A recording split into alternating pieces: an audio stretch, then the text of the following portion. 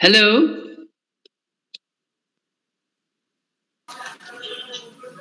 Hello হ্যাঁ sir Hello. শোনা যাচ্ছে। হ্যাঁ স্যার শোনা যাচ্ছে। হ্যাঁ ঠিক আছে।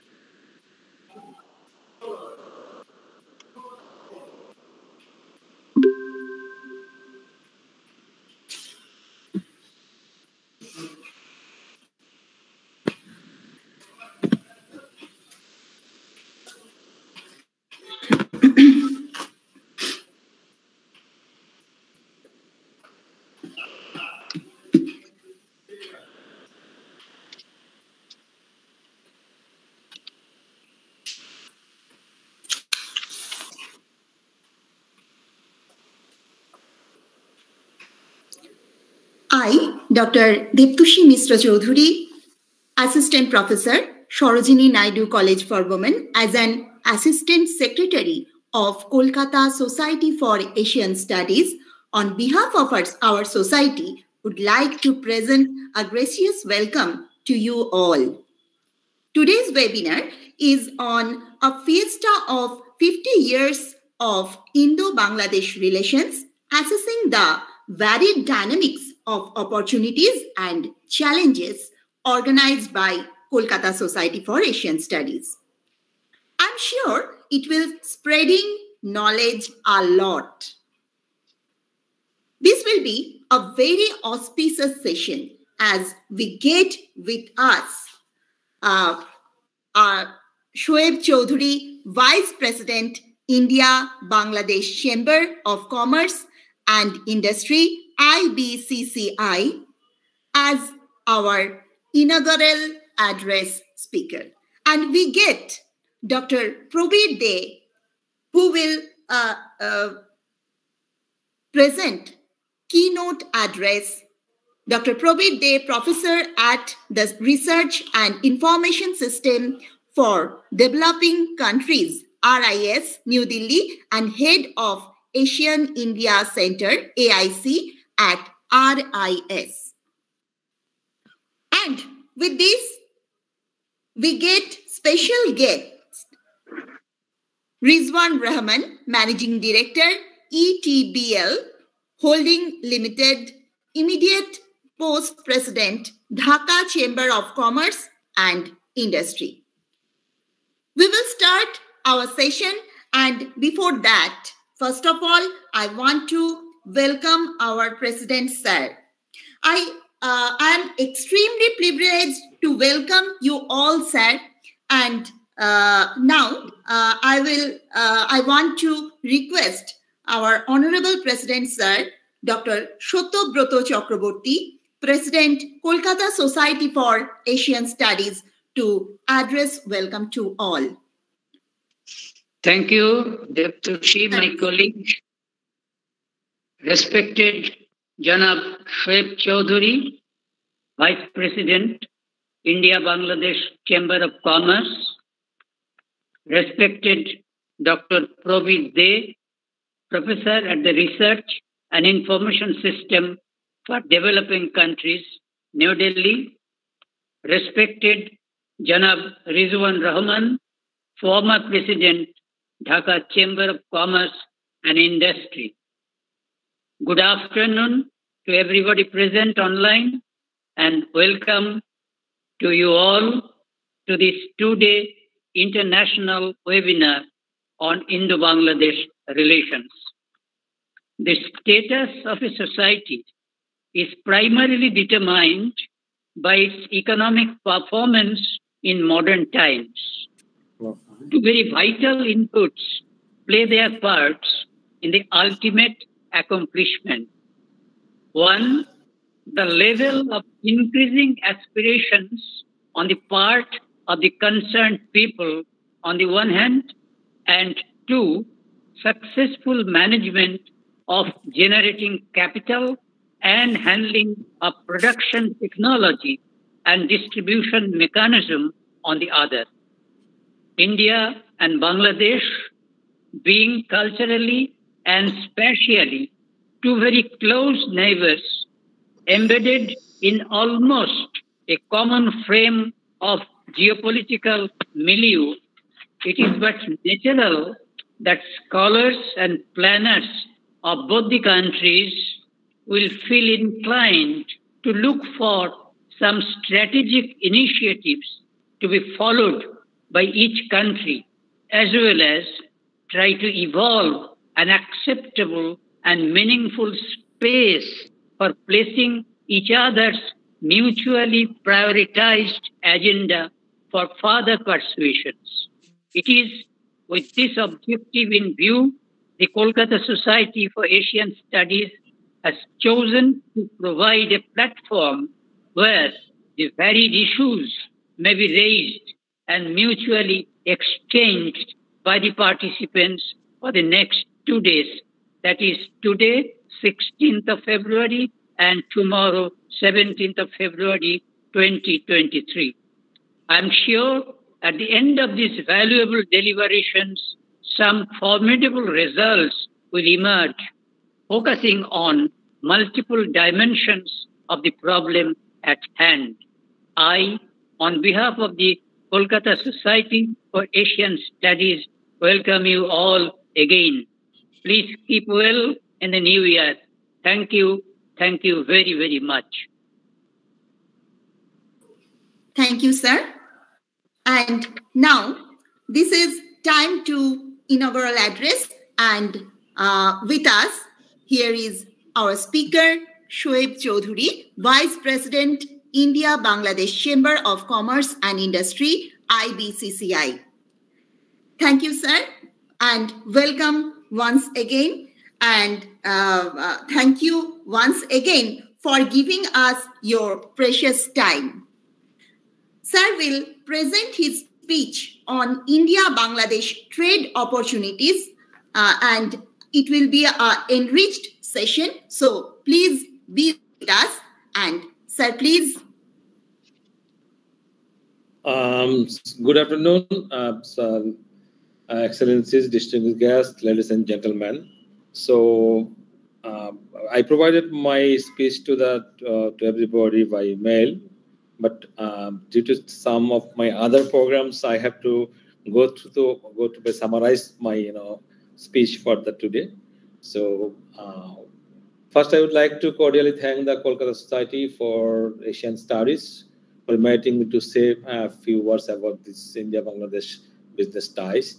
It is my privilege to recall the honor of the gratitude, the contribution made by India in 1971 while the liberation war of Bangladesh was going on and father of nation, Bangabandhu Sheikh Mujibur Rahman, and then then Prime, Minister Srimati Indira Gandhi played a great role during that time for independence of Bangladesh. So we know it was very much, uh, you know, uh, touchy relation with Kolkata and as well as the because of the we have you know, good you know, cultural bond with each other, and many of Bangladeshi people uh, took shelter in, uh, uh, in our neighboring states. So I believe that uh, the and our relation, uh, our relation with the India Bangladesh is you know in uh, written in golden letters. So we cannot afford the spirit of the 1917 keeping the India side.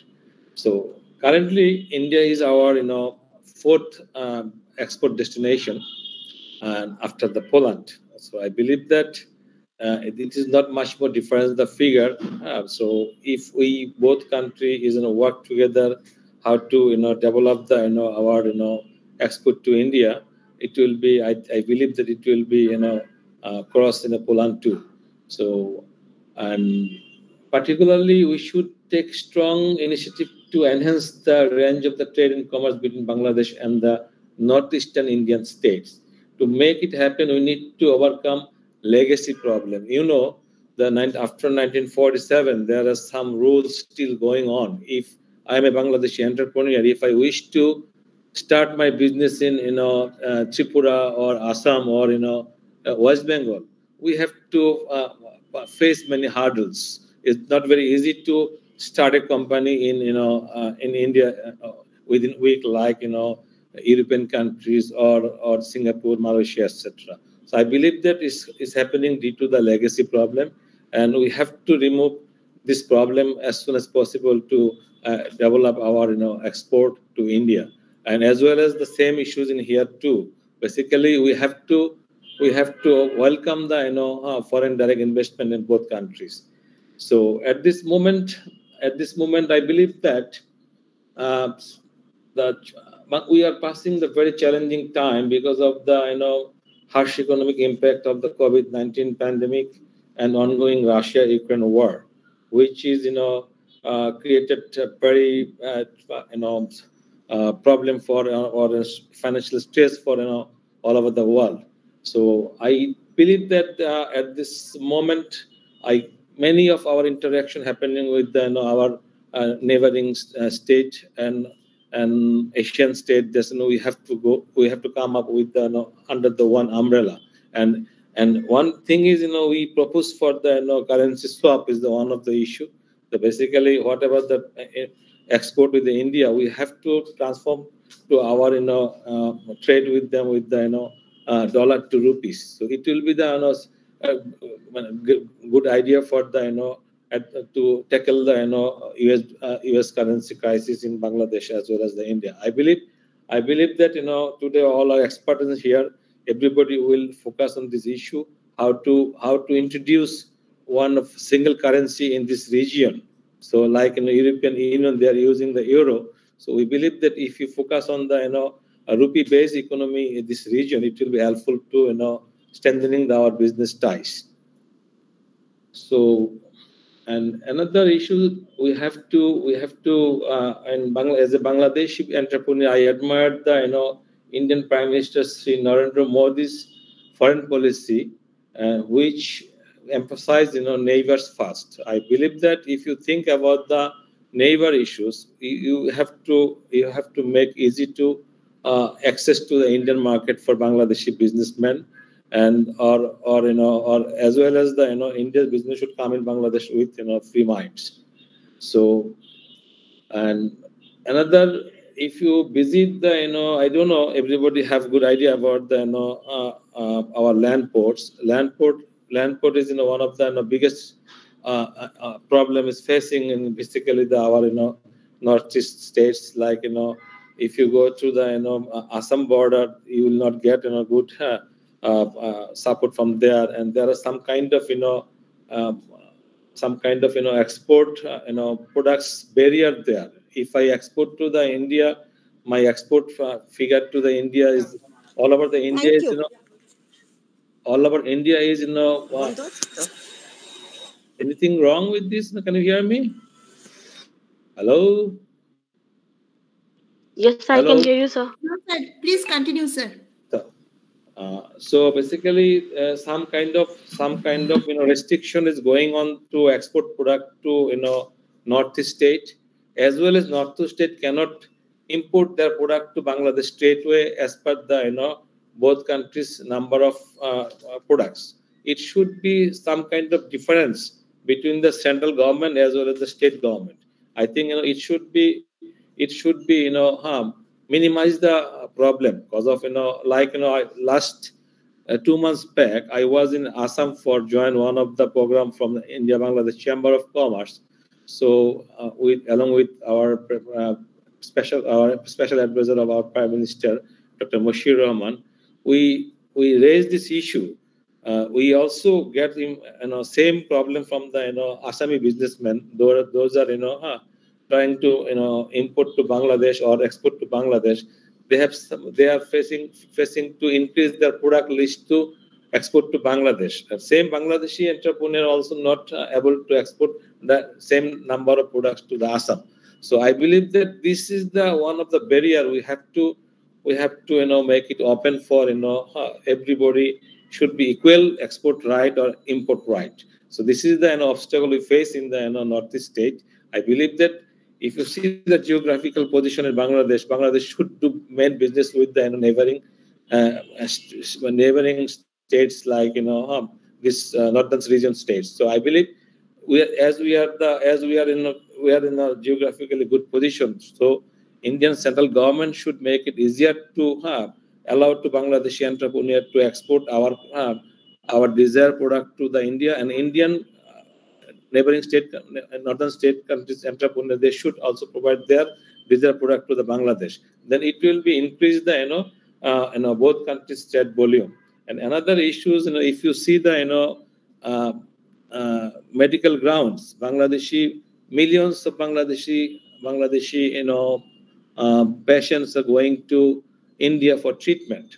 So nowadays, this, it, it is very difficult to uh, uh, getting the you know have their you know visa service because of the you know earlier anybody can India they can go to India with the tourist visa they can see meet up with the you know, doctor uh, without you know without medical visa. So now it's very restricted, very restricted law. There's no without medical visa, no Bangladeshi Bangladeshi uh, or Bangladeshi uh, citizens not allowed to meet up with the doctors. So I believe that it should be one kind of business. So it how to make it easy, Indian government should think about this issue to, to how to you know, Bangladeshi patient meet up with the Indian doctor, the uh, visa visa hassle uh, to overcome the visa hassle. And another issue, the uh, Bangladesh is one of the most export uh, at this moment. We are you know uh, one of the top country to export the garments product to the you know um, um, all over the world. So but our, you know, main of our, you know, merchandiser or our you know, technical peoples come from India and Sri Lanka. But at this moment, Bangladeshi side also giving some problem uh, to issue the visa, and and Indian government also they are also uh, they are not giving some kind of clearance of these issues. I believe that if you see see the you know uh, WTO, you know uh, what is the you know mode for the we have you know um, manpower supply issues that should be make easier to the you know, both countries then it will be create good opportunity for the you know uh, uh, service oriented business for both sides and india is and i believe that india is a technology hub at this moment all over the world. I i propose some of the in, indian hierarchy. So why not why not they declare the you know bangalore is the uh, uh tech, uh, tech, uh, tech hub of the world? So compared to the you know, silicon valley so, and where the where the Indian nationals they are, you know, uh, uh, uh take the leadership on the Google, IBM, etc. So Bangladesh, we are you know, far behind of this getting this support from the Indian side. If the Indian government support to us, like an Indian entrepreneur come to us to establish their you know, tech, uh, tech entrepreneurship in Bangladesh, it will be you know, good window for the you know increase the you know business for both sides. But this is, I believe that you know there is some kind of mindset is here's the problem. We have to overcome the mindset. I, I, from the very beginning i raised this issue. The legacy problem is the main problem for you know uh, for us. And you know there's you know few day few years back before covid it was very difficult to enter to the you know, sikkim because of the bangladeshi national not allowed to enter in sikkim because of the you know some kind of inland permission other permission still this permission going on the nagaland manipur etc i believe that everywhere when you say Bangladesh is your you know brother, we also believe India is our brother. You have to act like brother. But, you know, when I see to act, entering this state, there's Bangladesh name tagged with the you know, uh, which country? Pakistan, China, and the Myanmar. So in during 71, uh, Pakistan, China, they took stand against the Bangladesh independence. So why you are putting my name with them?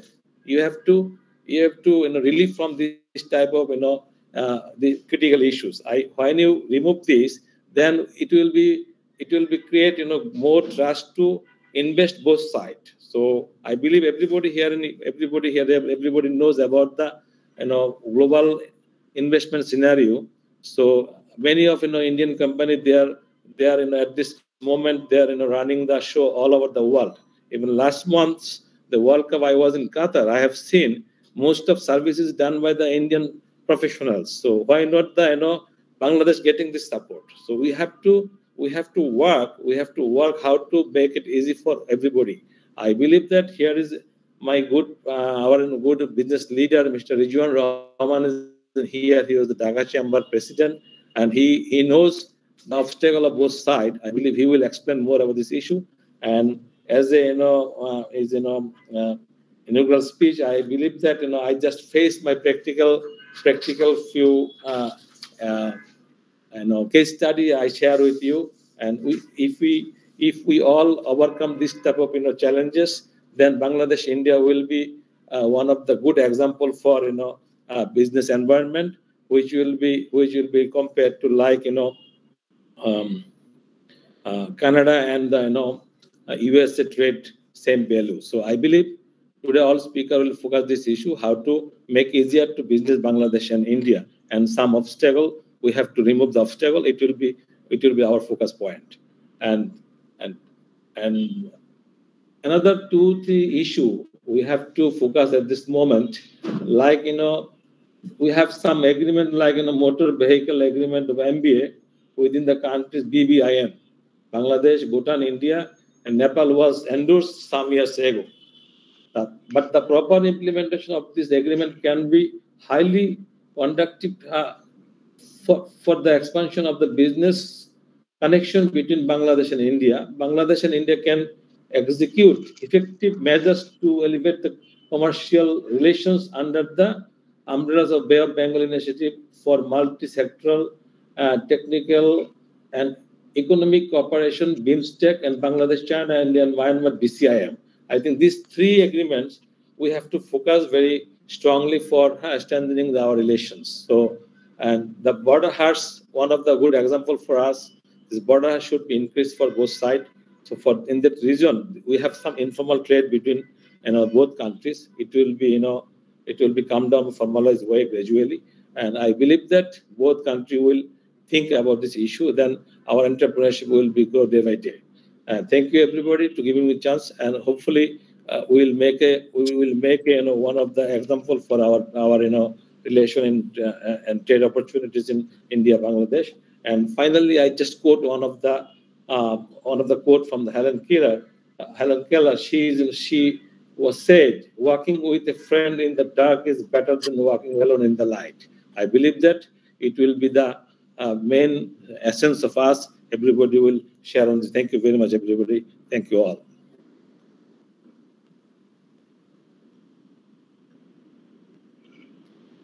Enriched a lot uh, your great speech helped us a lot to understand the subject of our webinar. You started from the legacy problem, you enlightened our foreign policy, you emphasized on our problems and the solve. We are overwhelmed and want to thank you again for such an informative session. Hope we can hear you in future also from an another program platform of our Kolkata Society for Asian Studies. Uh, thank you once again, sir. And now, please welcome Dr. Probir De, sir. Uh, Dr. Probir De, professor at the Research and Information System for Developing Countries, RIS, New Delhi, and head of ASEAN India Center, AIC, at RIS. Dr. Probir De, uh, sir, uh, please welcome once again and thank you for giving us your precious time. And the topic of her uh, uh, his uh, speech is changing economic contours on Bangladesh. Sir, please. Thank you. Thank you very much. first of all, I congratulate the organizer uh, Kolkata Society for Asian Studies, Asian Studies, to organize such an important uh, conference. Uh, I thought that this would have been done in person, you know, physically, but somehow, uh, uh, you know, we moved into the virtual mode. Uh, virtual, any discussion, debate, dialogue in virtual mode, the benefit is that you can connect many people across the world. Uh, so, mm, and I can see uh, so many people, you know, that's uh, 47 in number. If, if, you leave me out, 46 are you know, a good number of uh, people listening to you. And uh, many of them are from our neighboring country, Bangladesh. Mm, and I'm sure in years to come, we'll have opportunity to meet each other. And I can see here, you know, from the program, you know, many, uh, uh, many, many eminent scholars whom, you know, I, I met. I have their wisdom with me. I can see, you know, here Professor Imtiaz Ahmed might be joining tomorrow. Uh, Dr. Atiur Rahman might be joining the next session. Uh, and then Professor Shapna Bhattacharjee, uh, Professor Anandajyoti Mojumdar, Kingshuk Chatterjee, uh, Professor Samir Ranjan Das, Professor Moha Mukherjee, and uh, Datta, and many others. Know. So they will be, you know, so joining in in this uh, conference, and um, and I thank the organizer for uh, having thought about me to give a keynote. I have no keys to unlock many things, so I won't say it is not a keynote address, just to share my remarks uh, on the subject, on the changing economic profile or economic contours about uh, you know India-Bangladesh relations. I've been traveling to Bangladesh, you know, uh, quite often. Uh, uh, my uh, families are also not from the other from the East Bengal. We are we are from this side of the Bengal, but I share many commonalities with both both side of you know the the Bengal, both East and West. So, and I have been uh, I've been to Bangladesh uh, recently, and I traveled uh, from uh, Dhaka to Chattogram to Matarbari to Cox's Bazar to Kumilla to Brahmanbaria, you know, by road, by flight, you know, to do a study. Then I went to uh, Agartala uh, by road, and I crossed the border, and then I went to Sabroom and many places. You know, I have seen it many things Bangladesh is having a very good time. You know, uh, if you haven't visited recently in Bangladesh, please you know, go there and have a look at it.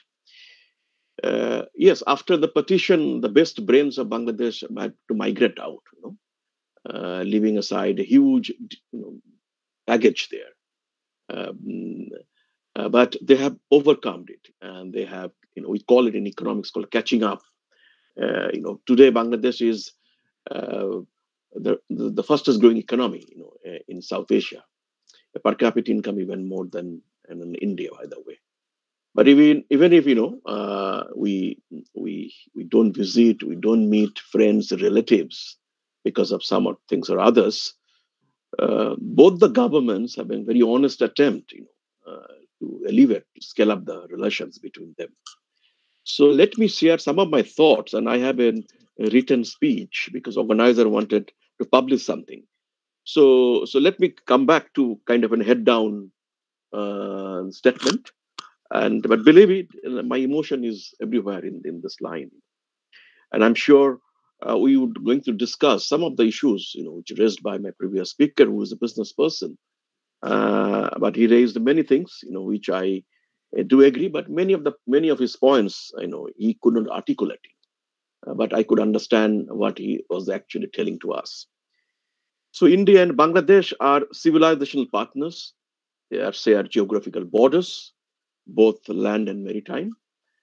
India and Bangladesh, you know, they could manage to resolve its maritime dispute amicably. But if you go to South China Sea, you could see this those seven, eight countries they are fighting each other. They could not solve it. But India and Bangladesh, they could so resolve its maritime borders, the land borders, the exchange of chitmahals, and etc. So there are many good examples, best practices. India Bangladesh story, you know. Our relations have been expanded in all fields of bilateral relations, from culture to connectivity to commerce to communication to, to capital to care, uh, which you often call, you know, five C's. Uh, and I repeat, uh, five C's stand for culture to connectivity to commerce to communication to capital to care. Indian Bangladesh partnerships has evolved from a partner for freedom, freedom struggle of uh, um, Bangladesh coming out from East Pakistan, and to a partner for their development. Bangladesh has become the fastest growing economy in South Asia. Bangladesh, indeed, catching up in, in India and many other countries in Southeast Asia as well. And this catch up is 2019. If you see the long term trend in the per capita income in current dollar, you will see in 2019, you know, they could touch uh, what India used to, you know, have the per capita income 2019. Today, in 2020-21, at the current price, uh, Bangladesh's per capita income, uh, which is 2458, $2,458 at current price, whereas India's is 2,257. you don't have to read much in these numbers, but but the trend, you know, is that this Bangladesh per capita income is just $128, $128 in 1971. And uh, if we have you know, discussed this in the Bangla, you could have seen, you know, you could understand a much better way. যে উনিশশো একাত্তর সালে বাংলাদেশের পার capita income ছিল মাত্র একশো আঠাশ dollar সেখান থেকে আজকে ওদের পার ক্যাপিটা ইনকাম গেছে two thousand four hundred and fifty eight যেটা ইন্ডিয়ার per capita income two thousand two hundred fifty seven তার চেয়ে বেশি And Bangladesh is going to become a developing country by the way 2026. Those who are the business people here, they know that Bangladesh rise. Uh, it is because of trade preference. Uh, trade preference, what is that? Some developed world, they give a preference to developing countries, least developed countries to grow, to do business.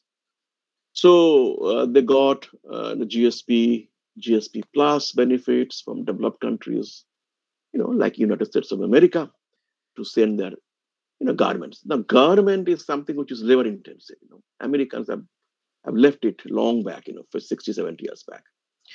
And every country in the world, you know, they have gone from a labor intensive to the capital intensives.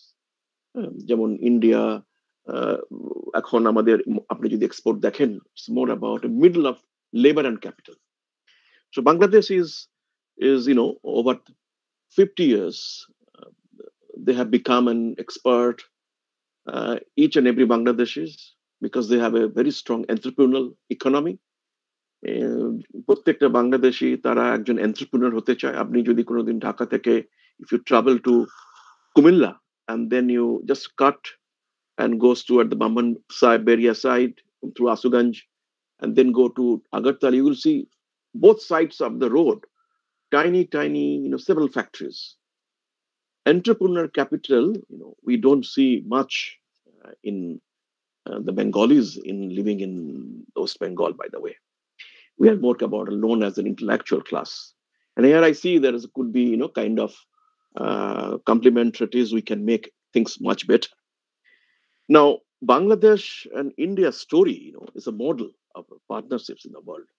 Everybody, you know, in this disturbed, uncertain world where borders are, you know, dismantled, where you know, countries are fighting each other, Ukraine, Russia, example, uh, and countries like, you know, Mexico, we then see that the border has been fenced.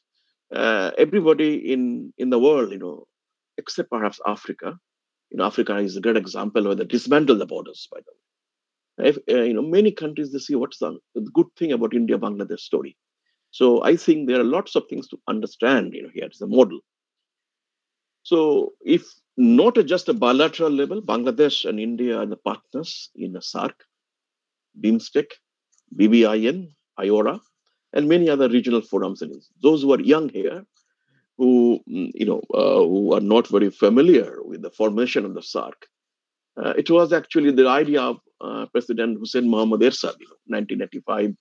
SAARC was the brainchild of Bangladesh. And today, uh, BIMSTEC, you know, uh, which is the secretariat, is located in Dhaka. Bangladesh is very active in you know, vocal partners in the IORA, in Indian Ocean Association, and many other regional and sub-regional forums. Bangladesh and India are also active members of trade agreement like SAFTA, SATIS, which is a services trade agreement, and uh, you know they are also negotiating you know uh, agreement in the BIMSTEC free trade agreement. BIMSTEC FTA is not yet negotiated yet. You know, still going on negotiation for last 25 years.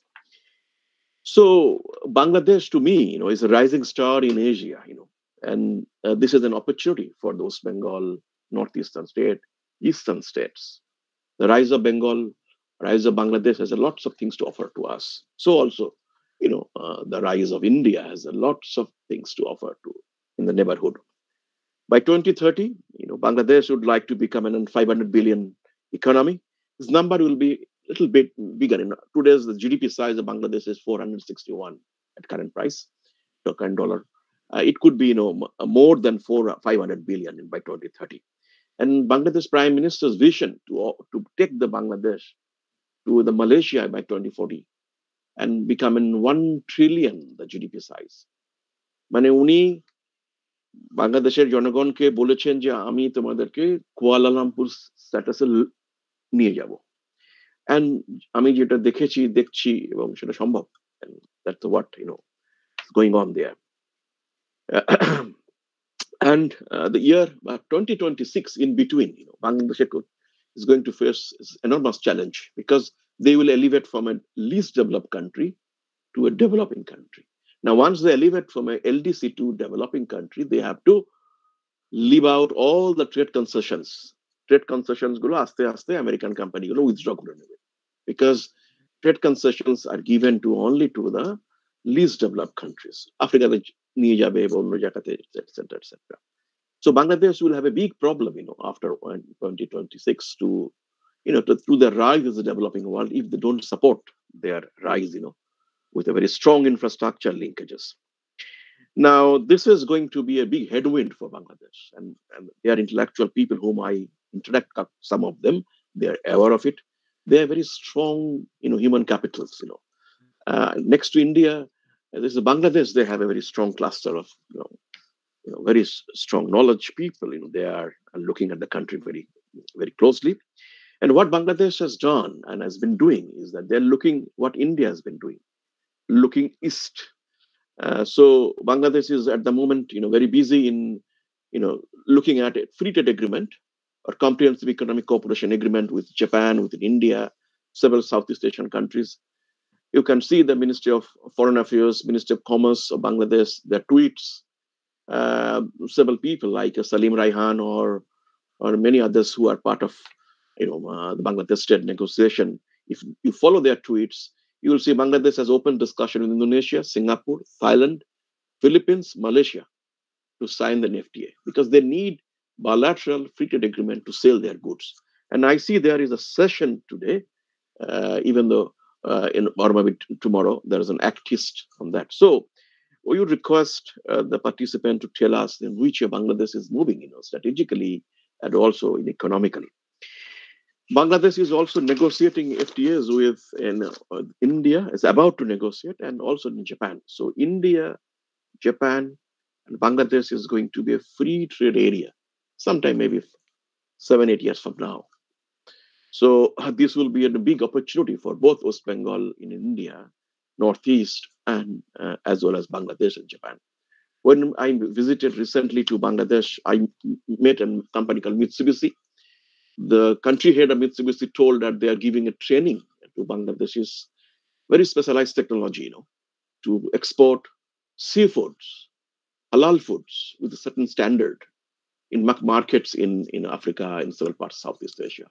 So what I see that lots of Japanese companies, Korean companies, they're doing business very peacefully, amicably, in, besides India. Uh, Bangladesh has also dispatched a senior diplomat to ASEAN and opened a mission in you know ASEAN. Bangladesh uh, full mission in ASEAN. Can you imagine that? Bangladesh has an ambassador to ASEAN. So all this means that they are very desperate to pick up new friends in trade, in the trade and investments.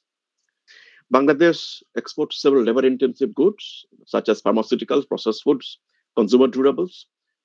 Uh, Bangladesh trade may suffer if the country, you know, fails to improve its connectivity within within the country and and the beyond. Uh, well, uh, to bridge the connectivity gap and the going forward, the Bangladesh requires increased capital expenditure for this country's infrastructure, uh, particularly for the energy, either domestically sourced or co-financing with international donors. Uh, and it's a big challenge, you know. If you look at it, the Bangladesh at the moment is a very, very serious, you know, financial crisis. They are not disclosing it. They're not disclosing it for several reasons. And they they have, you know, getting um, loan from IMF. Uh, inflation is a big challenge for Bangladesh, you know, across the country. Uh, so Bangladesh cannot borrow much. You know, uh, if you do borrow money, there will be an interest for it, right? It is very simple. Like, you know, আমরা যদি টাকা bank থেকে নিয়ে আমাকে ফেরত দিতে হবে এবং আমাকে তার সাথে প্রিন্সিপাল অ্যামাউন্ট আমি ইন্টারেস্ট দিতে হবে so Bangladesh the rating it has, it, it, cannot borrow money. So what I think the Bangladesh has to do, you know, uh, basically the GDP accelerations that growth acceleration has to come with more capital inputs, labor inputs. মানে দেশকে আরও অনেক active হতে হবে productivity বাড়াতে হবে, সেটা একটা ব্যাপার। We call it you know in very frequently in economic science call TFP total factor productivity যদি টোটাল ফ্যাক্টর প্রোডাক্টিভিটি বাড়ে মানে কান্ট্রিজ এফিসিয়েন্সি বাড়াতে হবে দেশের। কীরকম ভাবে যে সবাই ঠিক মতো কাজ করছে, ঠিক সময় আসছে, ভালো কোয়ালিটি আউটপুট বাড়ছে সেটাকে আমরা বলি টিএফপি টোটাল ফ্যাক্টর প্রোডাক্টিভিটি এটা যদি বাড়ে, তবে দেশের আরো উন্নতি হবে আরো বড় হবে loan there is a limitation আর একটা কি হতে পারে what next is that they have to allow FDI you know reforms for uh, you know domestic reforms to more foreign direct investments for the country এবং যেটা ওটা করে আসছে here i think there is a very strong role of indian fdi coming to bangladesh and uh, এখানে একটা কথা বলার আছে যে Bangladesh prime minister is a vision that to have a hundred EPZ, SEZ industrial parks in the country, hundred একশোটা economic processing zone তৈরি করতে হবে দেশে অনেকগুলো ওনারা করে ফেলেছেন and what these economic processing zones are supposed to do they will house investments foreign capital india is doing such too একটা হচ্ছে খুলনাতে এবং another one somehow in the Jessore or you know western side uh, but there is an issue the, the gentleman you know my previous speaker he raised that uh, Bangladesh FDI is not allowed in India as you know that this is a big issue and I'm sure the government and Bangladesh they will sort it out they are very high quality good quality diplomats uh, and it is that Bangladesh FDI is not allowed in automatic route. It is by case to case.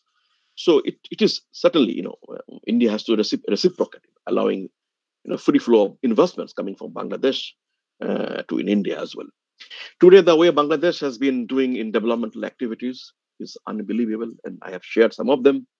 I visited recently, you know, across the country, and I have seen uh, two, three examples. I'll do, you know, I'll give the high-speed railway line from Dhaka to Chattogram to Cox's Bazar. Then Bangabandhu Tunnel, you know, cutting across um, the Karnaphuli River, because the river Karnaphuli, it is origin is Mizoram state, you know, from the water uh, bodies. That's get dried up. And the river is basically silted. It is basically has become a tidal river. সমুদ্র থেকে যখন জোয়ার আসবে নদীতে জল আসবে তখন আমাদের কলকাতা পোর্টের মতো অনেকটাই but advantage of Kolkata port and Haldia port is that our ports are impounded একটা লক গেট বসানো আছে মানে জল যখন ভেতরে থাকে we are safe but Karnaphuli River and the Patenga International Terminal and others are on the river. Uh, so there are many challenges Bangladesh you know, have been facing in terms of port development. So what they have done, you know, they are going further down at setting up a big deep sea port at a place called Matarbari.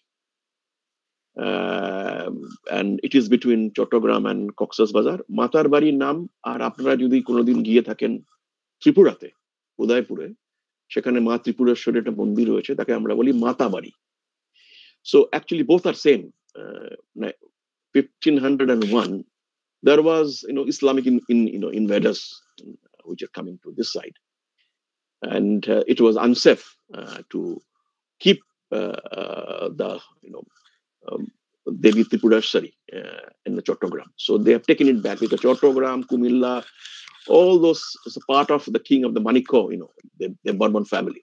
They used to be the rulers. So, so it was taken from Matarbari, from uh, Chattogram all the way to Matabari in Udaipur, whereas still Mata Tripureshwari is still. So there is a cultural, religious, civilian linkages. So they are setting up a big port uh, at Mata with Chinese, Japanese assistance, power plant, economic zone, many things. Unbelievable, unbelievable. Uh, and please have a vis- visit it. And I think 10 years from now, when this project gets completed, all their cargo, export and import, and even from the West Bengal, they will come to Matarbari port because 10 years or 15 years from the port of Kolkata, all, the, all will be get silted and dried up and will work as a as an inland port. So what I see that there are opportunities from both the sides. So bringing you know northeastern part much closer to Bangladesh through Agartala, Sabroom, Ramgarh, Chattogram, Matarbari, Cox's Bazar, this would be becoming a gateway economic corridor very soon. And see that in Bangladesh, today Bangladesh is the mobile phone they use, Samsung, they don't import because because it is the Koreans, they have started assembling. Uh, the motorbikes they use, the two-wheeler, they don't import. Uh, it is the Japanese Honda, you know, they have assembly plant.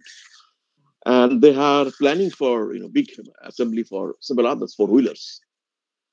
And as you as I've said, that they have a an entrepreneurial class.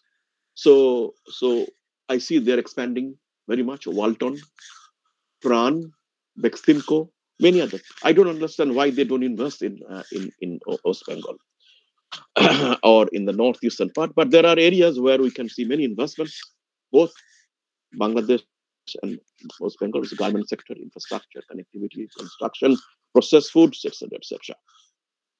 Let me uh, come to uh, the last part of presentation, and I will wind up. Uh, that uh, uh, what what we see, you know, um, the Bangladesh rise good for us, you know, and, and there should be some discussion here. Rise of Bangladesh is essential for the rise of sub-region. Uh, an economically prosperous Bangladesh is good for, for bringing youth of the country, not to join and get diverted into, into fundamentalism, insurgency, etc. So we see a peaceful coexistence of, of India and Bangladesh very much. Uh, India-Bangladesh relation, to me, is the best hedge. In the last visit of Prime Minister Sheikh Hasina, uh, in the September 5th and 8th, you know, uh, we signed several agreements, and there some of them are very good. Bangladesh has allowed their ports to be used for transit cargo from the mainland India or rest of India with the northeast. For example, the, the Tata Steel, you know, they have a plant at Kharagpur, uh, you know, and then uh, the steel products like TMT bar, required for construction in the northeast, they are sending it from uh, Kharagpur all the way to Haldia. Then they put it in the barge. That barge goes into Asuganj and then uploaded into truck and vehicle, and that cross to Agartala and Akhaura, and then distributed to all their distributors. So here, Bangladesh has allowed Indian you know, goods coming to Mongla, Asuganj, and some other um, in ports for the use of transit. This is the kind of a very generous support that Bangladesh government has extended. And we have reciprocated uh, as well. Uh, that under the BBIN motor vehicle agreement hasn't come out, but under the bilateral relations, we have allowed Bangladeshi vehicles to come cross Bangladesh and go to the Nepal and many other places. And so uh, there are many other several stories.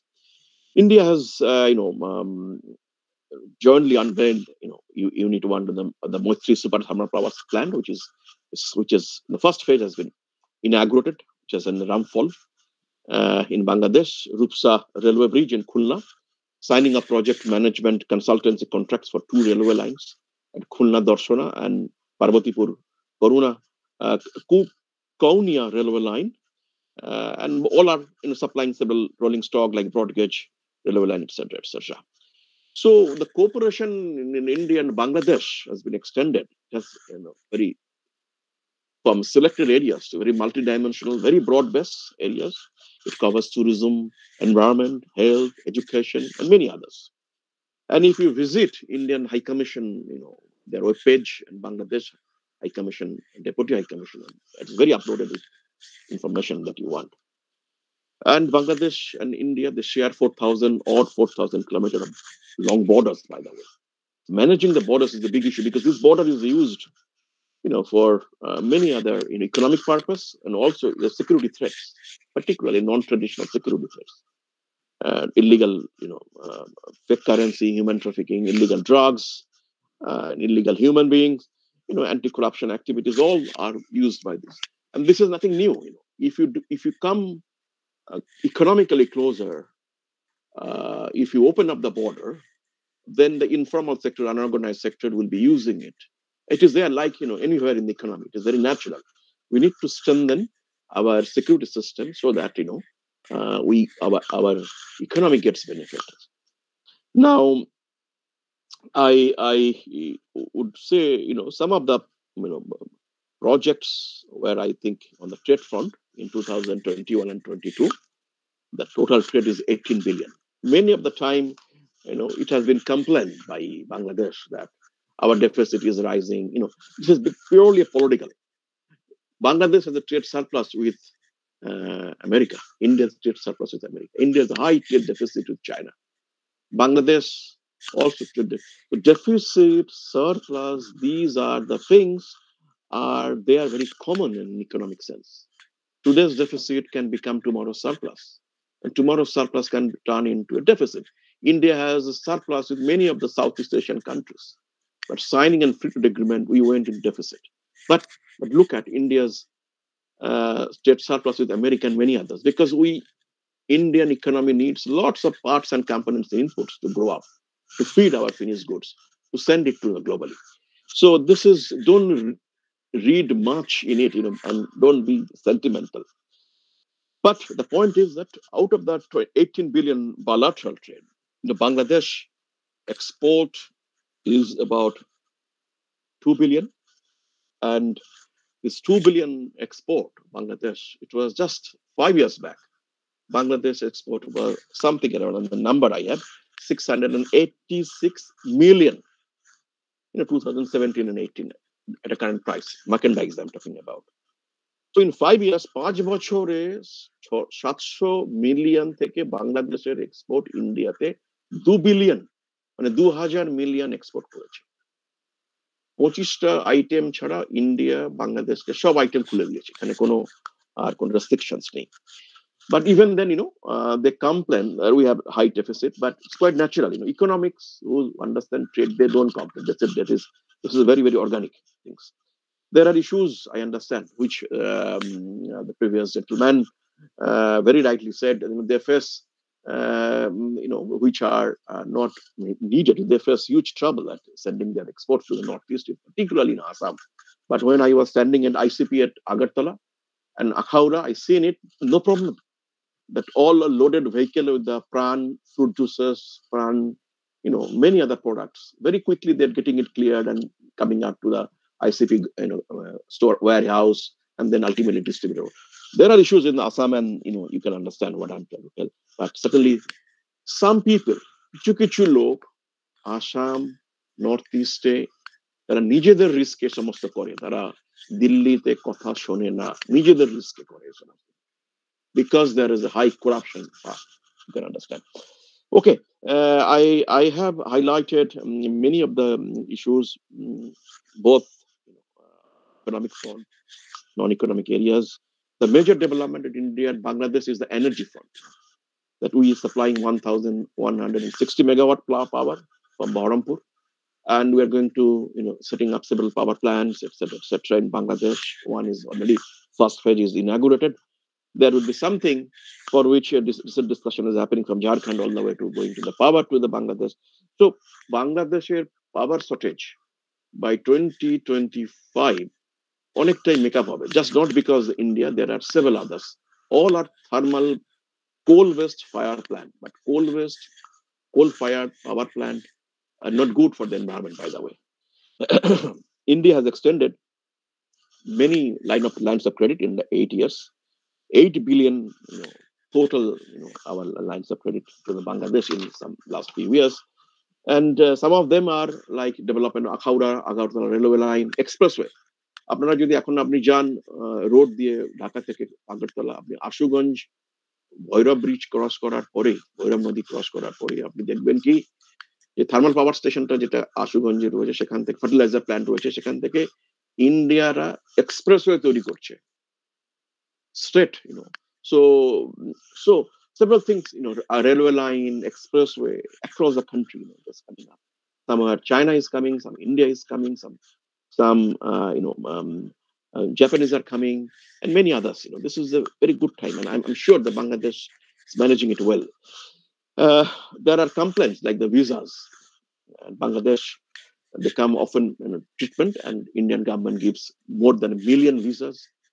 And যেই যারাই apply করে অনেকেই multiple entry visa দেওয়া হয় কিছু কিছু কারণে restrictions আছে but all I think that uh, uh, you know this is an opportunity for India for entering in health services and uh, across the country, by the way. Bangladesh also, you know, if you do a summary, please keep in mind there is a health city has come out in the Imphal, Manipur, eastern side of Bangladesh. There is a health, you know, cluster has grown up in Guwahati, which is, you know, north east part of. So they should also explore, you know, coming to, you know, not just coming to Kolkata uh, and uh, any other parts of India. They should also look at the new centers, you know. Uh, today, Bangladesh-India relation is not competitive, but collaborative and constructive. Uh, and but we also need a matching progress. The way Bangladesh is growing, if we can't uh, do uh, development and growth in the northeast and eastern part of India, so there will be a gap. Some of the speakers might, you know, allude to us on that line. Going forward, I would recommend that both India and Bangladesh may work in the areas of trade, infrastructure, digitization, green economy, women-led development, and regional integration. Uh, India has invited Bangladesh to join G20 summit in September this year. As you know, that India is the chair of G20. I'm sure India's experience so G20 at the end of the year should be shared with all the development partners. You know, uh, time and tide don't wait for anybody, right? You agree with me. So it is the Bangladesh time, Bangladesh moment, and we better do not miss this tide. So we should, you know, engage more with them. At the end, I thank uh, Kolkata Association for Asian Studies for organizing such a valuable conference, touching several interesting topics on pro bono basis. Pro bono basis, I, I, I underline, you know, this is only possible in Paschim Bangla, where there is a will, there is a way. I thank all the speakers, participants, President Dr. Chakraborty and Dr. Karnishta, uh, the Secretary for the invitation to me. I thank my co-panelists, Dr. Shoaib Chaudhary, uh, Mr. Rizwan Rahman, and um, and uh, Mr. Arinda Mukherjee. Uh, for um, I thank all of you for listening to me. Thank you very much. Namaskar. Thank you, sir. Our keynote address session reached its main point through your precious word. To unlock our motto of webinar, your remarks are so precious. Uh, through a lot of example, you focused on changing economic uh, contours of Bangladesh. You focused the cause behind the changes. You focused on the geographical uh, aspect, cultural aspect, economical aspect, and emotional aspect too. Uh, uh, this, uh, this was such a informative session, uh, and uh, thank you once again, sir. now, I am extremely privileged to welcome our special guest, but before that, uh, a humble request to all that please follow the chat box uh, for feedback link. Please fill up the form online. And uh, I can see some uh, comments in uh, comment box. Uh, I can say one thing to Mr. Dipankar Shaha that the relation is based on how we think. that is not true for all means. Uh, and my humble request to all of you that if you have any questions, you can ask Sir through their mails. And uh, now, uh, please welcome our special guest, Rizwan Rahman Sir, uh, Managing Director, ETBL Holding Limited, immediate past president, Dhaka Chamber of Commerce and Industry. Uh, his uh, topic is 50 years of India-Bangladesh relations towards the next level of trade and investment growth. Welcome, sir. Please. Thank you. Am I audible? Yes, sir. Thank you. I would like to humbly thank uh, Kolkata Society for Asian Studies for giving me the opportunity to say a few words. And it makes my life uh, very difficult after two prominent speakers have already given so much information and shared so much more than I can actually share. But however, I represent the private sector of Bangladesh. It is going to be a completely private sector perspective. And again, once again, I thank the organizers for organizing such an interesting talk and uh, all the audience here. Assalamu alaikum, namaskar, and a very good evening to all of you. Um, we already heard from uh, Dr. Prabir regarding uh, the macroeconomic indicators of Bangladesh, which obviously has been a, a success story in the last uh, decade, in fact, over a decade now. Um, right after bouncing back from the uh, COVID 19 pandemic, uh, our GDP growth has recorded to 7.25% in the fiscal year of 2022. And not only that, we have been proven to be the fifth most resilient economy in the world for the quick pandemic recovery. And at the same time, as you know, that uh, Bangladesh is poised to graduate into a developing economy after 2026. And at the same time, we have a vision as laid out by the Honorable Prime Minister, which is the Vision 2041 to become a developed nation. And we are on the path because the indicators are saying so. There was a time that Bangladesh used to market itself in the whole world to India, to the West, everywhere in the European Union. But right now, Bangladesh is being advertised by others. I mean, you will see Bangladesh in the news like CNN and BBC highlighting us. Uh, you'll see comments from IMF, World Bank, and all these um, ADB and so on. And at the same time, you know that Bangladesh is the fourth largest export destination for India. And it consists of uh, 25% of our total trade, the India Bangladesh bilateral trade. So, therefore, I must say that India, not only from its role 52, 53 years ago back in 1971, but onwards, has been a very integral partner of Bangladesh in the development story and the success story behind the um, growth of Bangladesh itself.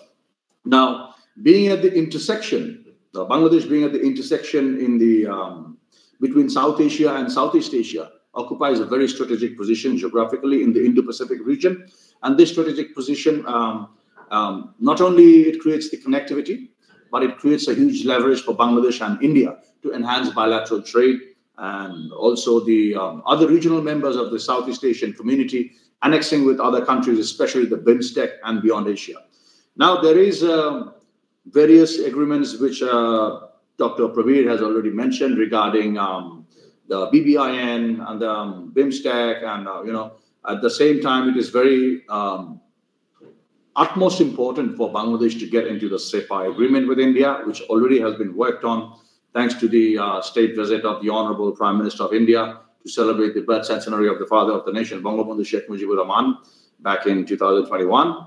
And at the same time, uh, just for your update, uh, fiscal year of 2021 and 2022, the bilateral trade was $9.8 billion which has grown to $15.68 billion, which shows that you know both economies are picking up.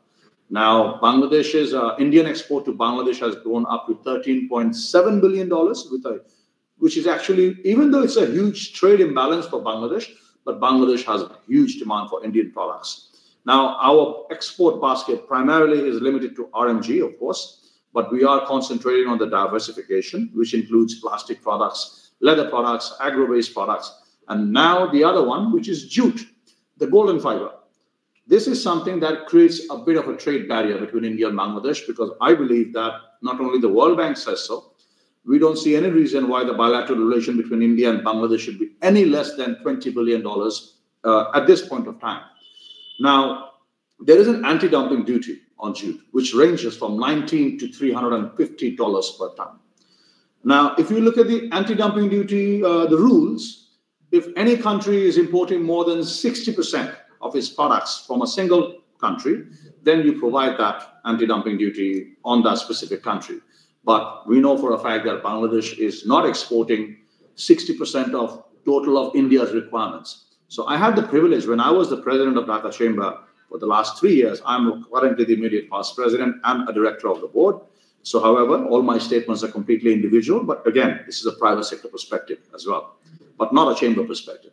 So, I had the privilege of meeting various ministers and business community leaders during a delegation where I took 50 businessmen with me to West Bengal.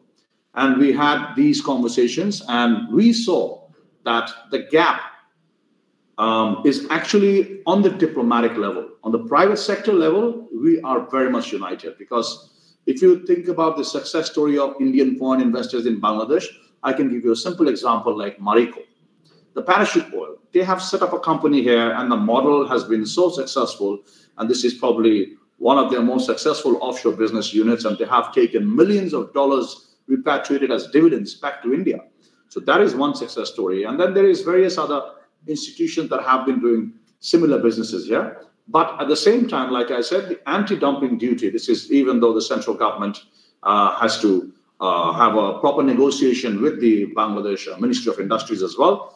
And at the same time, there are very stringent rules of origins which needs to be addressed. There are non-tariff barriers, and then uh, reciprocation of the Bangladesh Standard and Testing Institute. What happens that also hampers the trade of uh, uh, Indian goods coming into Bangladesh as well, because if the um, trade is not reciprocal with the testing labs, what happens, for example, when we are sending something by the land port, um, all the products are being sent all the way to Haryana or Delhi or somewhere or the other to get tested, and then they come back. That creates a huge time lag. And this is actually rising up the cost of doing business for no reason.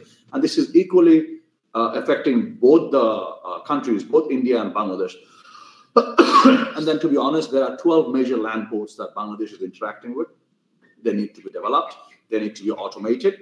And at the same time, we have four land ports that we are actually constantly pushing our government that, you know, uh, we don't have to look into Western markets. We don't have to look into European or Southeast Asian markets. We have so much trade to do with our neighbors. And the Act East um, or the Look East or however you want to say it, I believe that you know there will be this will be the most beneficial for India when Bangladesh can be a bridge between West Bengal and the Northeast region. You know, because these two regions are so close to each other, but geographically, but yet so far, because there's a country in between. There is a transshipment agreement, there's a transit, but I think that Bangladesh being the bridge and opening up the borders between Northeast and Bangladesh, and vice similarly vice versa with West Bengal as well. So at that point of time, I think that you know when we work more on the BIMSTEC, BCIM, and the motor vehicle agreement, which is the BBIN, if these things are negotiated properly and these uh, member countries, which are of these trading blocks, can actually have easy, easy access to all these trading zones, uh, especially from Bangladesh to the northeastern state, uh, whether it comes to construction, FMCG, garments, uh, including um, most importantly, we need to emphasize on our port infrastructure. Now, another target for Indian businesses to come into Bangladesh. This is a very important information because Bangladesh, to reach that goal of 2041, needs $320 billion worth of investments in infrastructure. Bangladeshi companies cannot do this. Chinese companies are coming into Bangladesh, other companies are coming into Bangladesh. Indian companies are in a very small capacity. So I would definitely, through you, your channel, and all of these uh, associations, I would like to invite all the big infra companies to come into Bangladesh. And at the same time, uh, the rules of the Bangladesh Investment Development Authority are plenty available. You know that we are providing up to 20 years of tax holidays for foreign investors, 100% capital repatriation, uh, ownership of land. But yes, Dr. De did say that some of these treaty um, uh, foreign investment cooperation that we provide to our Indian counterparts is not reciprocal. So at the same time, uh, very few limited companies have had success story. Bangladeshi companies in India, uh, they have, but it's it makes uh, the process so complicated that other companies cannot open up shop there. And at the same time, uh, if we talk about FDI, uh, the FDI stock in Bangladesh from India is roughly fairly below one billion dollars. So for a country that has a potential to trade twenty billion dollars with uh, Bangladesh, I believe that 1 billion worth of FDI is not high enough it should be furthermore. But however, I think that a free trade agreement or CEPA will definitely open multiple avenues in the field of ICT, industrial skills, um, 4IR technologies, and then you know taking into account the economic, geographic, and strategic benefits, India can invest in Bangladesh as the proven investment hub. Because at the same time, when these numbers are going up and Bangladesh is growing, there is no stopping Bangladesh, and this has been a success story everywhere. Even the Indian media is highlighting us today. So I think that the Indian investors should take a piece of the action and enjoy their dividends at the same time. And now, taking um, the importance of the bilateral relation of India into account, the private sector has been working relentlessly. And I assure you, not because I'm the Bangladeshi private sector, but I also believe that we are by far the most resilient private sector. Um, the only, probably one of the very few countries in the world during the pandemic, we posted 6.2% positive GDP growth when the global GDP growth on an average was negative 3%. So, which means that our resilience, our RMG industry, our labor force, they have been showing utmost resilience. And uh, given uh, when the negotiation with the CEPA started, I think uh, India has projected that their trade with Bangladesh may be doubled up to $32 billion. So it's a win win situation for both the countries. This is going to create more employment in our respective countries, add more to the GDP. Yes, both our GDP uh, per capita is fairly low, but we are extremely densely populated countries in the world, both India and Bangladesh. However, um, we have to look into the um, further details of the treaty. So make sure that it is actually a bilateral but not a unilateral treaty as it has been before. And taking the importance of the bilateral relation of India into account, we have been, like I said, uh, working very relentlessly, especially the private sector. And West Bengal, needless to mention, it is the major, ultimate major gateway for Bangladesh and India towards the economic operations. And um, as I mentioned, the large business delegation we took to West Bengal, um, I'm happy to say that, you know, four or five major companies have actually signed agreements and they have already, already started trading. I think, if I'm not mistaken, 30 to 40 million dollars worth of trade has happened through our delegation. So, what I would suggest is we keep this um, aura alive. You know, keep sending delegations to Bangladesh through. You have the FICCI, you have the CII, you have the Bengal Chamber, you have the Kolkata Chamber, and so many others. And we have various bilateral chambers, and of course IBCCI playing a huge role in the India-Bangladesh uh, chamber, which is playing a huge role in the uh, bilateral relations of both the countries at the same time. Dhaka chamber, as well as our apex body, which is the uh, FBCCI, both have been playing important roles. And I think that you know it's very um, easy to connect to a country uh, so similar in culture, so similar in eating habits, so similar in nature. So our economic uh, graduation-led transition, it also requires a smooth uh, business competitiveness, which I think that India can definitely help us because India itself has been a success story and now it is a global superpower. There's no denying that. The whole world is talking about that as well. So I think, you know, uh, when the neighbors grow together, the region becomes more and more competitive,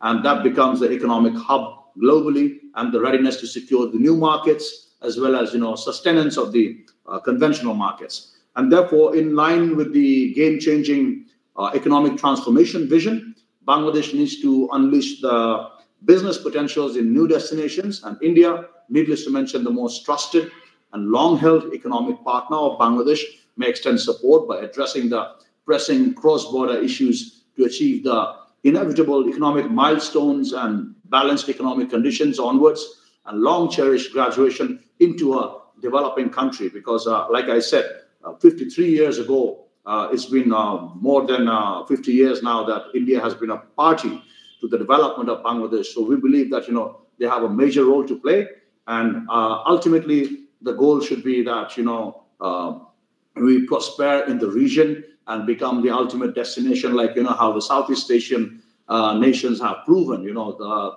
Kuala Lumpur, uh, Bangkok, um, in Vietnam, Cambodia, Laos, and so many other countries, they have been able to attract foreign investments. And at the same time, we want to be in that position. And I think that you know, uh, joint cooperation will ultimately take it forward. As long as the diplomacy is concerned, that's the job of the diplomats. But as far as the private sector is concerned, I don't believe that India and Bangladesh has any borders. You know, it's just a diplomatic border that we have, and it's just we need uh, a convenient business environment, um, tax-friendly regime for both parties to come in together, and that way, I think we can eventually create a success story that we have always cherished from the day one.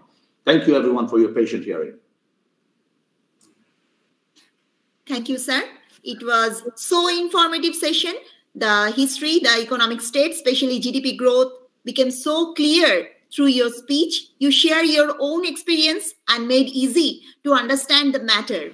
You also focused on the population by uh, bilateral relation. Your suggestions are so helpful, sir.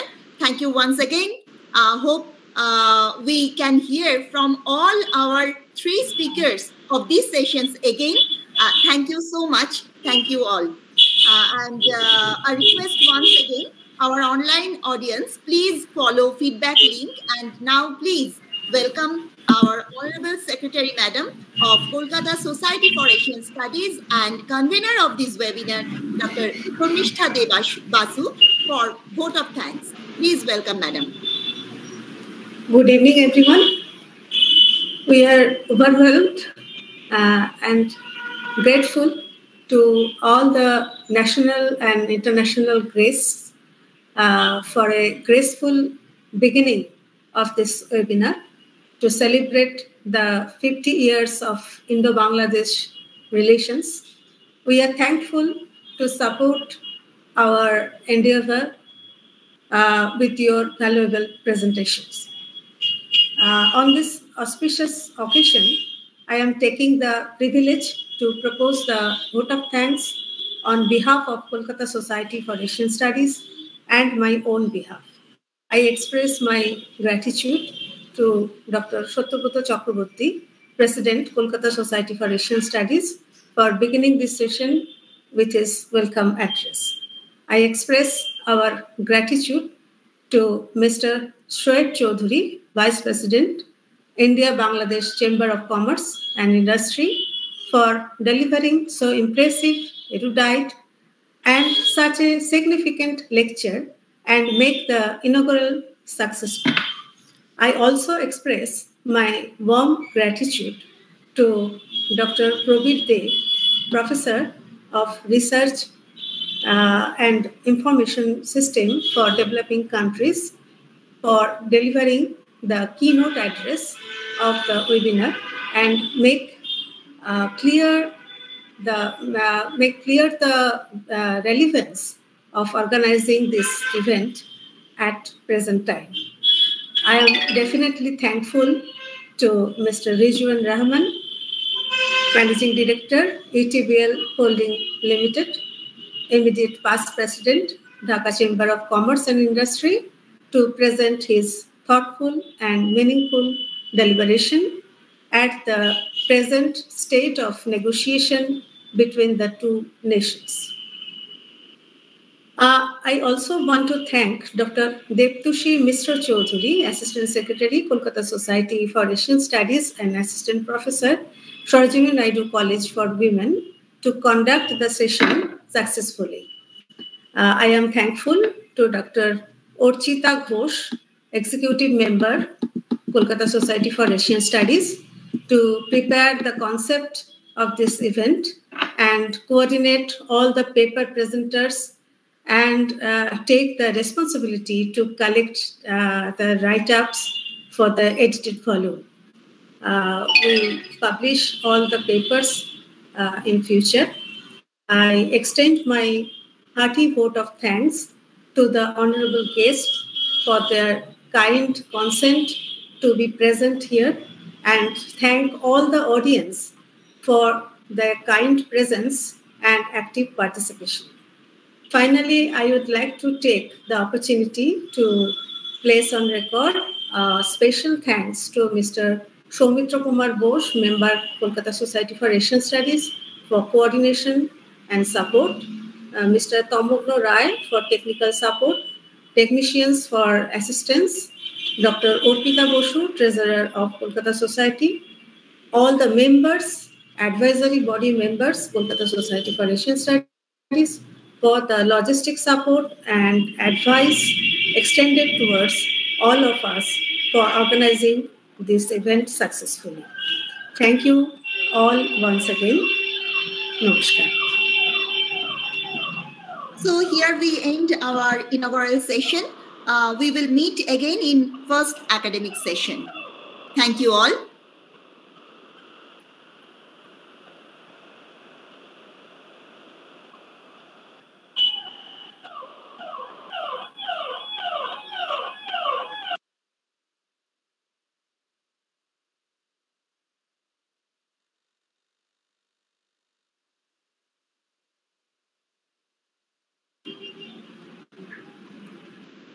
We can start our first academic session now. Lektushi. Yes.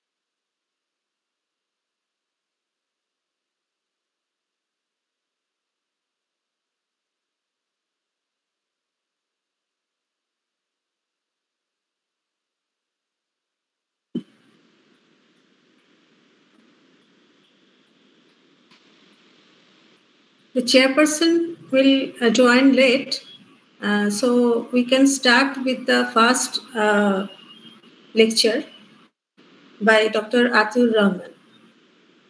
Okay, okay. Mm-hmm.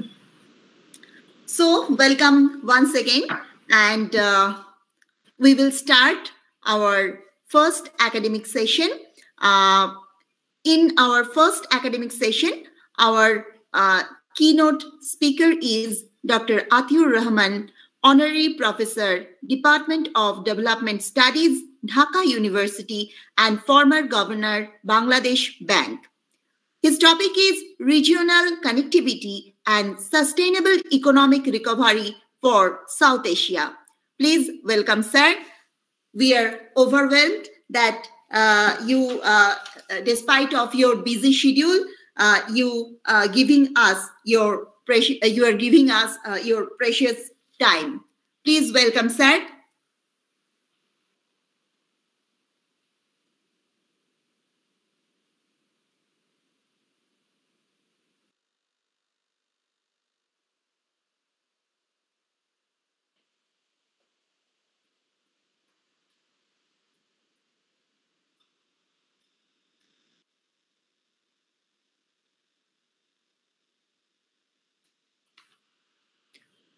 Welcome once again, Dr. Atiur Rahman sir, Honorary Professor, Department of Development Studies, Dhaka University and former Governor, Bangladesh Bank.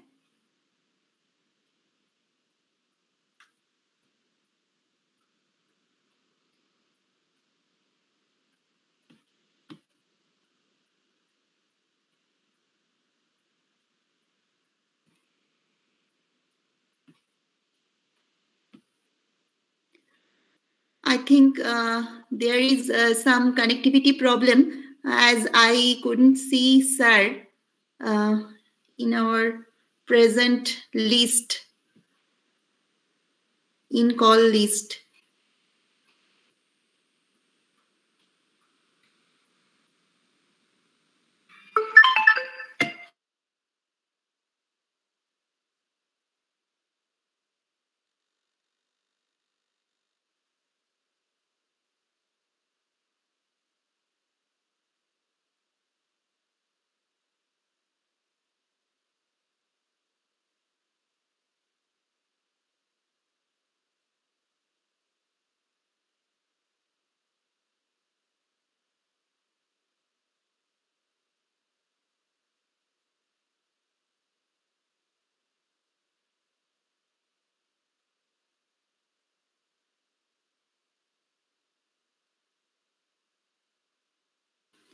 Please wait for a moment.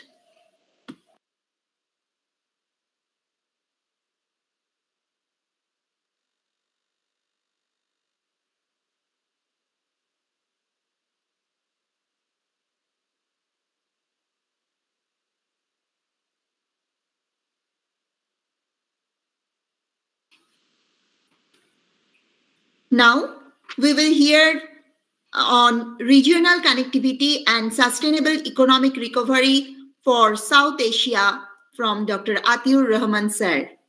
Please wait.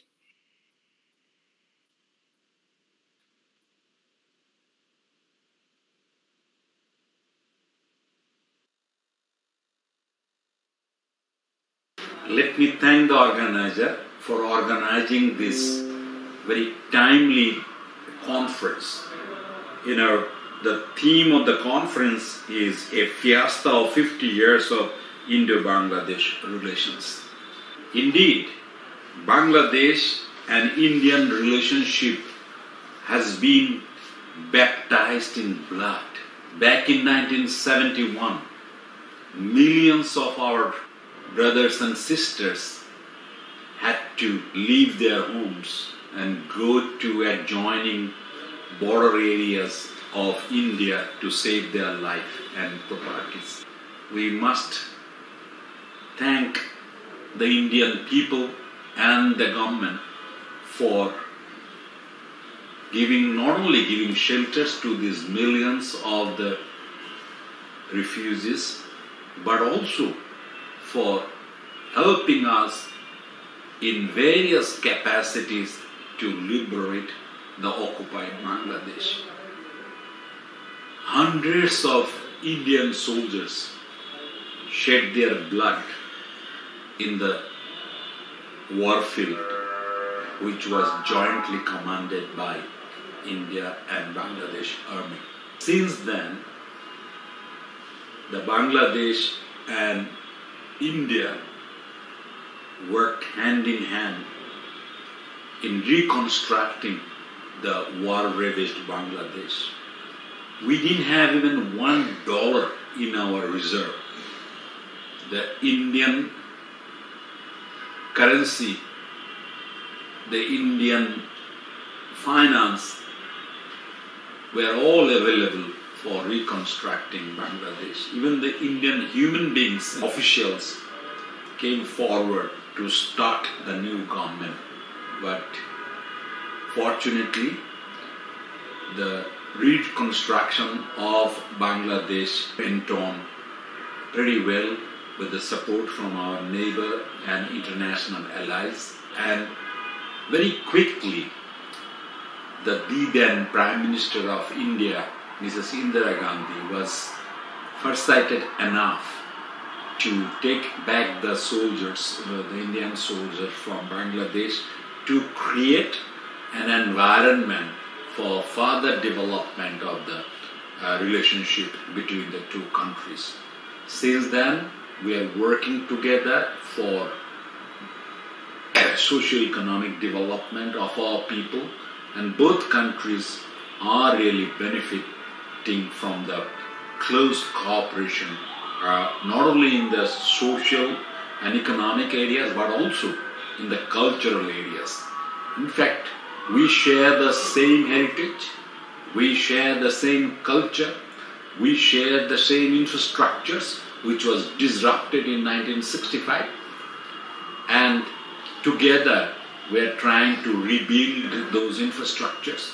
We're trying to really reconstruct our broken uh, uh, relationships and culture. And uh, both countries are really benefiting from this close economic cooperation and cultural cooperation. Our foreign policy is also anchored on a very amiable relationship between the two countries and South Asia. So, given this perspective, I will be speaking in depth on the economic ties between uh, the two countries, particularly focusing on trade, investment, and business cooperation. Indeed, both India and Bangladesh are now emerging economic powerhouses. The whole world is watching us. And if we can cooperate, if we can play our games together, both of the countries can indeed attract a lot of foreign direct investment and also we can really help each other in augmenting investment in our region. India is the largest and one of the fastest growing countries of the world at the moment. So is Bangladesh. And the whole region is really growing together. Both have made significant progress in terms of social as well as economic indicators and enhanced resilience of the respective economies really make us so proud. You know, the global uh, uh, observers are now recognizing the uh, pace of development of both the countries. We have challenges, but these challenges can be overcome and new opportunities can be created if we cooperate further, if we learn from each other's strategies and policies, if we learn from the success stories of both our development journeys. Hence, there is so much to gain from effective collaboration between these two neighbors. Already considered as the role model for neighborhood diplomacy. Both countries are really coordinating their foreign policies and development policies in the international forums. So we can really move forward with those gained experiences. There is a new ecology of regional cooperation. Regional cooperation in South Asia has become more pivotal than ever in the context of the global economic crisis precipitated by the after effects of the pandemic and the fallouts of the Ukraine Russian war. And both countries have suffered. In fact, India went into negative growth in 20 in uh, uh, 21 2020 and 21 you know it, it suffered about minus 6% growth although bangladesh did better we experienced about 4% growth around that uh, uh, period when the pandemic was at its height but india regained so fast now is one of the best performing economies of the world. The Padma Bridge has opened new windows for cooperation between the two countries. Three more bridges have also been opened since then. You know, efforts are also there to bolster multimodal connectivity uh, through the complementaries of railways and waterways, and all these will synergize are, are in fact greater cooperation in the transportation sector. And who doesn't know that with the well connected transportation, you can have better trade, greater trade. The stakeholders ought to materialize the potential for regional cooperation, focusing on both India and Bangladesh along with the imperatives of transport connectivity, which has significant implications for employment, women empowerment, and energy cooperation. In all these areas, both countries are doing quite well, faring well, and I think together we can do more. In fact, an interconnected South Asia can face global economic crisis far better and together India and Bangladesh, you know, if we can uh, coordinate our goals and strategies, we can do even better. It can be, you know, mentioned that of the region's total trade, intra-regional trade now accounts only for about 5%. And the ratios for the same in East Asia and sub Saharan Africa stand to be 50% and 22% respectively. In 2016, BIMSTEC trade constituted a mega share of global trade of only 3.7%. But BIMSTEC houses 20% of the global population, meaning that there remains enormous untapped opportunities for regional cooperation. BIMSTEC is a large uh, family.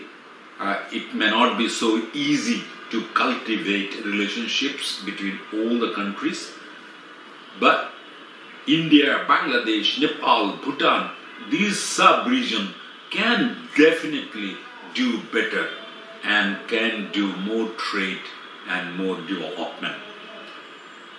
What are the current trade and investment situation uh, uh, in between these two countries.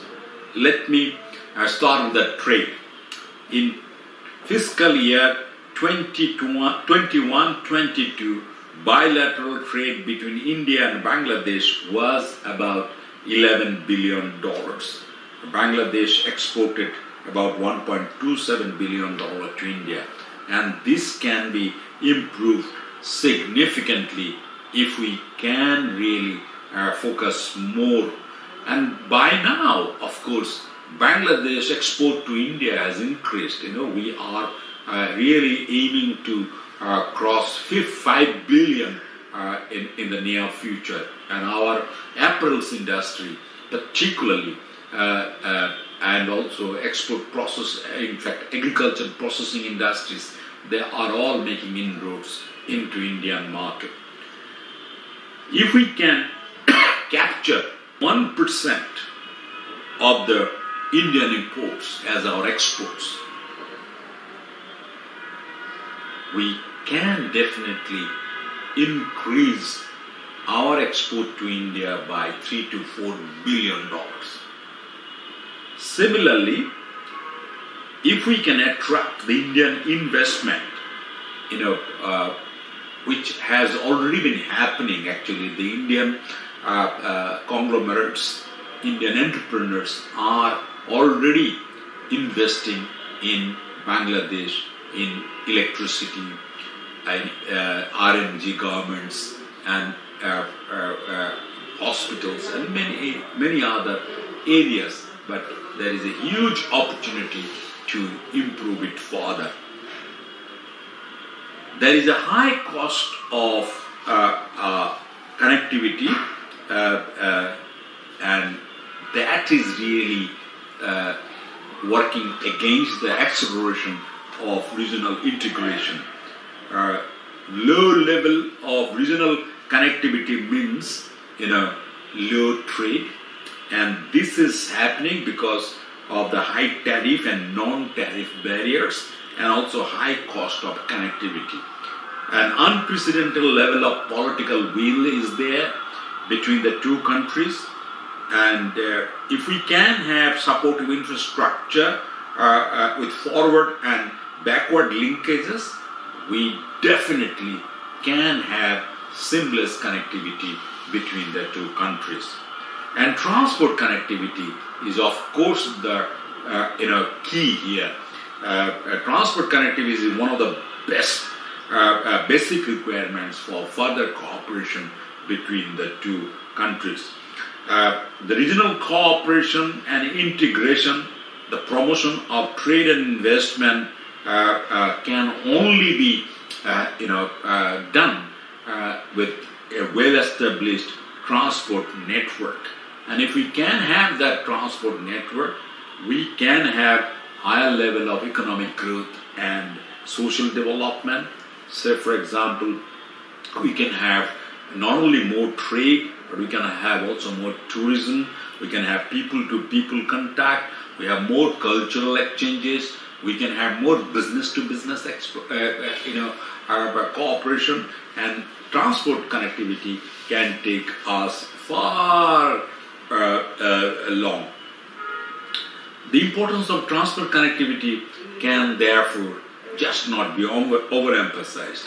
We have already taken some initi- initiatives in terms of say, BBIN, MVA, PIWTT, and transit facilities may reduce carrying time by half or more.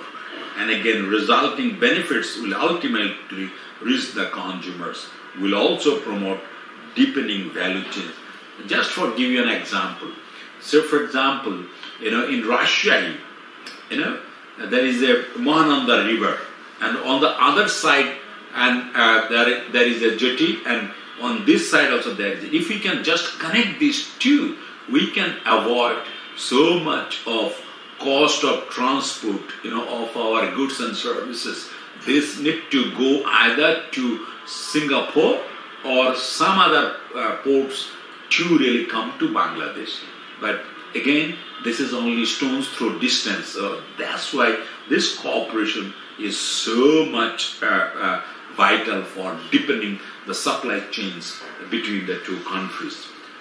We can learn uh, that how regional cooperation can help from ASEAN experience. You know, this uh, it's, it's a very nearby experience, uh, and uh, ASEAN countries has already uh, made tremendous progress uh, progress through initiating you know you know infrastructures and regional you know you know trade. the first they initiated you know reduction in infra- intra-regional tariffs and uh, then they went for uh, you know ASEAN Highway Network, ASEAN Open Skies. You know these are the connectivities on the ground and also on the air. So and the collaboration they did in terms of business incubation and telecommunication networks. And ASEAN power grid, you know, uh, the six cross-border connections have already been made in ASEAN region. That has created a ground for about 50% uh, in, a, in, a, in a trade and investment cooperation between their own countries. You know, so this lesson we can definitely learn and uh, uh, uh put in place in South Asia, where India is at the center. You know, there is a huge, there are huge investment opportunities if we really uh, play the card uh, well. India is a growing investor in Bangladesh. You know, the Indians have already invested about, uh, uh, uh you know, uh, uh, three billion dollars in terms of special economic zones in Mongla, Bheramara, and Mirsarai. And if these are in place, you know, the Bangladesh companies, along with the Indian companies, can really flourish. In addition, Bangladesh uh, companies can also invest in Northeast India, uh, and already there is a huge cooperation of uh, you know, agro processing and trade in, between Northeast India and Bangladesh, and we can further deepen the value chains, and this will benefit both Bangladesh and Northeast India. Indeed, we can really uh, form the entire uh, border into a free economic zone, if we like, actually, with a given kind of cooperation between the two countries. Let me give you some examples about the regional cooperation in terms of energy cooperation. We are already benefiting from the huge goodwill of economic cooperation between the two countries. We now we are uh, exporting about 1160 megawatt of electricity from India. We are now going to open a pipeline for the uh, diesel pipeline from India. And again, uh, uh, if we can really uh, cooperate further, you know, Bangladesh can be the power corridor to link Arunachal province with the rest of India. Uh, energy trade enhancements may result in the creation of a BBIN power market in future where we can put you know, bring in uh, uh, Nepal and, and South uh, you know, Bhutan uh, into this uh, cooperation landscape. You know, in the transport cooperation also, we need to be multimodal. It's not only the roads, nor the railways, or the waterways. You know, we need to be, you know, equally cooperative in all the, you know, you know, modes. So multimodal connectivity uh, could be emphasized uh, uh, while talking about uh, Indo-Bangladesh uh, uh, cooperation. Multimodal connectivity enhances reliance, you know, and reliance and sustainability of the trade relationship. Uh, amid the pandemic induced lockdowns, Indo Bangladesh road transportation was literally stopped. But the trade didn't stop. In fact, but trade between the two countries continued because we could fall back on the you know railways and the waterways. That's why you know uh, we need to go multimodal. Uh, the road and rail connectivity already Uh, uh, is uh, uh on, and we got to rest and now operationalize BBIN MVA, and this will really take the relationship further. We have already established this Moitri Shetu, and this is connecting Tripura with Chittagong port, and, and the, uh, uh, now Chittagong, uh, Akhaura, or Chittagong, uh, Tripura. Now, due to this, uh, you know, Moitri Setu, the distance between uh, Agartala and Chittagong has come down to only 75. So the trade has become much easier. Using this transit through Akhaura, we can really do trade between the two countries so easily. Bangladesh has received about uh, uh, uh 510 million US dollar loan from India for three major railway projects. However, uh, due to the bureaucratic in a lethargy, I would say. Uh, the implementation remains slow, and we got to focus on this uh, implementation mechanism. Bangladesh is planning to revitalize all pre 1965 railway connections with India, and the Indian side is also equally uh, happy to join hands on this. Uh, but the inland water connectivity can really be a game changer.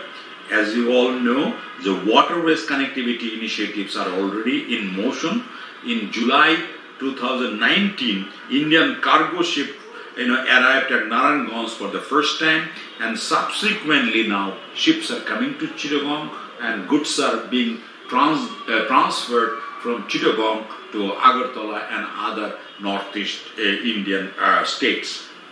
But in, in, addition, what is more interesting, recently the, Prime, uh, the Indian Prime Minister Narendra Modi inaugurated this Ganga uh, in a, in a cruise uh, uh, which will be uh, really starting from, which has already, the, the first trip has already started from Benares, coming to Kolkata, then to Bangladesh. And, and this is really bringing in a lot of foreign guests showing both India and Bangladesh, and many of our uh, people will be joining this cruise someday and know each other.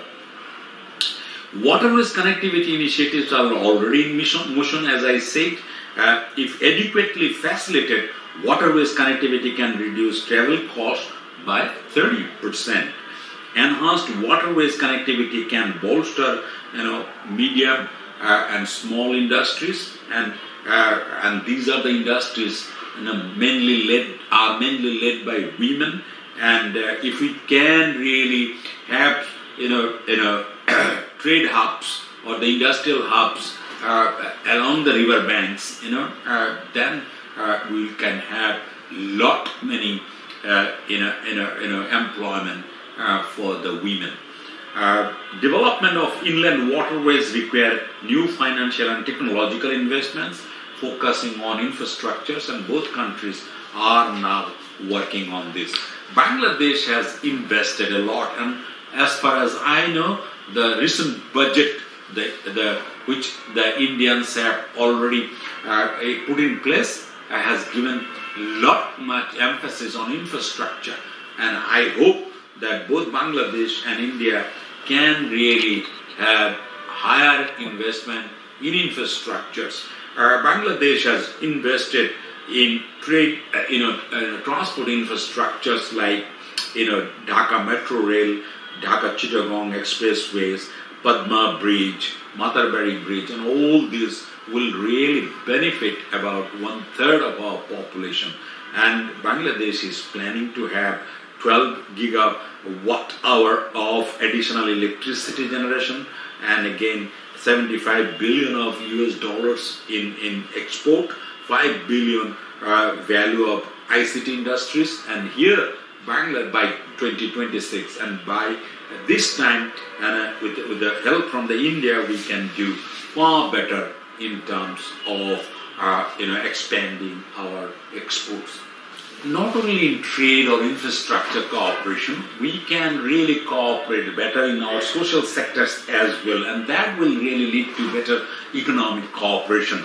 Uh, we already have strong political will for economic cooperation uh, between the two countries, and this collaboration must be extended to social infrastructures like health, education. Already there are some uh, good cooperation going on. You know, Delhi Public School is in Dhaka. You know, the hospital, we have uh, uh, connections in the hospital industries. We have, uh, in fact, we can, if we can have better social services, then we can have skilled employment and reliable customer base if we can make that relationship. In fact, our Prime Minister has also uh, emphasized on collaboration in education sector.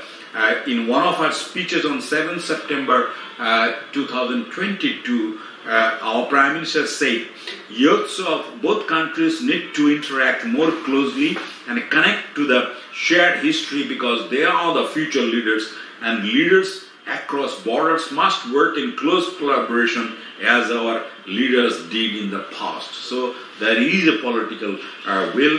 And Bangladesh, you know, uh, as of today, we spend not much in our know, uh, educational sector, both countries, but India does better than us, particularly in the tertiary sector. Uh, the Indian uh, really spend about 49% of their education budget. Uh, Bangladesh spends only about 30%. So we can take advantage if we can do you know, uh, some more reforms, learning from each other. Both countries can learn from each other and make uh, reform initiatives successful. But we can definitely benefit from the, uh, you know, uh, cooperation uh, on uh, educational collaboration. Both countries want to bring their respective education sector stakeholders under one umbrella. Each can learn from the experience of the other. Bangladesh is in a, in a, is poised to mimic the growth path of Southeast Asian economies, and if they can do that, they will have to ensure higher education for about 36% of their population. India's success in you uh, know, education, particularly in technical education and privately owned in universities, can be replicated in Bangladesh as well. Both countries are investing significantly in research and development. Bangladesh experience in agricultural research and technological development and India's experience in ICT are both commendable models for the rest of the world. In enough scope of mutual learning and joint ventures can be really achieved in these sectors. E-learning and blended learning are becoming increasingly prominent. Bangladesh has newly uh, uh, emerging digital education startups. India has more experience in the field of distance learning and digital learning, so we can learn from each other on that as well. Special quota for Bangladesh students uh, in professional universities like the Indian Maritime University and world-class technical institutes like ANI, IT, uh, uh, with scholarships can be really uh, a framework uh, uh, with the Indo-Bangladesh cooperation.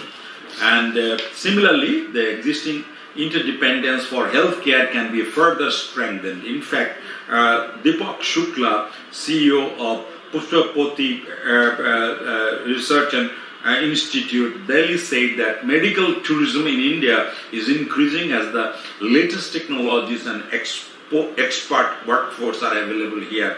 All the medical tourists in India, 22% are from Bangladesh. So that is so we can have more cooperation in this sector so that we can really you know substitute some of our really import. Uh, the uh, more than two thirds of Bangladesh's expenditure are borne by the citizens.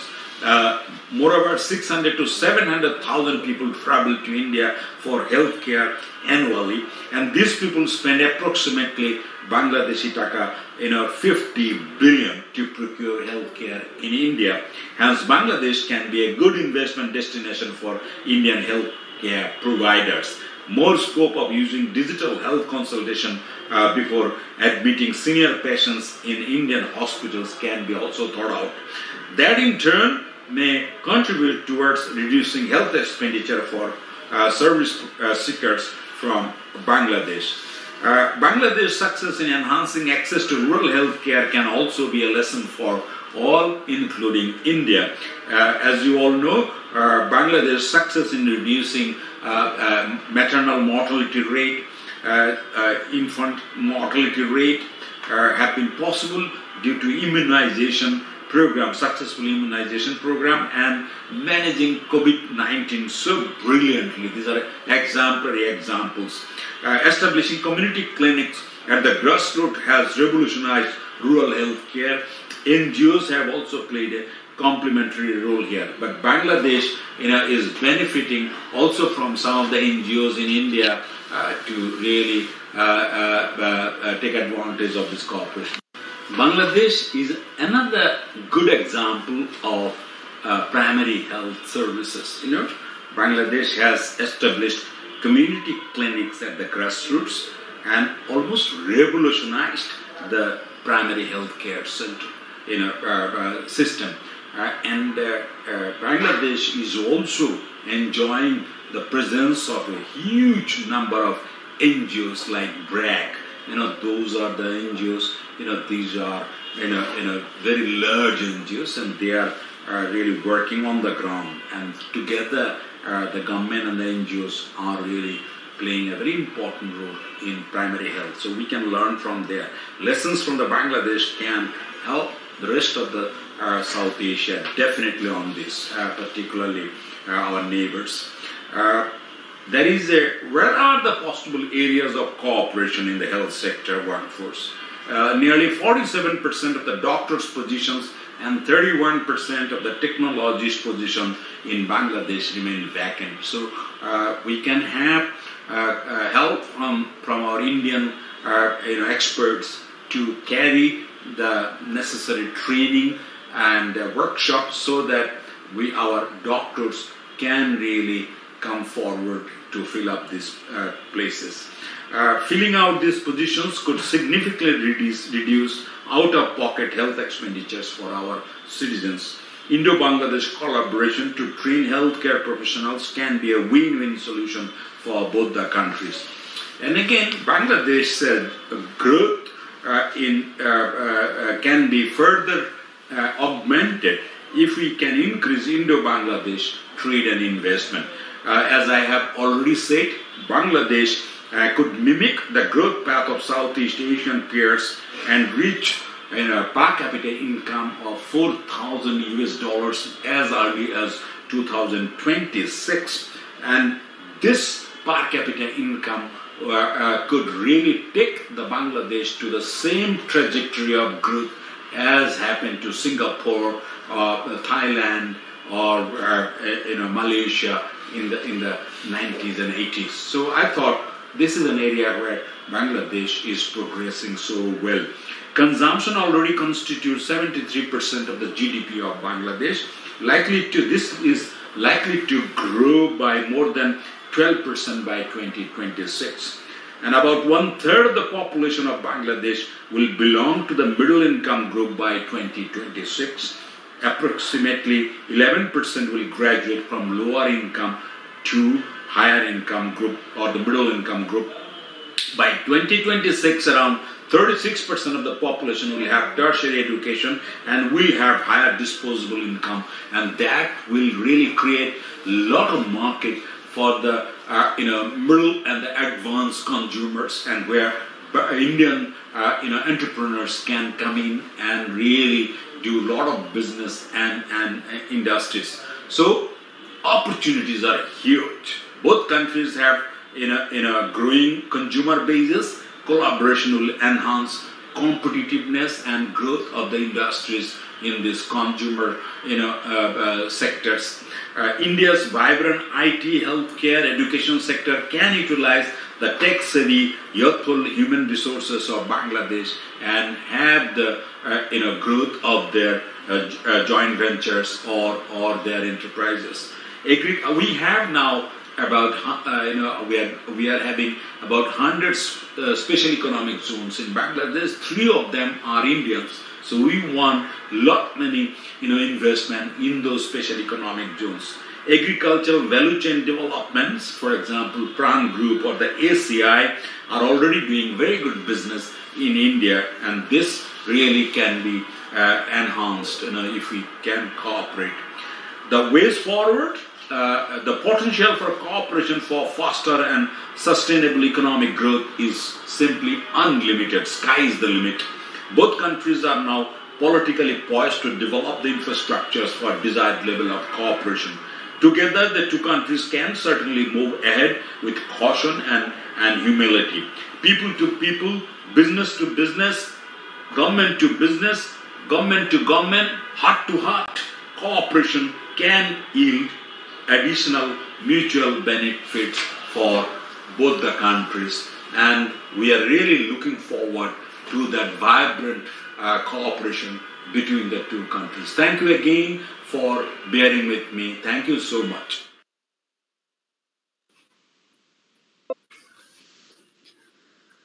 Such a subject unlocking keynote it was. Thank you so much, sir.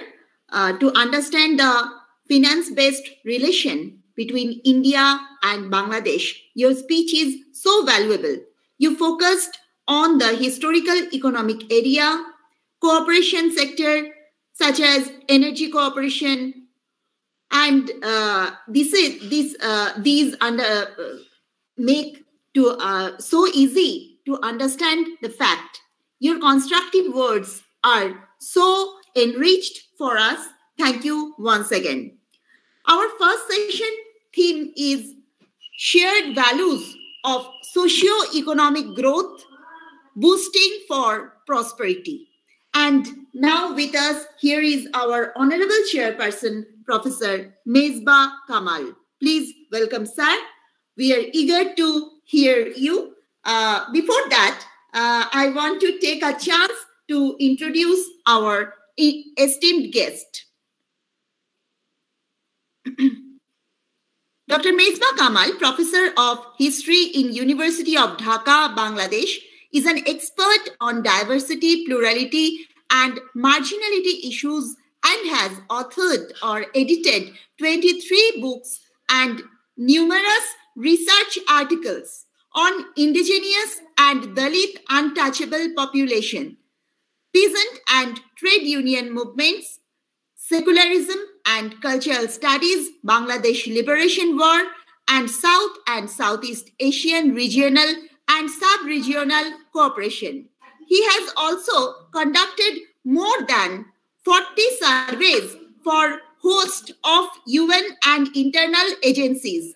He is currently serving as the chair of the Government Expert Committee for Identification and Enlistment of Marginal Peoples and Communities of Bangladesh. Professor Mesbah Kamal is an internally known human rights defender and currently serving as a Technorant member and coordinator of the Parliamentary Caucus on Indigenous Peoples. He is also the chairperson of Research and Development Collective, a leading research and policy advocacy institute in Bangladesh, and was the founder general secretary of Bangladesh History Congress, Bangladesh Itihas Sammilani. He is also a member of the Human Rights Commission formed by the International Union of Anthropological and Ethnological Sciences. He is also a media personality reputed for his politico-social analysis on contemporary Bangladesh and South and uh, coordinator of Parliamentary Caucus on Indigenous People. He is also the chairperson of Research and Development Collective, RDC, a leading research and policy advocacy institute in Bangladesh and was the founder general secretary of Bangladesh History Congress, Bangladesh Itihas Sammilani. He is also a member of the Human Rights Commission formed by the International Union of Anthropological and Ethnological Sciences, IUAES. He is also a media personality reputed for his politico-social analysis on contemporary Bangladesh and South and Southeast Asian affairs.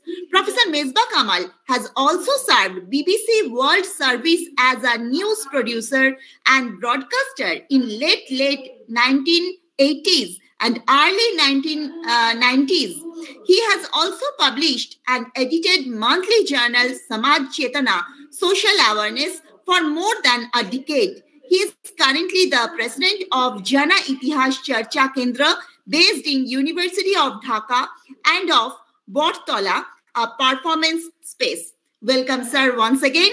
And uh, now we are so much eager to hear your words, your valuable words. Please welcome, sir.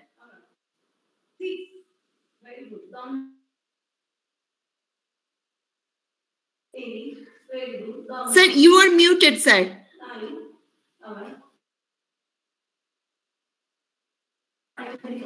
Okay. Uh, uh, I, I, suppose you can hear me now. Yes, sir. Okay. Please. Thank you very much. Thank you very much, and thanks for this uh, generous introduction. Uh, however, I am very sorry, and I beg your apologies uh, for being late in joining. I had an unavoidable meeting. However, uh, I just had the opportunity to listen to uh, Professor Atiur Rahman. Uh, he is a fantastic scholar and a very well-known academician, as well as, as you all know by this time, that he was the governor of Bangladesh Bank, a very distinguished economist of our country. And I have missed the others. But can I just uh, ask you that uh, are we approaching the end of the program or we have some other you know presentations to be made? No, sir. We just started the uh, first session. Okay, okay. Uh, our keynote, uh, we just uh, completed our keynote address only. We just, uh, yeah, okay. Thank you very much. So uh, maybe I'll uh, try to reflect um, on the presentations at a later stage. Can we proceed with the next speaker?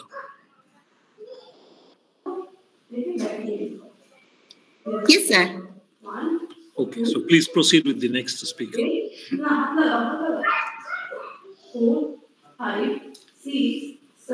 So, uh, with the kind permission of our chairperson, uh, we are uh, uh just uh, start our next uh, speech. Uh, and uh, now, uh, please welcome our esteemed resource person, Sushobhon Mukherjee, Chairman, Infosec Foundation. Before Sir start her, his speech, I want to introduce uh, about him. Mr. Sushobon Mukherjee, Chairman, Infosec Foundation, CEO, Prime Infoserve LLP, has 20 years of experience in IT consulting process and corporate relationship. A cybersecurity practitioner and design architect since his stint with all major telecom or IT operators like Tata, Airtel, CP in India. For last eight years, he has been an entrepreneur and institution builder. He is the co-founder and CEO of Prime InfoServe LLP, one of the leading technology integrator and InfoSec consulting ecosystem in India, working with Indian and global brands. Besides, he is the chairman of InfoSec uh, Foundation, a non-profit initiative to cyber awareness across the globe. He took the message and mission of InfoSec Foundation in India, Bangladesh, Africa, and UK. He is committed to the cause of information security and will continue this campaign of defense, offense, and proactive and primitive protection with your cooperation and support. So please welcome, sir, once again, Mr. Sushobhon Mukherjee. Please. Thank you. Thank you very much. So, thank you very much for organizing this event. Uh, so, I'll put my screen also in the distance. Um, my screen is visible. Yeah. Yeah. So thank you very much. So I was carefully listening for last almost a hour. So I was initially listening uh, Mr. Prabir, then Sir Rizwan, then Dr. Atiur Rahman. So fundamentally, the theme of today's uh, uh, event, which is a 50 hours of uh, collaborative efforts between India and, India and Bangladesh, that has been wonderfully, context has been set.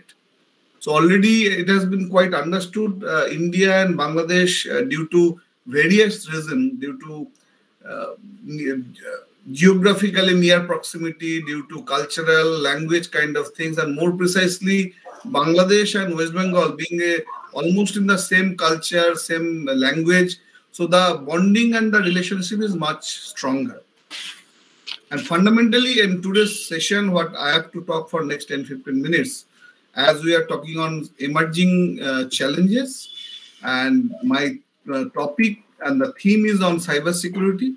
But as you can see, and you have heard from uh, Dr. Atiur Rahman also, like the since we are talking about cybersecurity, so definitely we'll, we'll be talking on digital communications. We are talking on connectivity, and fundamentally, if you can have seen the latest news, which was around uh, two days back.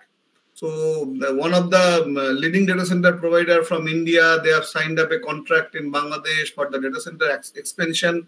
So digital uh, Bangladesh is having lot of interesting thoughts and strategies, which is having a lot of synergies and a lot of collaboration with India. Last year, I remember this time, uh, there was a uh, Honorable Minister Zunaid Ahmed Palak, he came to India with the uh, for signing MOU with the SART and a lot of events has happened. And I remember in the month of March, there was a session in Tripura where a lot of uh, entrepreneurs from Indian context and Bangladesh also joined. So fundamentally in digital Bangladesh vision, India and Bangladesh already working hand in hand and the companies like us, my, my company which I run on cybersecurity is one of the example how we are already working hand in hand to synergize ourselves and take the mission further to our further bonding. These are the few of the examples which we are doing already in Bangladesh. These are the few uh, customers or few of the enter enterprises where we are we are already working on the cyber security.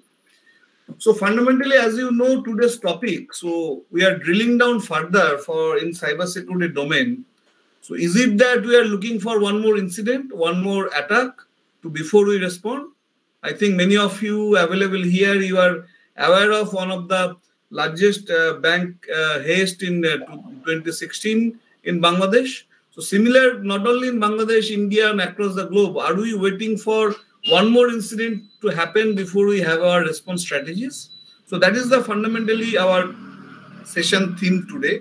So initial few slides, we will be tr trying to talk about the present context.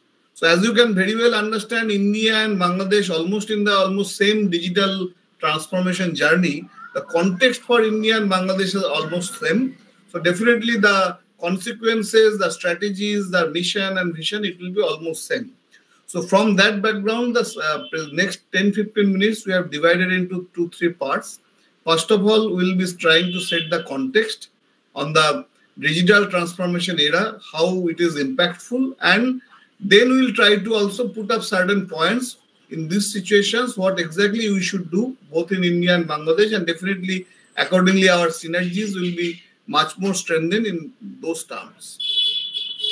So fundamentally, as you, we all understand, we are in a uh, data-driven economy in our digital transformation journey, and the situations like COVID, this kind of pandemic, this has further strengthened the same. That means we are forced to uh, do the, go ahead with this digital disruption, even if many of the situations where it was not planned, we are not ready. But fundamentally, even after that, now the situation is like that. So it is.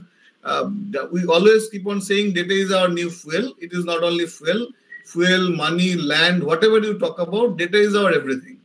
Without the data, without our digital transformation journey, we cannot live at this moment like at this moment today we are mm, all attending this session through a webinar format if digital uh, this pandemic or this kind of disruption would not have been happened then we might have uh, been visiting through a physical kind of a auditorium and delivered this kind of lectures so fundamentally in everything in our life so digital is coming to our home we are no longer going to banks we are not no longer going to restaurants so we are bringing all our services to our home. So that is the kind of disruption it has happened and it has impacted our life.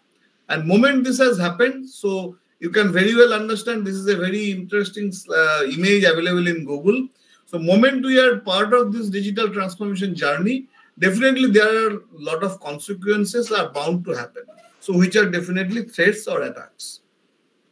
Now you can uh, see starting from 2018 to till, till if we um, focus on a span of 2027, you can very well see the rise of cyber threats or cyber crimes are rapidly increasing.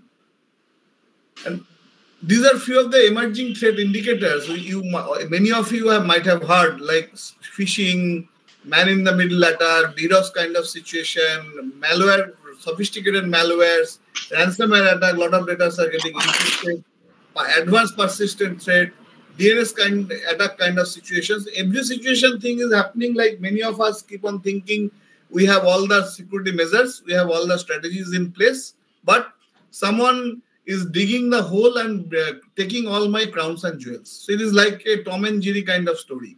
So always someone of like us, all the enterprises, government, we are thinking everything is safe at my side, nothing can happen. But we are only it, it, it, we are only gaining the light once something has already happened, like some data is already exposed. Like many of you might be knowing about Singapore health incidents. What has happened? Even the minister's data was also uh, published in the dark web. Like we have done uh, one of the leading uh, energy sector power utility company. I cannot name it due to NDA. I, uh, so we found the entire plant design, even entire the Oracle database is exposed to a dark web. One of the leading defense organization in um, global sector, Europe and US, we have seen their 100% data is available in dark web. People are not even aware of it. So that is the kind of situation we are into. So uh, fundamentally, uh, challenge is uh, moment we are into a digital disruption, we are digital transformation journey. Threats are becoming much more complex. We are we are adopting new and new tech, new tech, technologies, which is uh, in and around IT, and definitely our attack services are getting much more complex, and definitely our life, our consequences will be much more complex as well. So these are the uh, this year once we have started this uh, new uh, calendar year, we have done a study and we captured. You can see every 19 uh, 39 seconds there is a cyber attack, and in 90% of the cyber threats are coming from phishing. So these are few of the scary statistics. So our life is in a kind of a complex state where unless we are cautious, unless we are having our precautionary measures now, we cannot sustain in our personal life, in our professional life, in our enterprise, in our government, in our nation, across the globe, there's a situation is a kind of a war situation. So unless we are proactive, unless we are having our best practices, our strategies in, in place now, ultimately we cannot avoid, uh, stay away from that war. These are the few incidences I will not read through. I have written the uh, presentation in such a format so that post uh, the event, if you share it, so many of you can refer is also for further reference. You might have, you might be knowing many of the incidences. So like starting from Oil India to Facebook, Microsoft, even uh, AIIMS and uh, Google and Indian Railway, various kind of incidences. It is taken from India and global. Uh, I'll not read through, but you can very well see none of the sectors are untouched. Like there are banks, there are e-commerce platforms, there are um, education platforms, there are telecoms. Every every industries are, are almost affected. And these are the few of the uh, examples from Bangladesh. So you can very well see India and Bangladesh are maybe in a global impact per se. So we are not staying apart. So situations are almost same. So if we are facing the similar kind of challenges, so definitely the strategies will also be similar. So in that context, Bangladesh is little ahead because you are we are already having digital Bangladesh in place. So in that context, Bangladesh ICT division, A2I, and many of them they are creating a lot of strategies. So so that uh, we can have uh, our 2025 by 2025 if we can have a, our better synchronization. So right hand side it, it is written in Bengali because uh, I found this one in from one of the uh, uh, newspaper in Bangladesh only. So they have said around 36% uh, situations are having uh, mm, problem due to technology adoption. So we need to be proactive, and otherwise we cannot avoid the consequences. So since I have started with the Bangladesh Bank kind of haste, you can see Bangladesh Bank as a, being a regulatory body, they are trying a lot of things since 2016 itself. They are adopting, they are changing, they are suggesting a lot of uh, lot of things so that uh, typically banking and financial sectors in Bangladesh they can have their proactive measures. But problem is that so cyber security being a vast subject, there are so many different kind of things and handling all the things together for an enterprise and for an individual or by a professional or by an organization or a government is extremely difficult because you can very well see in the screen uh, in the screen I have captured in one of the mind map so many different kind of subjects to be dealt once we are talking of a cybersecurity domains. But fundamental problem in across the globe is every one of us uh, of us in enterprise, SMB or government, we are always trying to prevent a breach. And so we are thinking we will take certain measures so that hackers will not come to my landscape, my data will be secure. But that is the fundamental mistakes we are doing, not only in India and Bangladesh, but across the globe. That means you cannot protect your crown and jewels from a hacker because you cannot um, close your doors and windows and say hacker will not come because hacker will find his own way and it will come from a different route. So we need to have a fundamentally a mechanism so that even if hacker comes to my premises, I'll be having my checks and balances so that I can at least understand, yes, hacker has arrived to my landscape. Now I need to have some measures so that my further consequences, which is exposure of my data or encryption of my data, that should not happen. So fundamentally, that is called detection. So if we can detect some hacker has come to my landscape, some malicious traffic is going on, and I can take certain uh, certain measures so that my data doesn't get breached. Typically, this is a 180 uh, days to 205 days kind of time frame. By that time, we, we are the, uh, the activities got unnoticed. Means hacker has come to my network, he's silently deciding, taking out certain data, observing the patterns and the behaviors, and then he will um, decide his strategy. By that time, it is completely unnoticed. So here it is coming, uh, taking into the coming into the light after 205 days once the data is out. So I have given three examples. In every example in the across industries, almost like same. We are only coming to know once data is encrypted, data is found in the dark web, or somebody is asking ransomware or something. So that means our entire approach is reactive. We are always thinking we have taken measures, nothing will happen to my landscape, everything uh, is safe and secure. But uh, with that thought process, we are not able to take proactive measures. Fundamentally situation is like that. Breaches are inevitable. So you cannot do something. If some technology process or tools uh, with the some OEM or something you cannot have certain uh, landscape where there will be no breaches. Moment we can align our mindset towards the philosophy breaches are inevitable our life will become easier we can uh, look towards the landscape towards the situation in much more open mind and decide our strategies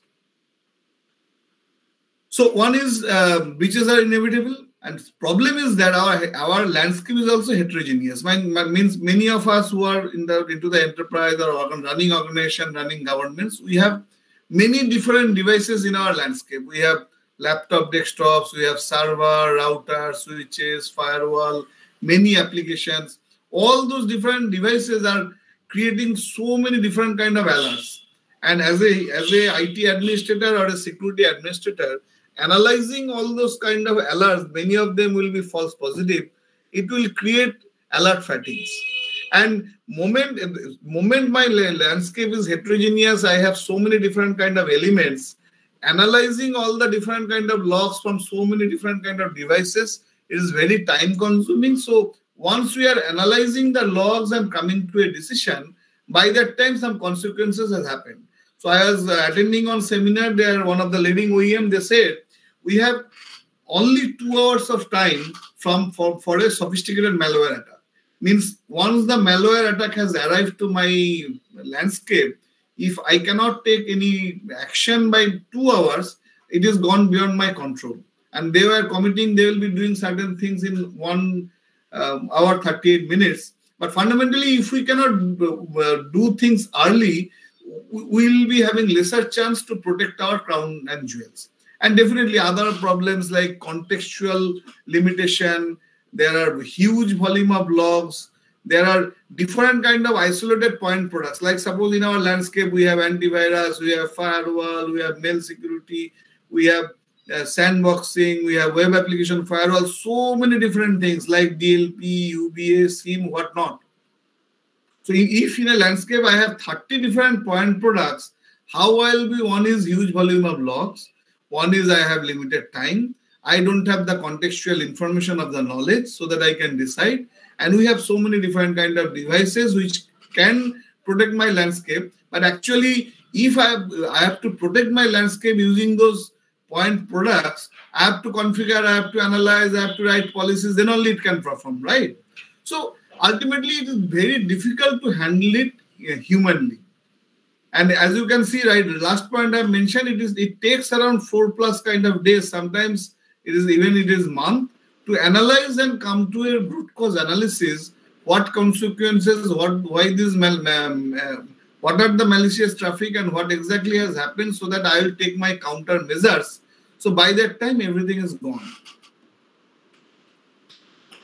So okay this is the uh, situation you can see so so many alerts are coming very different kind of processes there are repetitive manual actions there are no interconnectivity and integrated approach so fundamentally problem is uh, with so many different kind of alerts we are not able to take decisive action so that i can have my better incident response so what we should do? So this is a right hand side a pictorial diagram of a was saying. Uh, can, can I just can I just come in? Pardon me, uh, Mr. Shushavan Mukherjee. Yes. Uh, thank. Uh, please kindly wind up because we have three more speakers after you. Yeah, yeah. So I'm also in the last moment only. Maybe couple of couple more side. I'm just concluding. Please conclude. Please conclude. Yeah. So fundamentally, what should be our plan? So we need to do a risk assessment. We need to have our proactive information security strategy. We need to have our preventive controls and processes. We need to do a proactive monitoring so, so that we can have an automated response to handle this kind of incidences. So this is the key philosophy. As we are shortage on time, I am not going to explain this. So fundamentally, we need to ask all of us to a question. Are we compromised? Are we are sufficient enough to be resilient? So it is like similar like cyber uh, covid situations. Like many of us could not sustain due to com- comorbidity and other situation. None of the medicines was also working. So fundamentally who survived they worked on their immunity like doctors also prescribe vitamins and other things that same is applicable for even our cyber security landscape moment we have a cyber immunity approach in hand, we can definitely become resilient and handle our landscape in a better mode. So that's all. So I think uh, who are we are we are not explaining as we, I have started and Rizwan also said there is always a bilateral uh, kind of a agreement. Some uh, cross propagation is happening. So it, interestingly, I am also visiting tomorrow to Bangladesh on a delegation. I'll be there for four five days. I think I'll be able to meet many of you who are present also in this uh, webinar. Thank you very much for, for patience here. Oh, thank you very much, uh, um, Mr. Shushavan Mukherjee. And um, he has uh, drawn our attention to the need for taking, uh, you know, necessary measures before another, another, uh, you know, uh, another big haste or some kind of troubles take place. Uh, however, um, he has, uh, you know, drawn our attention to the reality that, you know, cybersecurity has become a problem or is becoming increasingly more problematic. And uh, there is a strong need for taking necessary action now. And particularly in the context of Bangladesh, when uh, we are moving forward from digital Bangladesh to smart Bangladesh.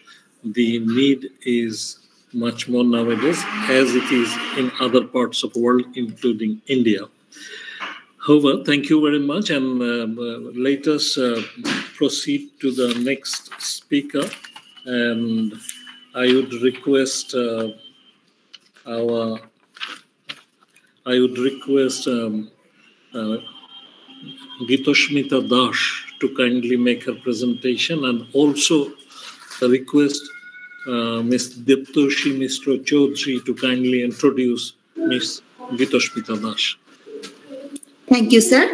Uh, now we will hear from uh, Gitoshmita Dash, MPhil, Research Scholar, Department of Peace and Conflict Studies and Management, Sikkim University, Hometown Pathsala, Assam, uh, her title is Border Acts as, as a hub of socio-economic growth between India and Bangladesh. Please welcome Gitoshmita Dash. Thank you very much. Am I audible? Yes, you are. Okay, thank you.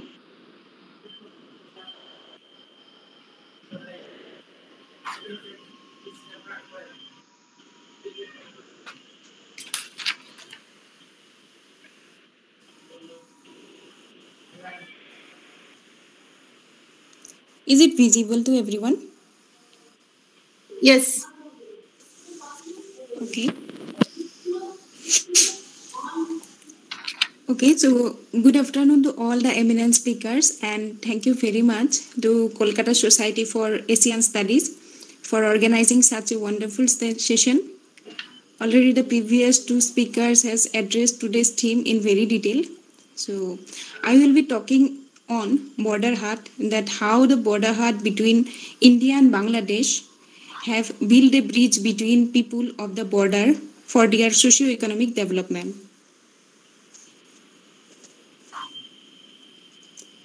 Uh, as we all know, India and Bangladesh sharing their lengthiest border among all the neighboring countries. India shares a 4,096 kilometer border with Bangladesh, including West Bengal 2,216.7 kilometer, Assam 263 kilometer, Meghalaya 443 kilometer, Tripura 856 kilometer, and Mizoram 318 kilometer and both of these countries sharing many uh, commonalities including sharing water cultural heritage and all forms of connectivity through waterways railways roadways and airways. Uh, both of these countries are also sharing the people to people trade uh, through this border actually. Uh, both countries were signed uh, their first one year trade agreement on march 28 1972 as part of the treaty of friendship cooperation and peace this agreement was considered a landmark of mutual benefit among India and Bangladesh and a uh, desire to promote people to people trade based on understanding and friendship. But this agreement was not fulfilled due to some technicalities and illegal trade were flowing across the border between India and Bangladesh, and people of the border have faced insecurity and conflicting situation because of black marketing, smuggling, as we all know. Uh, after a long awaited the historic, historic agreement uh, between uh, Ministry of India and the Ministry of Bangladesh have been signed on 23rd October 2010 for establishment of border hut, which revive people-to-people trade practices throughout the border of 5 kilometer distance, which was scrapped after the partition. So, uh, what is Hat is, uh, as we all know, Hat is an indigenous, indigenous town. That means bazaar. One can identify it in rural areas. It is an area within and around local communities where people of different villages uh, visit for buying and selling their items, local produce items. Uh,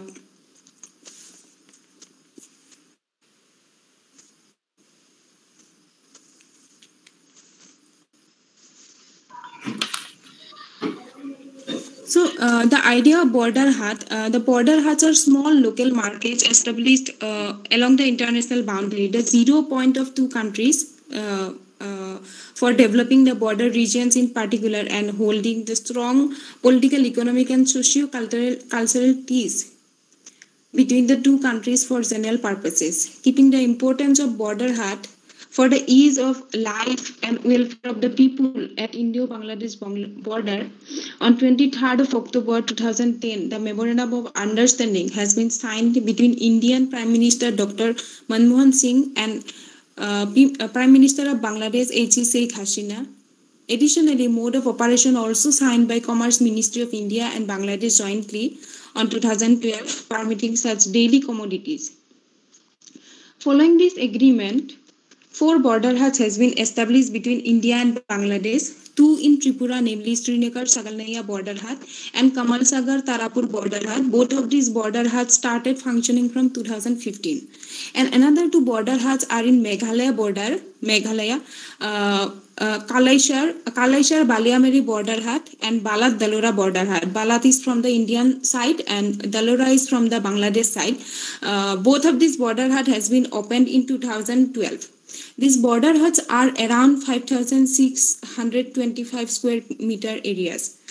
All uh, four these functional border huts works uh, weekly basis from 10 to uh, 3 p.m. It has 98 kilometer distance from Shillong, uh, in the Balat border hut. According to the Memorandum of Understanding, border huts has one entry and exit point. Indian people should be enter from Indian side and Bangladesh people uh, from their uh, side respectively. Huts is managed by a border hut management committee along with security officials, custom officials, and common people of the villages. At one time, 50 vendors from each side have been uh, given license for one year and they can enter through rotation basis from 1 to 25 with their photo identity cards in a particular day.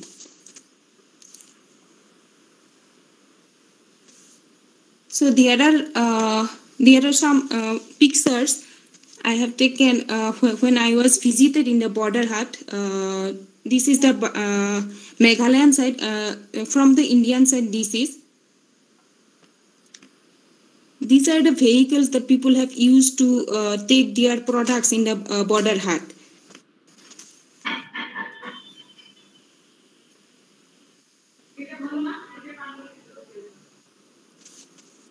So why this study is important that India and Bangladesh border is well known for various smuggling activities uh, and black marketing and local peoples are also engaged in these incidents. Such practices are appearing as a violation of international border ethics when uh, between India and Bangladesh as well as the essence of peace. Such practices are also overriding and complicating the flow of necessary goods and ethical means at the border of India and Bangladesh. Therefore, promoting peace in the border region is nonetheless a very crucial task as the border is a strategic point which most of the time promotes conflicting activities. And India and Bangladesh border is prominent for such illegal economic activities. So, to reverse those issues, people to people trade through border hut can be a prospect for the future relation between both the countries and well-being of the local people. This kind of problem has not yet been discussed in the academic research. Uh, many of the academic research have discussed also. So, the problems and future prospects of these border huts uh, are uh, these establishing border has can be reduce conflict and can build friendly cooperation between the both uh, both these counterparts. Uh, secondly, these borderland people have growing demands for com- commodities that are restricted in the formal border hut, and because of that, lots of silent flow of illegal goods are going on. The functioning role of this border huts between India and Bangladesh and problems arising because of uh, mafia politics going on from the Bangladesh side, also from the Indian side. It has been noticed uh, that there are some high profile businessmen involved in the functions of these border huts who decide the vendors to enter into the hut from their side only. And the favor on border hut is mostly from the Indian side only due to because of fear of flourishing, flourishing Indian goods in the Bangladeshi domestic market. They do not willing to get more border huts so there is uh, this is the main problem actually. Bangladeshi vendors also uh, reluctant reluctant to do work in border huts because of the megally populated Indian side. They are not earning much profit. And here is a problem regarding a five kilometer radius of people only taking part as vendors. Mm-hmm. Also, okay. lack of feminine and uh, lack of feminine and. Uh, since uh, I apologize, since we are running short of time, please try to wind up. Yes, wind yes, yes, yes. Hmm.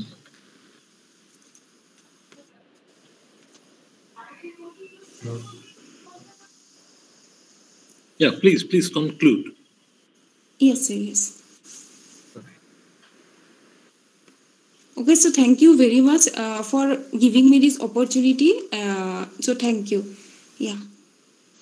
Oh, I'm sorry. I'm very sorry. I didn't want to stop you right now. You can take a minute to wind up. Huh? Yes, sir. It's okay, sir. Okay. no problem, sir. I, I was about to end, actually. Yeah, yeah. Okay, Gitashmita, thank you very much. You have. Uh, thank you very actually, much. Yeah. Yeah, you have uh, taken up a very important subject as your, uh, you know, paper. Um, in fact, um, you know, the local economy and the well-being of the local people uh, has been at the center of your paper.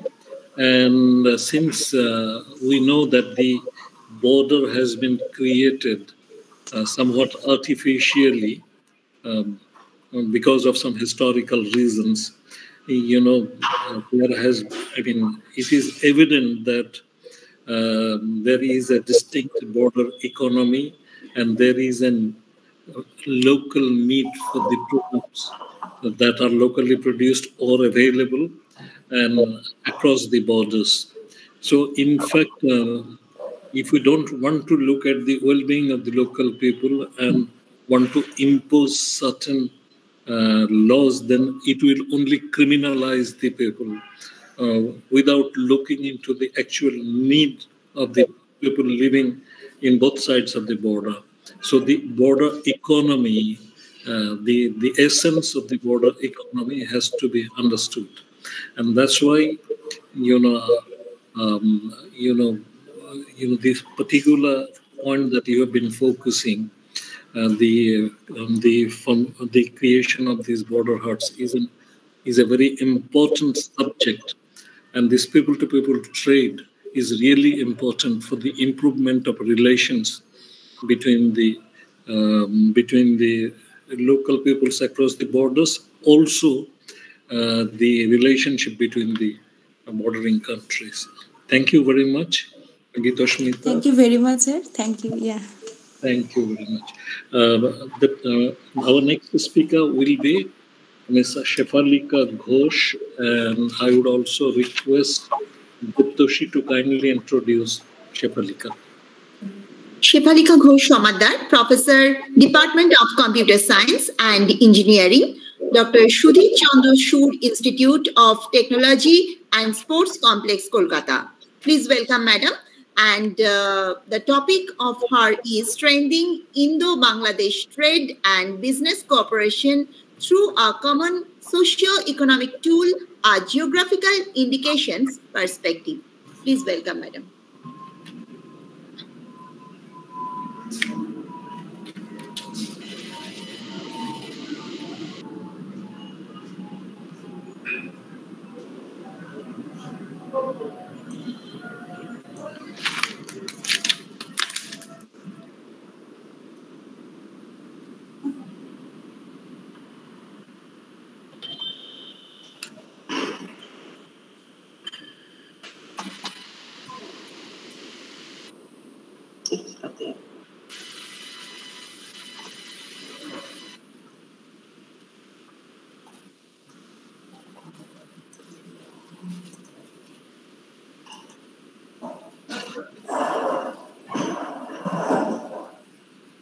Good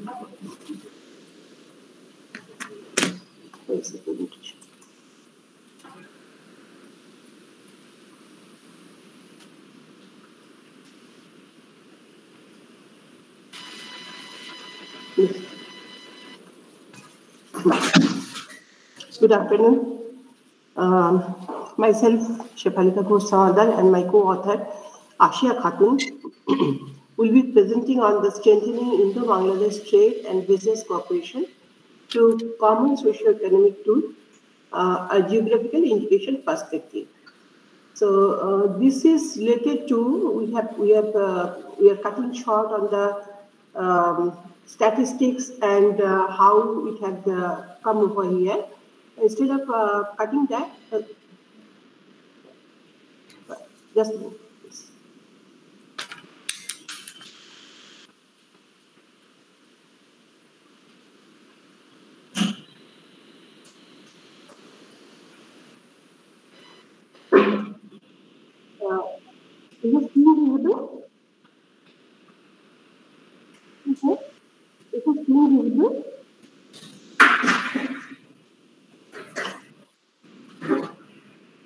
Yes.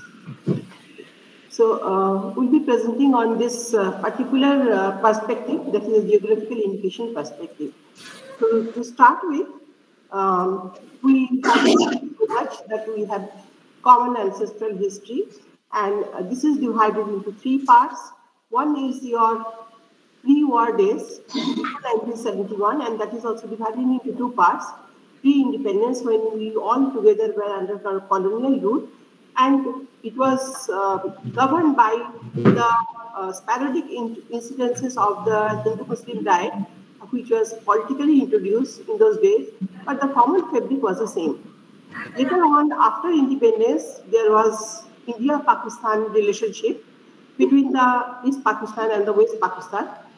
Even in spite of that, the cultural tie between the West Bengal and the then East Pakistan was more or less intact, other than some kind of the uh, incidents that were introduced by war and uh, some kind of the crime introduced uh, due to the war. Later on, after 1971, the Neo-Indo-Bangladesh bilateral relationship was based on the respect for the war of liberation. And that was a turning point. And after this, the we shared our age-old shared tradition, culture, similarity of the cultural expression, and whatnot. So trade and business that were flourished on the basis of the commonalities in every aspect of life of the nation, both the nations. Now there is boosting connectivity through uh, various ways. There is open um, uh, opening of the border uh, areas and connection through the railways, waterways, roadways, airways as well. And there was a new trade relation and the market creation was there. Market creation was there, which were the traditional and uh, pro traditional product line of the Bangladesh, the new Bangladesh, and also of India. Not only for the goods and the services, but also for the exchange of the expertise and man manpower in the initial days of the uh, post-war, that is 19, after 1971, post-war days.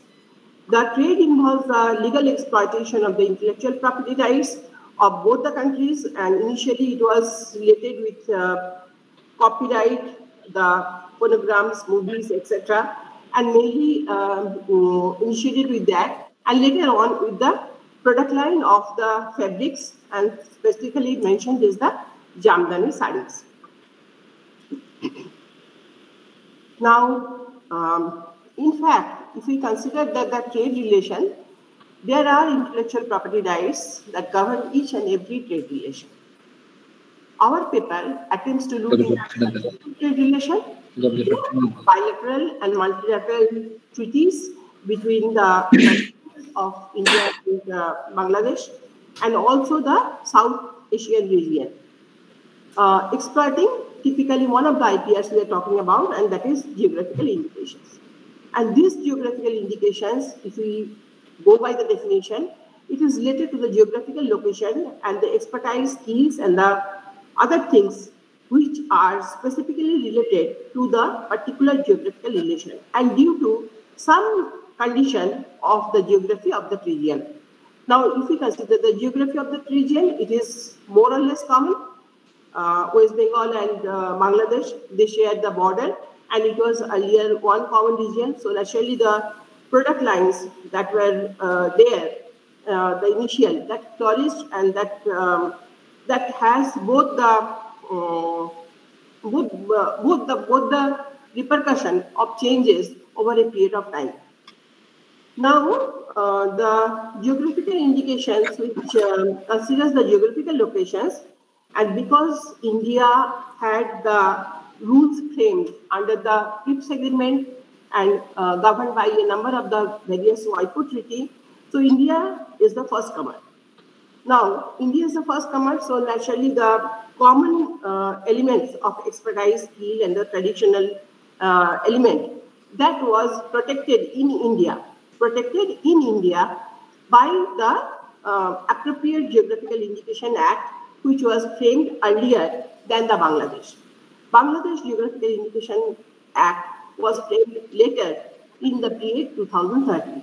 By that time, the common elements of the common product line based on the geographical indication that were registered um, uh, in the Indian part and that was specifically which were related to India, particularly in West Bengal and around. Now, after that, after 2013, when the policy came into there, there is some kind of a misconception about the GI that these, these GI, since it is protected in India, it cannot be further protected in Bangladesh, which was a totally uh, misnomer as far as the definition of the GI goes. Because the GI, as per the WIPO and as per the TRIPS agreement, it it can be protected as far as long as it is it can be related to a particular geographical location. So if a product of Jamdani is related to a particular location of Bangladesh, it can be well protected as the Bangladesh GI and it can be the trade and the transport, the trade and the business can flourish on the basis of that. The trade-related controversies, these kind of the controversies, and there were very many uh, legal issues and the papers that these are should be uh, given back to Bangladesh. There is no question of giving back. What is uh, is appreciated uh, is that that these products are specifically uh, related to a region which belongs to Bangladesh, and therefore these products, by virtue of its location, belongs to Bangladesh. Similarly, the products which are due to the location of India belongs to India only. So there is no controversy as far as the legal framework is concerned. So the what is the solution of this controversy and the oh, uh, legal problems? The problems and the it is it requires the IPR education, IPR education, and also the validation on the basis of the World Intellectual Property Organization directive that should be there. The acceptability to both the nations sharing the resources using the multilateral treaties in the other countries, like we are having the multilateral treaties related to basmati rice uh, with India, Pakistan, and there are other countries as well. So similarly with Bangladesh, uh, related to the same product line and having the commonalities in the expertise and the skills, that can also be accepted by both the nations. The independent identification of the goods and the services by the nations and the maintenance and the sharing of the uh, geographical indication register as it is maintained in India, that can also is being maintained in Bangladesh, and this uh, register is required to be published time to time. So we are having the economic and the strategic cooperation. We are having the removal of the misconception regarding the legal framework of the geographical indication. Framework for the trade and the business cooperation is already in place we are having the cultural and the educational ties, which is already established, and we require further more exchanges. A sound legal framework of bilateral treaties with understanding is the way forward, and we are looking forward to that. And uh, also, the conclusion is that the protection of the geographical indication related traditional products and the skills that the country concerned should first recognize it for the worldwide recognition. So if the country concerned first at any point of time, whenever it is there, it is being recognized in their country, then it will be recognized worldwide. If it is not recognized in their country, then it can be infringed or there can be the fake GI that can be um, that can be prepared or that can go for the registration. And that has happened. There are a number of the case studies related to neem basmati and other um, um, products in India, when it was not registered in the GI of India, it was infringed. The fear of getting registered in the GI mm-hmm. register. Mm-hmm. Ma'am, ma'am, excuse me. Yeah, very interesting points you have been making, but please complete. Yeah, please.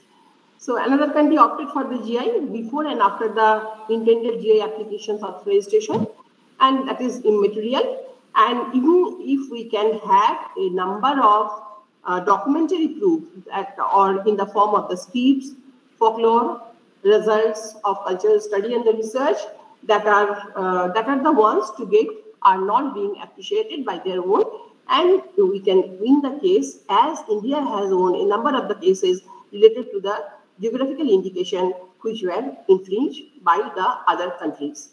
So uh, this is the conclusion. This I have already explained the documentary existence of the documentary uh, proof in the form of the uh, scripts, folklore, or the results of the cultural study and the research. This should be preserved. And for any kind of the GI infringement, this can be used and the basis can be on. So references I have not uh, kept it over here. It is given in the original research paper. And uh, this is my point and this is my conclusion. Thank you very much. Uh, welcome the queries related to the topic. Uh, thank you very much, Professor Shefalika Ghosh Dostidar.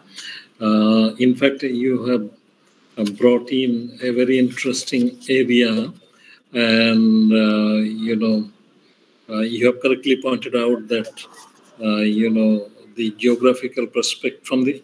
I mean, we can look into this issue from the geographical perspective, and you know, the kind of trade and business synergy can be uh, promoted, can be developed. And, uh, you know, you have referred to the misconceptions and misunderstandings which arise out of these, uh, you know, GI issues. And, um, you know, this can be resolved um, if we want to resolve it quickly. But the trouble is this, you know, often uh, in this uh, subcontinent of post partition times, uh, you know, politi- politi- politicization of the issues takes place very easily. And, uh, you know, it is used by certain political quarters to, you know, to, to um, challenge the uh, increasing uh, intimate relationship between uh, our two countries. Um, uh, and, and often, you know, we are talking about commonalities, and often it is it is made communalized. So those problems are there, but you know, very well discussed. Thank you very much. And these are issues, you know, which can be you know resolved and controversies avoided uh, through this kind of uh, you know uh, awareness building and knowledge creation. Thank you very much, Professor Shefalika Ghosh. Thank, you very much. Uh, our next speaker will be Mr. Rajiv Bhattacharya, and I would request Deptoshi to kindly introduce Mr. Rajiv Bhattacharya. Yes, sir. Dr. Rajiv Bhattacharya is an associate professor, WBESA, in the Department of Economics, Goenka College of Commerce and Business Administration, Kolkata. His topic is exploring the potentials of Indo-Bangladesh trade patterns and the performance of trade indicators. Please welcome, sir, Dr. Rajiv Bhattacharya.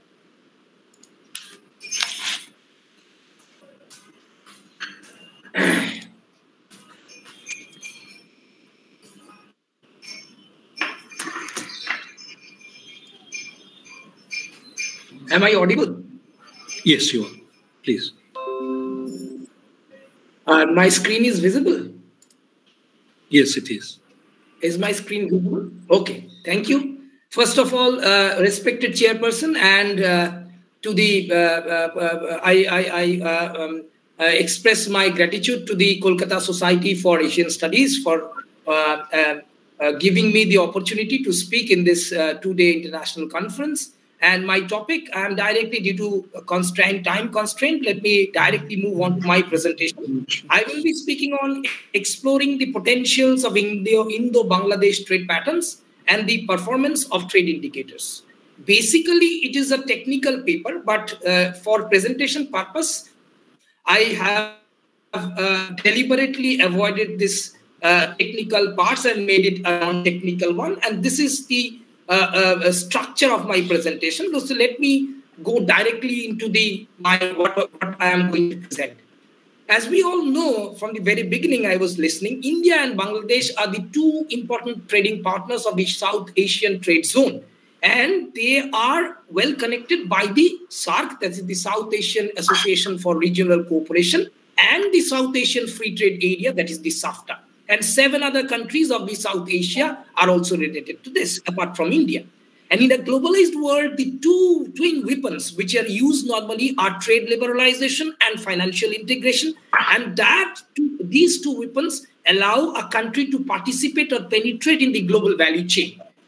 And actually, by implementing proper, appropriate domestic policy, the country can take advantage of the comparative advantages of the trade. As we all know, that during the COVID 19 restrictions, supply vulnerabilities, and shocks in the disruptions, that created dis- uh, disruptions in the global value chain, and there was a fall.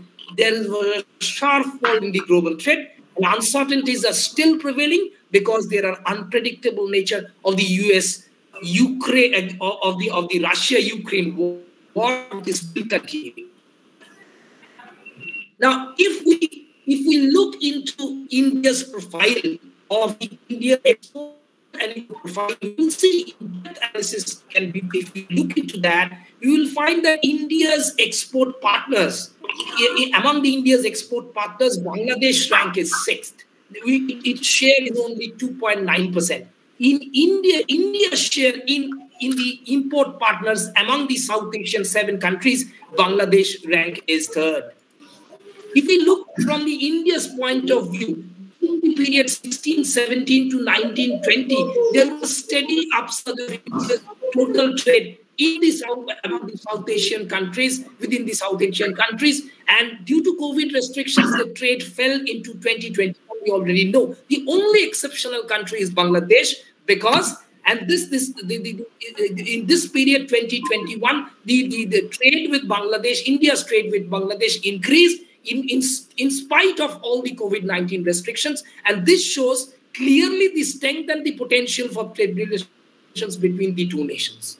Looking at the from the Bangladesh's point of view, this data has been collected from the Bangladesh Bureau of Statistics. You can see the Bangladesh has a highest trade relation with India. The volume and the value of trade relations is highest. But the problem is they have a negative balance of trade. That is, the trade balance has been negative and it has been increasing over the years. And this has been a matter of concern for the Bangladesh government. And if we look from the Bangladesh point of view, the trade, the ratio of the share of trade of Bangladesh with all its trading partners is again in, increasing. This is the pie chart which shows in compared to 2016-17, India's trade with Bangladesh has increased from 34% in 2016-17 to almost 45% in 21-22.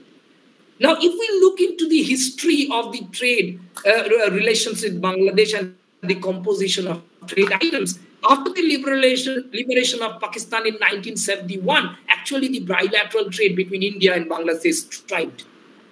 The reason is there was a demand for consumer goods, especially food, which used to come from India, and the trade dependence developed. And after the opening up of Bangladesh, major economic reforms were introduced in 1982. But the problem is there was an appreciation of Taka to rupee exchange rate of about 50% during the period 1980 to 1999. And that, uh, that resulted in a growth of export of India, but it retarded the growth of export of Bangladesh. And several attempts were made to correct the anomalies, but actually it continued to stagnate. And during the 1980s, Bangladesh actually exported basic manufactures, leather, rubber, paper, chemicals. But now it is export medicine, textiles, iron and steel, raw jute, jamdani saris, medical appliances, and so on. And India's trade, India's export to Bangladesh comprises of food grains, fabrics, cotton yarn, machinery, instruments, glass, glassware, ceramics, and gold.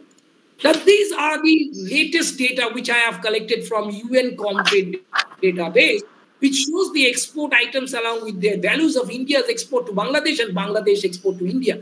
And I have already specified, though the trade relations, they have many trade relations and many treaties.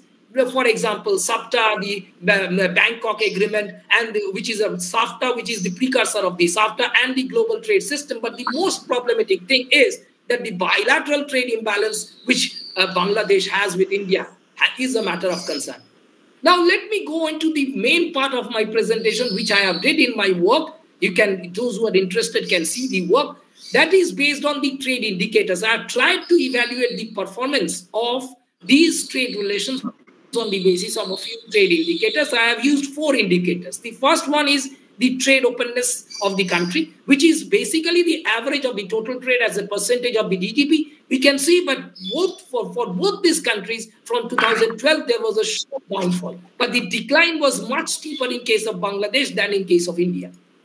What is happening with the second indicator, which is a technical one, the revealed comparative advantage indicator, which talks about the revealed comparative advantage is basically the ratio of a product K's share in country I's export to the share of world trade. And if we have RCA greater than 1, it means the sector K. It implies that sector in sector K in country I has a revealed comparative advantage. And if it is less than 1, it is a reveal, it has a revealed comparative disadvantage. And the, the countries have similar profiles, similar kind of RCA profiles, they are only li likely to have high bilateral trade intensities unless they have intra-industry trade, which is based on similar products. And the right hand shows the rankings, the latest rankings between the RCA rankings between India and Bangladesh. Now, the problem, another important issue that has cropped up over the years is if you look into the last two decades, 2009, 2001 to 9 and 2010 to 20, we see that uh, the number of sectors having RCA greater than one has more or less remained stable. But RCA uh, has improved in 47 sectors in India and RCA has declined in 44 sectors among the 91 sectors which has RCA greater than 1. But there is a technical problem of using this RCA index. I'm not going to into the technicalities. One is the asymmetrical RCA is uh, asymmetric and so we use the normalized RCA. And in the normalized RCA uh, behaves the same way as the standard RCA index. The only change is the critical value changes from 0 to 1 and the lower bound is minus 1 and the upper bound is 1 and it is made symmetric by making it normalized. If we go to the third indicator, that is the trade complementarity index, which is by the World Bank. And this trade complementarity index, as the very name suggests, it shows the amount of the match, the degree of complementarity between the reporting country's export profile and the import profile of its trading partner. Now, if the TCI was originally in, uh, was originally uh, introduced by Michaely, but it was in the case of natural trading partners, but later it was used to exemplify, to evaluate the extent of the bilateral trade relations, the regional. I have computed the uh, trade complementarity index of India's import with that of Bangladesh and uh, India's export with that of Bangladesh. What is the result? The result is this is the latest complementarity rankings, which shows that India's export basket highly is complementary with Italy, Belgium, UK, Brazil, but their shares is very negligible compared to USA, China, UAE, Hong Kong, and etc. What is Bangladesh position? Bangladesh TCI is 56.1, which is moderately good performing. But from the India's import basket, India's import basket complement very well with USA, Singapore, UK, Netherlands, Malaysia. But India's import basket has a very low complementarity. This is an important, very important issue. That means that India's import basket is a poor match to what Bangladesh exports. And that is that area should be looked into by the policymakers to improve the bilateral trade. The last case is the trade intensity index, which basically tells the share of one country's export going to a partner divided by the share of the exports going to uh, its partner. So the share of world exports going to its partner. So that this here I have used that is the trade intensity index and the modified trade intensity index. And these two intensity indexes again in the similar fashion. Bilateral trade is larger than we expected, then the index has a value greater than one. And it is lower than smaller than that, then the index shows a value lesser than one. Now, these are the two figures we will show. Due to time constraint, I am skipping all those slides. And hmm. what does this figure show? These Professor Rajiv, Professor Rajiv uh, kindly conclude. Professor Rajiv, kindly. Okay, sir. One more minute. So hmm. this two figure shows the trade intensity with Bangladesh, and this one is for trade intensity of Bangladesh, uh, Bangladesh trade intensity of India. And this shows a very interesting issue, which we, I will highlight at the end. That is, the measure and the extent of trade between both the countries reveal that the share of exports to Bangladesh out of the world exports to Bangladesh is more than expected and is significant. But the share of Bangladesh exports to India out of the world exports to India is less than expected and insignificant. That is an important matter of concern which the policymakers has to look into. And I would try to point out, last, lastly, I would try to point out the major obstacles, which has been pointed out by my earlier speakers also. There is a mismatch of India's import with that of Bangladesh export. I have already told in the TCI rankings. the transshipment and the trans transit facilities problem, the custom clearance, the tariff and the non-tariff barriers, the informal and the illegal trade, the reluctance towards implementing trade facilitation measures, and the weak follow-up of economic ties. And the, these things are taken into account and serious uh, um, um, um, uh, efforts are being given to remove all these restrictions. I think bilateral trade between India and Bangladesh can flourish in a much, much better manner. Thank you, all of you, for your patient hearing. I conclude. Uh, thank you very much, Professor Rajiv Bhattacharya.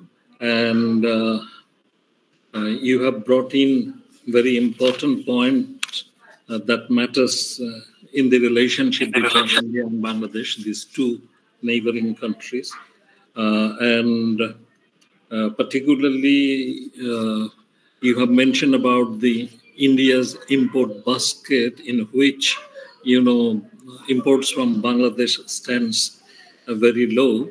Uh, that is, uh, and actually this is affecting the trade balance between the two countries and this sometimes become uh, political issues um, um, in, in our part of the world. However, uh, you know, uh, I also want to have a look um, uh, a bit differently. Um, you know, the economy, uh, the, the, the overall Indian economy and the regional economy may have different uh, settings. And if we look at the trade balance between India and Northeast, between Bangladesh and Northeast India, the figure is perhaps much more positive, yeah, than what it is with the rest of India. So the, uh, you know, the complementarity of this uh, regional trade, that's, uh, I think, uh, should be highlighted and, uh, you know, maybe focused on in future planning and negotiations.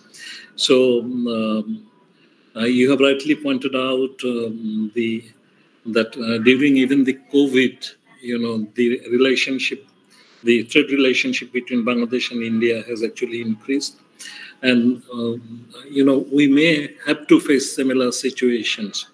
Um, the Russia Ukraine war, I don't know how much it will drag on, how long it will drag on, and it might create problems for many of the countries, including Bangladesh. And so, you know, in times of need, these, you know, um, uh, these uh, kind of, uh, you know, neighborhood relationships can be of real help to uh, any country, including India and Bangladesh. So, thank you very much for your very wonderful presentation. And since I have, uh, you know, intervened into many of your speeches, I would like to beg pardon for that. But I have been advised to uh, close it by seven, which I have failed. Uh, but I, I don't, myself don't want to take much time. I just want to conclude by saying that, you know, uh, I would like to thank Kolkata Society for Asian Studies for this wonderful uh, you know, uh, wonderful uh, initiative, Fiesta of 50 years of Indo-Bangladesh relationship.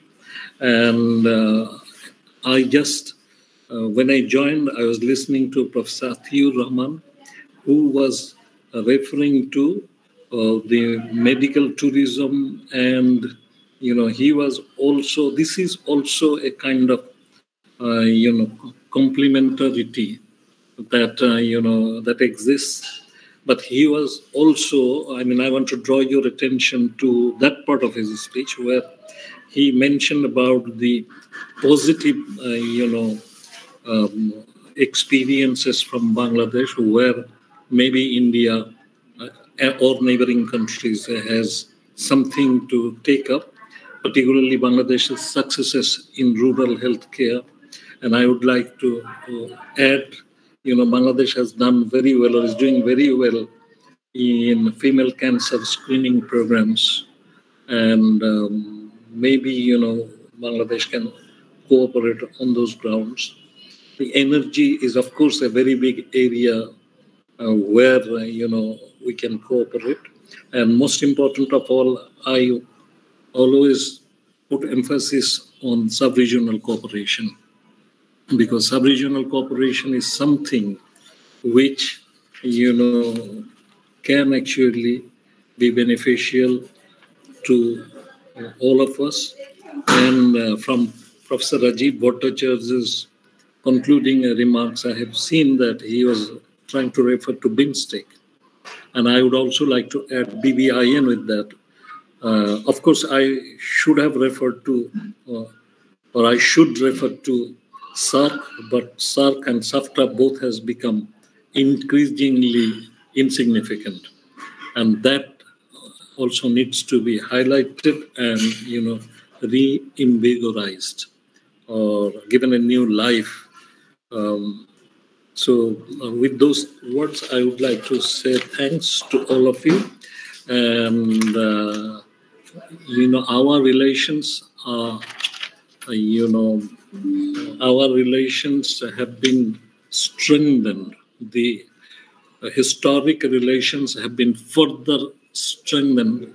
Historical and geographical relationship have been further strengthened through, uh, you know, bonding of blood uh, in 1971. Yeah, India has been tremendously helpful in time of our need. So the people of Bangladesh remember that always with gratitude and the relationship cemented um, through blood uh, is certain, uh, certainly will certainly grow in near future, grow further and further. Thank you very much. Thanks, KS, KS for the initiative. Sir, you are well within the time. In time is Indian standard standard time. no.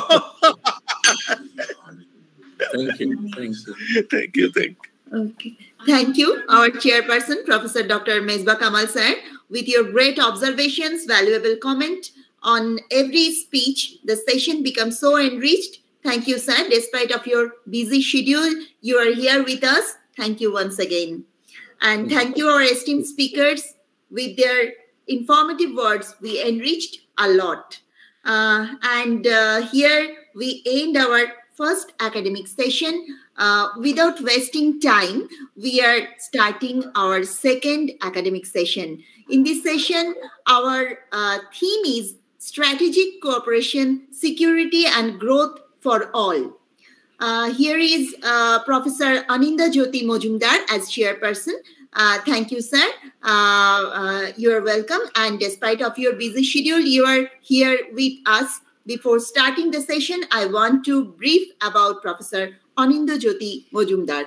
Aninda Jyoti Mojumdar is professor and former head at the Department of International Relations at Jadavpur University, Kolkata. His specialization areas are security and disarmament uh, studies, conflict and peace studies, forced migration, foreign policy. Please, sir, please welcome. Uh, can can you hear me clearly? Yes, sir. Okay, fine, great. Uh, thanks for that uh, uh, introduction, and thanks for having me in this uh, program. In fact, uh, without wasting time, we'll go straight into the academic session number two. Though this is uh, Indian standard time, but let's try to maintain a little bit of you know kind of punctuality with this regard. Now, uh, it was nice listening to Professor Mesbah Kamal after some time. But uh, okay, uh, as we have already uh, uh, come to know that uh, in this particular session, there would be essentially four speakers. And we have this key speaker, Professor Sreeradha Datta, and there would be three other presentations. First, we will listen to them and uh, the presentations uh, will be followed by, if possible, a brief question answer session.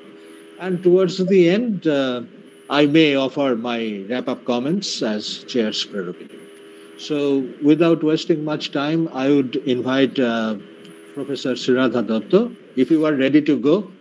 Uh, in fact, uh, you know, to initiate the discussion. And madam, you have roughly, I would start cutting down time. So 18 minutes. Sure. I don't. I don't think I would need more than that. Uh, thank you, uh, Professor Anindajyoti Majumdar. Thank you, uh, Kolkata Association for Asian Studies, and of course. Um, sorry, there seems to be some problem with my.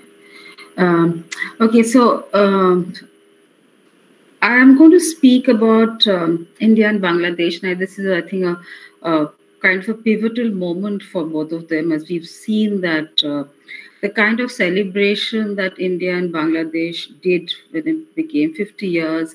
It was 50 years of Bangladesh, it was 50 years of Indo Bangladesh relation, of course, and 100 years of uh, Mujibur Rahman.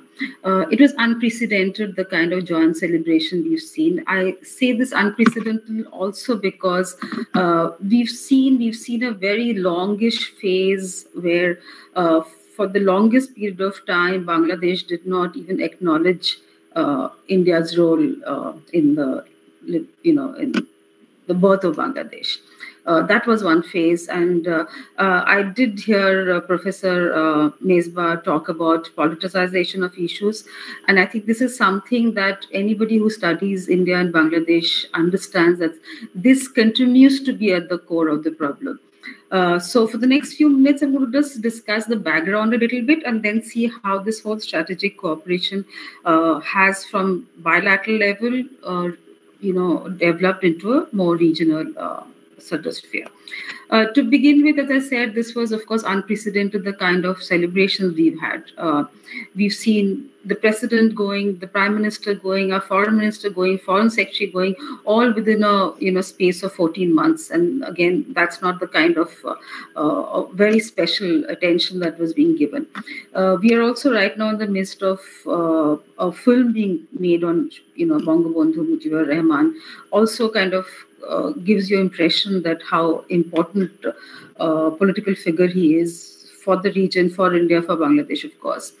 Uh, so, I mean, clearly, while we are standing at a situation where, I mean, bonhomie is a word that I've often used, uh, but it's always that was not necessarily the you know situation. We've seen uh, soon after, and I know we are aware of the fact that Sheikh Mujibur Rahman and Prime Minister Indira Gandhi enjoyed a relationship which took uh, the two bilateral relations to a certain you know a level which was unprecedented. Uh, but of course, subsequently we've seen, and there was a very stark contrast uh, the contrast was also you know it's it's it kind of tells you a story also that this is again a unique moment in history right? When a third country has helped a particular country liberate itself from its particular you know uh, overwhelming counterpart uh, the kind of blood loss that happened on both sides. Of course, we just heard again Professor Kamal expressing the deep gratitude, uh, but that wasn't the case always. And in fact, there has been time when we've also seen very, very opposite narratives. And uh, right now, in fact, I recall going back into uh, some archival work where we, you know, uh, on a recent work that I did on the Liberation War, where some documents were unearthed with about the Bangladesh office, which was an exile in India at point of time, and I don't have a piece of paper, so I'm not going to quote it. But it actually did, uh, com- you know, very um, quite in clear terms alluded to the fact that India's support for Bangladesh uh, was basically because of a negative approach towards Pakistan. And I, I think I'm being uh, quite definite that I'm using the word negative approach, which was mentioned in the document, and that for you know for political, historical, and economic reasons, India had desires desire to weaken uh, Pakistan uh, and both West and East. And it was not, I mean, and I, and I noted, I remember that, uh, you know, the, the document also talked about the fact that it was not India's love for democracy or any sense of brotherhood that uh, Bangla India was wanting to uphold the you know the struggle. Uh, so, and again, they kind of, you know, close that note by saying that uh, Bangladeshis now have to resign themselves to a period of Indian influence. Uh, but we must try and minimize that as much as possible. Uh, the reason I'm saying this is kind of to get the context correct. As I said, the kind of relation that India and Bangladesh enjoys right now is unprecedented. It's in fact gone far beyond what I would think Mujibur Rahman and Indira Gandhi had uh, envisioned for the region or for both the you know neighbors. Uh, but this particular note that I'm referring to is also the different complex layers that continue to exist between the two uh, neighbors. I don't think we should ever miss out on that. And you know we tend to often gloss over that the beauty of the relationship the kind of partnership that we now enjoy. Uh, but the problem is that there are different constituencies in Bangladesh, and often, and I've, I've written about this many times, that often our close proximity with Awami League has also made it difficult for Awami League to function because, you know, it's kind of constantly there's a bias involved here because there is a constituency in uh, Bangladesh who's also anti-India, and, and also there's a constituency which is anti-Awami League. So both ways you're kind of getting the you know negative effect. So either if you're anti-India, then you're negative implications rub off on uh, Awami League and vice versa. And this is something that, you know, uh, again, we've had a roller coaster ride ever since uh, Sheikh Hasina came, you know, through that elections in 2009 December. And I, I remember the joy and the excitement that was uh, palpable in India too. I mean, of course, Bangladesh was rejoicing because they went through two years of very, very difficult period. Uh, and the fact that you know, even without any bilateral dialogue or conversation, the first thing that Sheikh Hasina did was actually address some of long underlying outstanding uh, security issues that India and Bangladesh had in, you know, the challenges that which were emanating from Bangladesh soil. Uh, her addressing those issues actually made India open up a, you know, Pandora of, uh, uh you know, bilateral exchanges. And I think that was the beginning. And uh, I mean, no matter what we discuss, we've just heard uh, uh, professor speak about the bilateral relations and how the deficit has been a concern. But you know, these are of course all work in progress, and I think right now everybody's overcoming that. Uh, we are. We. I'm, I'm, not sure if the number is correct, but I think recently I heard we've touched uh, uh almost 20 billion, which is again, you know 15 years ago, we were barely a billion. So from there to now, the journey has been obviously outstanding. Uh, and I think in today's term, economists have always also talking about the fact that uh, if you have deficit here, you're obviously making it somewhere else. So that's not something that Bangladesh is, you know, extremely worried about at this point of time because they're doing great business with other countries. So while those kind of issues, and there were several other issues, but I think the large context of the two bilateral relationship is security and strategy and when that is in place then you know the rest of the other minute details fall in place. Whether it's cross border relationship it's all other you know all other uh, in fact we've seen again 2015 uh, the two neighbors uh, able to you know have a border closure uh, which is something that they struggled for so long. And uh, it's it's not very often in history that uh, two neighbors who had uh, border differences and there were differences i mean and we are aware of that uh, that they did that without any hostility on the ground. Uh, they were able to come together. And again, this would I would say it was again Sheikh Hasina's work that helped India, you know, take this forward and the kind of give and take that was possible. Uh, but over the years, we've also seen that while um, you know, there's there's been so much of how would I say um, bilateral um, growth and development. And i'm just not talking about the fact that india uh, supports the largest uh, you know lines of credit for bangladesh. This is unprecedented again in the region and elsewhere. Uh, india has not done that for anyone else before. But also the fact that there's several other than the first time again in the history of south asian politics uh, india has collaborated with japan to build the mass transit project which again we know uh, it's just a beginning. It's a small beginning with the metro railways. But the kind of work that is being developed with Bangladesh now actually again points to the fact that we have a safe, secure, strategic, positive framework in place. Uh, but again, whenever we discuss Bangladesh, and I think all of us students of politics do understand, I think the main core issue is that how do we make this relationship sustainable? Uh, one thing that needs to be always remembered is that irrespective of who's sitting in New Delhi, it doesn't matter which political party. And I, I remember when uh, the NDA came in in 2014, I was actually in Dhaka at that point of time, the kind of apprehensions that were voiced by very seniors interlocutors of Bangladesh and uh, many other, uh, you know, uh, I mean, the stakeholders there. But we've seen how, despite uh, ideological, uh, I would say, uh, like being on two part of the spectrum. India and Bangladesh were able to overcome that. The kind of uh, personal uh, closeness that uh, Prime Minister Modi and Sheikh Hasina developed was again not imagined at that point of time. But they've been able to overcome that and work together so closely. while of course the breakthrough again, as I mentioned, did happen in 2010. but the point is that while it doesn't matter who is in Delhi, India will always work closely with Bangladesh for a variety of reasons. And of course, now we uh, Bangladesh is again a very strong partner for us on the neighborhood first as well as Act East.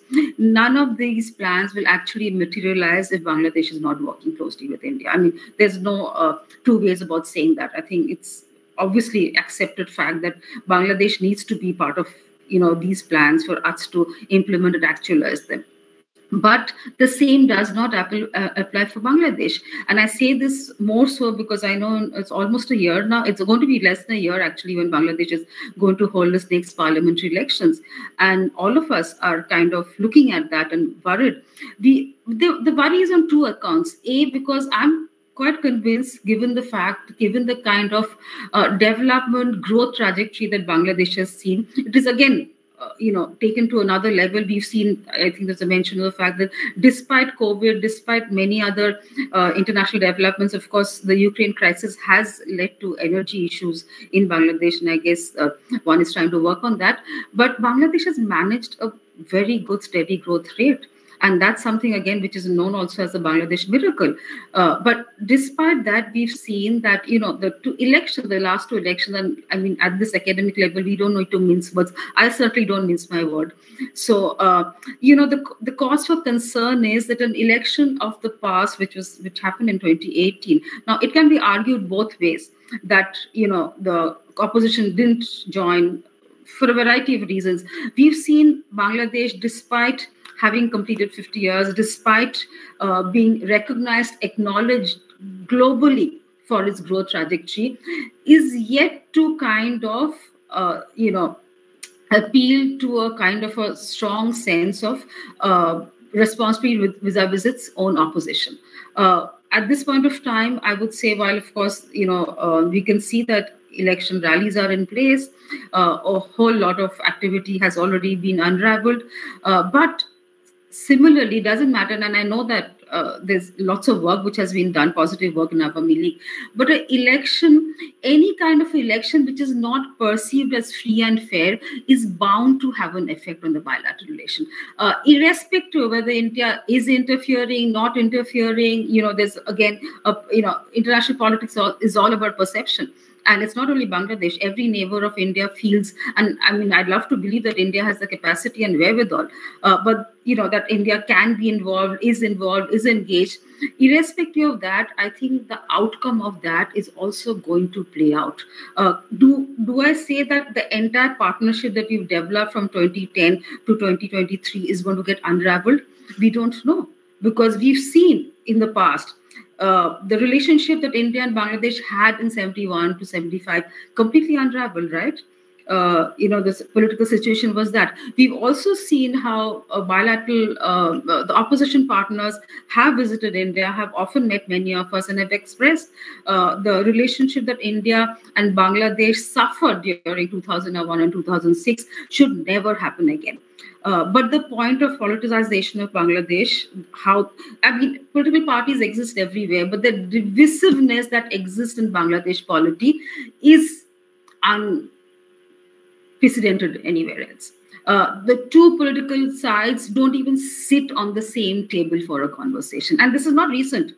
I'm not talking about the recent past. I, am I'm, I'm tracking Bangladesh for a while. Most of you are aware of the fact. Uh, when the politics, its domestic politics is so deeply divided, to expect that whichever party, whichever alliance comes in place, to have a business as usual is going to be difficult. And this time again, as I said, that you know Bangladesh has seen uh, a huge amount of growth in the last uh, decade or so, and there's much to. Uh, we also need to remember there are a lot of negative perceptions happening about Bangladesh. We've seen, um, you know, corruption has been an issue right from 1972. Uh, I think all of us are aware of this issue. And we've seen again in recent years how that's kind of again really hit the ceiling. And that's not something that is unnoticed by the people of Bangladesh themselves. And it's a fact that, you know, while uh, Sheikh Hasina Mujib Konna is somebody that the whole country looks up to, and she really is you know somebody who spearheaded bangladesh into a space which was not possible for any other leader because the acceptability that sheikh hasina has or enjoys is unprecedented. So coming to the position now that we see that between india and bangladesh the kind of cross border facilities that we've you know we've built the fact that we are able to now work and which was something that even during the best of times we were not able to in the in the pre 2010 period how nepal bhutan has been able to have you know easy access because of the transit which was at some point of time a very difficult turn term for Bangladesh who didn't even want to use the word transit because they thought it would it meant it was kind of giving away that particular space or land to India has come so easy from them and we've been able to do that. While we speak, we've also am aware of the fact that it was in 20 um, 15, uh, we signed the motor vehicle agreement, which essentially meant the BBIN that's been referred to, that Bangladesh, Bhutan, India, Nepal would be able to do business together in a seamless way because of the cross-border facilities that India and Bangladesh enjoyed. Uh, but just as we speak even today, we've seen that there has been difference of opinion. Again, India and Bangladesh is not to be blamed on that account. A variety of factors that uh, which ha- has held back Bang- uh, both Bhutan and Nepal, you know, for that. But at the same time, if you look at the kind of regionalism, as I said, uh, many of the initiatives that India has. Uh, unfurled right now, which of course looking at the regional framework would not have been possible without Bangladesh's support. I mean, I think the robustness of the relationship is something that everybody uh, is noticing. I mean, there is absolutely no two, two ways about that. But again, the fear is, and I think, and I, this is not to say that I'm uh, not. Um, aware of the fact that there are some uh, irritants even today as we speak. Uh, we are, of course, aware of the fact, I think all of us who work on the region know that uh, I think Bangladesh uh, leadership has been extremely kind about the fact that they don't bring up Tista because you know India has had some issues, uh, difficulty because of the federalism that we function under. But this is not lost on the common people, and many of us who are constantly in Bangladesh on where you know reasons. Uh, even the most common man who's serving me tea outside the Dhaka University will ask me, uh, "Appa pani dan na can?" Because you know this is something uppermost it's emotive. And i keep arguing that just because i haven't signed a tista doesn't mean the tista waters are not flowing into bangladesh. Uh, the agreement only ensures that during the lean season which is essentially may and june uh, that you know you get a certain amount of qualified water which is actually the problem. But I mean, while that is, we are also aware of the fact, and I uh, uh, say this that you know without uh, any holes barred, that there's a lot of different messaging and wrong signaling that goes from India. We've seen how, as I said, Prime Minister Modi has certainly uh, you know, ensured that the two bilateral relationship uh, gets stronger with time. And every little, uh, you know, kind of pillar has been put in place to ensure the bilateral relations don't uh, uh, un, you know derail. But at the same time we've also seen some domestic noises in india for a variety of reasons whether it's about the migratory movement whether it's the cross border issues even uh, hostility on the border which is again not lost on bangladesh. Uh, and as you know all of us who live in the region we know that uh, uh, Bangladesh is extremely sensitive, extremely politically aware, and uh, they are certainly following the you know day-to-day developments. Uh, uh, do I need to close in? I'm not even looking at the time. Yeah, you have uh, two minutes. Okay, so I will just wrap up saying that you know while uh, India and Bangladesh has never seen a relationship what we see today, it is unprecedented. It is completely no, I mean, a, a, a kind of a you know it holds strength it holds all the good things and positive uh, you know images that any neighbor can enjoy.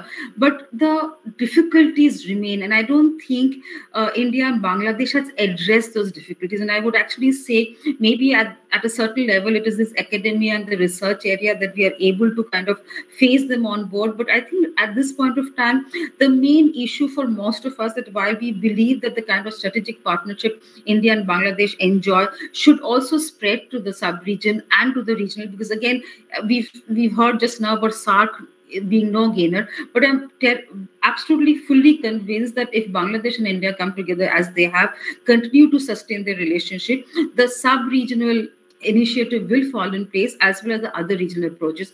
But we have to be mindful of the you know pinpricks which exist both in India and Bangladesh. And I think to you know be in denial about that reality is not going to serve anybody's case. But i will just close in by saying that uh, we need to look at this relationship through a very positive prism which is how we do. But at the same time uh, be cognizant of the you know little holes that we have and if we don't address them now they're only going to get bigger with time. And then we'll be right now we have a government which works locally with us. Uh, post elections we don't know what happens. We need to address them right here and right now to ensure that bilateralism regionalism continues to uh, foster in the in the region. Thank you very much. Uh, thank you Sreeradha for uh, in fact uh, flagging and explaining the crucial issues uh, influencing the dynamics of India Bangladesh relations. In fact, uh, it's a kind of comprehensive overview that you have provided uh, of the nature of cooperation between India and Bangladesh or nature of relations between India and Bangladesh uh, influenced by domestic determinants. In fact, Professor Datta has drawn our attention to, uh, you know, the present state of bonhomie, but also to the fluctuations in relations, and uh, in fact, uh, you know, it, it, and, and the nuances of a sustainable relationship.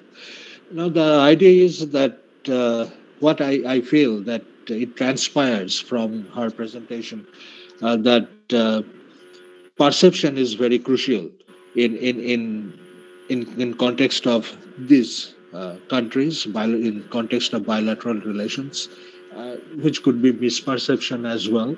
But nevertheless, uh, as it appears, uh, that it's a kind of uh, very uh, practical, matter of fact kind of analysis, and and it it also compels us to, in fact, think over certain aspects of our relations to make it, in fact, meaningful and as she herself has said, sustainable. Thank you, Professor Datta. Uh, I would now uh, invite the next speaker, Sri Debabrata Sen. Is there any uh, provision of introducing the speakers? Yes, sir.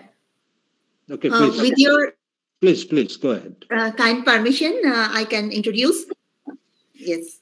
now we are welcoming uh, our speaker, Debabrata Sen, research scholar, Department of Political Science, Rabindra Bharati University, Kolkata. Uh, his topic is Indo-Bangladesh Strategic Cooperation, uh, maritime, uh, a maritime perspective in the Bay of Bengal. Please welcome Debabrata Sen. You would have roughly 12 minutes. Will Thank that you. do? Thank you, sir. Okay, please go ahead. Good evening. Before I start my presentation, I'd like first of all to thank the organizer of this webinar, Calcutta Society for Asian Studies, for inviting me as well as accepting, accepting my paper and giving me the opportunity.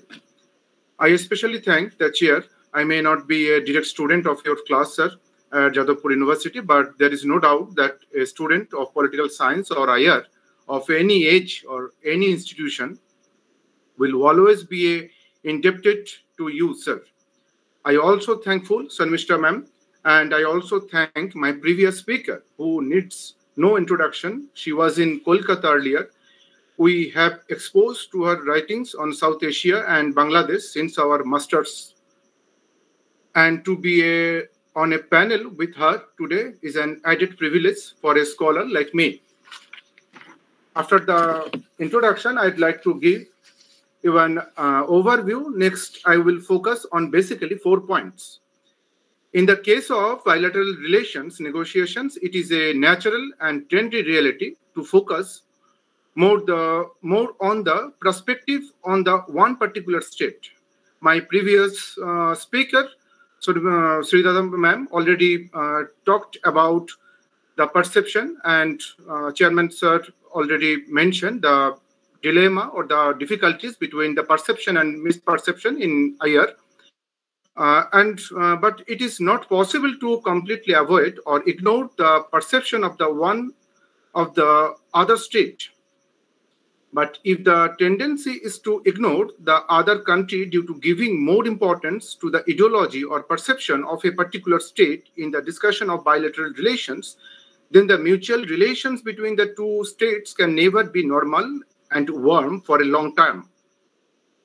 Therefore, the discussion in this article or, or my presentation also try to get glimpses of Bangladesh perspective and policy even though this proposed article or presentation would primarily focus on Indo-Bangladesh bilateral relations in the context of India's strategic perspective. In trying to find possible answer to my questions, uh, which I mentioned my abstract and article, in this, uh, I in the main points that will be highlighted are the geopolitical position of Bangladesh as a neighboring country from the perspective of India's strategic security.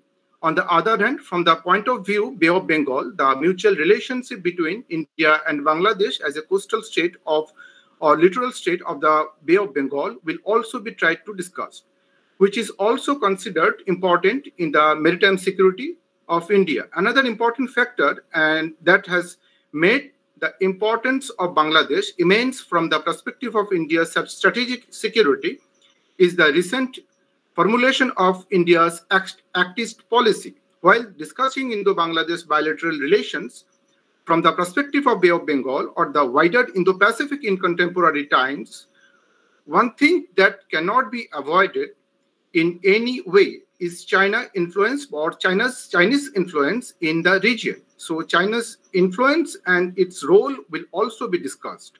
Above all, an attempt will be made to discuss the Indian Navy or India's Navy's role in the region from a holistic perspective that will touch upon all the above areas to ensure India's strategic interest. My first point, which I have to mention India, Bangladesh, the two immediate neighbors, and their geography. I have to mention, I would like to mention the specific one point here. The 2014 verdict of International Permanent Court of Arbitration, PCA, uh, uh, through this verdict, Bangladesh has obtained its legal rights over the seabed, natural resources, and fish in an area up to 200 nautical miles of the Bay of Bengal, but Bangladesh does not have the proper infrastructure or extra or the extract these natural resources. Technologically, Bangladesh is considered as an underdeveloped country, uh, so Bangladesh needs technological assistance from foreign countries or the foreign companies. Because of technological inadequacies, Bangladesh has signed a production sharing contract with ConocoPhillips Phillips, uh, and international oil companies uh, and others to explore oil and natural gas deep sea areas. Another point I have to mention uh, the increasing stake in Bangladesh maritime boundaries has brought several new perspectives to the fore due to SA, uh, due to the easy access of proximity of the Bay of Bengal to the Strait of Malacca, the presence of various foreign navies is regularly observed in the region. Most of the trade ships of China, Japan, Australia, and the Southeast Asia pass through the, uh, this Strait of Malacca. This sea route is considered to be the busiest sea route in the world. The Strait of Malacca is one of the world's most important uh, shipping lanes carrying about a quarter of world's trade, including Chinese manufactured goods, and about a quarter of oil eh, transport by sea route from the Persian Gulf up to various economies. My next submission, Bangladesh's position in India's Act East policy. I have to mention, I just mention, uh, I want to mention just one point here. India's foreign uh, minister, the present foreign minister, in May 2022, at the inauguration program of the Third Allies in Development and Interdependence Asian Confluence River Conclave 2022 in Guwahati, uh, he mentioned that the coming together of the Act East and neighborhood first policies will have an enormous reinforcing impact for the country beyond the confines of the Southeast Asia. From India's point of view, Jaishankar also added that the land connectivity through Myanmar and sea connectivity through Bangladesh will open up to Vietnam and the Philippines. I want to add one more point. In this context, it is necessary to mention a statement of the External Affairs Minister, Jaishankar, uh, said India's Act East policy begins with Bangladesh, and he calls the settlement of border issues between the two neighbors a huge step forward. External Affairs Minister of India, Jaishankar, feels that India Bangladesh is better connected than ever, and the northeastern state will benefit it for it. My next point, now third point, China in Bangladesh and the Bay of Bengal region there is no doubt that China is slightly ahead of India in terms of military power or economic power. But there is, is no room for, for uh, debate that not all problems can be solved in a linear or military or economic way. Bangladesh is one of the countries in that China has the most influence and economic footprints in the Bay of Bengal region. But one thing that is discussed in the initial parts of this discussion is that India is an immediate neighbor of Bangladesh, which always gives India an added advantage in strategic questions. As an independent sovereign state, it should be Bangladesh's own decision to choose and accept the help of which country or which international organization for development of Bangladesh. A little analysis of the real picture of China's investment in Bangladesh will show that there are mainly to perception of the growth of China's influence. One group thinks that the prime infrastructural development of Bangladesh has been achieved with China's financial assistance as well as technological support, and China's investment and financial assistance should continue in this way in the future. On the other hand, given the economic situation of some countries in this subcontinent, like Sri Lanka and Pakistan in the past few years, another group of analysis, analysts thinks that China's investment or economic aid is actually a debit trap. According to them, China wants to fulfill is its expansionist plans behind such investments and willing to control her own overall politics, economic, and strategic interest in the vast region. Another important issue I have to uh, I want to mention, according to many reports and disclosure details, China is gradually bringing Bangladesh in its debit trap, as it is already in the major supplier of arms. According to many confirmed reports, that Dhaka acquired a sizable amount of military hardware from China, which includes two submarines, missiles, guns, frigates, uh, fighter jets, and un but unfortunately now Bangladesh is facing problem as many of the arms acquired by China are grieving trouble. My third and the concluding point I want to mention, I would like to mention India and Indian Navy.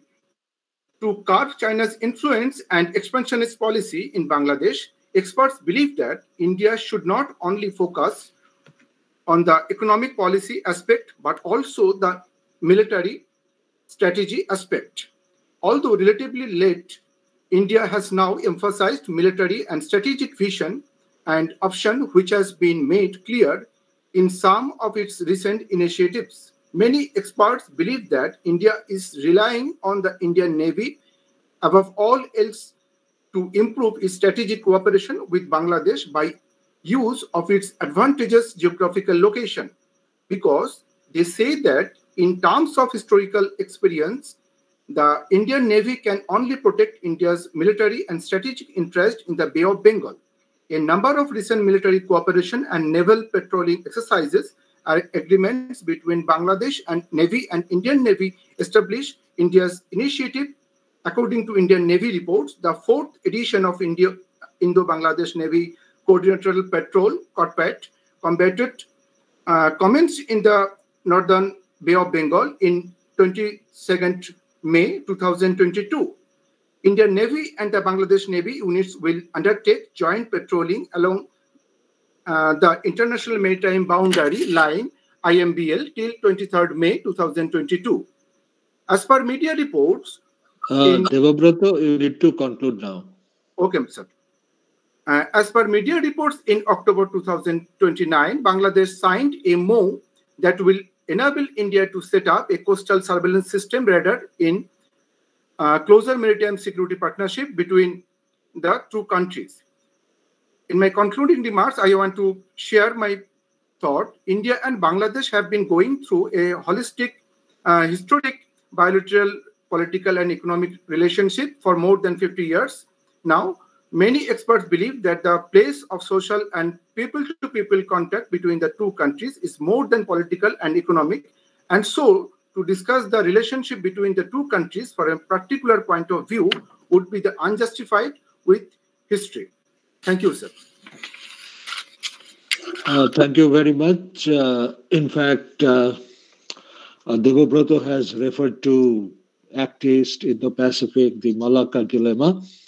And as far as I understand, his main uh, point of argument is that in such Indian initiatives or Indian policies, uh, Bangladesh is very crucial. And uh, with regard to China's penetration in South Asia, obviously we have seen, and India cannot really exercise any control over uh, the relations that individual states might like to have with China.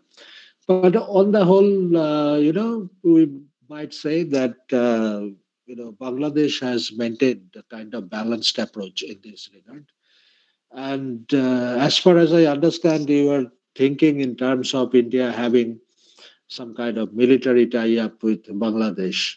Well, uh, in fact, it is uh, the generally said the golden chapter of the relations between the two countries. So if both the countries feel that uh, this kind of military tie-up would be mutual, uh, you know, kind of would result in mutual benefit, I think there would be negotiations on those aspects as well. So thank you very much for your presentation.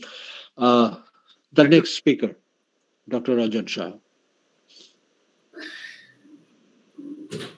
Dr. Anjan Shah, West Bengal Education Service Assistant Professor, Department of History, Maulana Azad College, Kolkata. His topic is Indian involvement in Bangladesh, Liberation War 71, Humanitarian uh, Intervention or Cold Calculation. Please welcome Dr. Anjan Shah. Dr. Shaha, 12 minutes. Yes, thank you. Honorable Chairperson, sir, uh, and other distinguished uh, dignitaries. Uh, due to shortage of time, I would go straight into the presentation.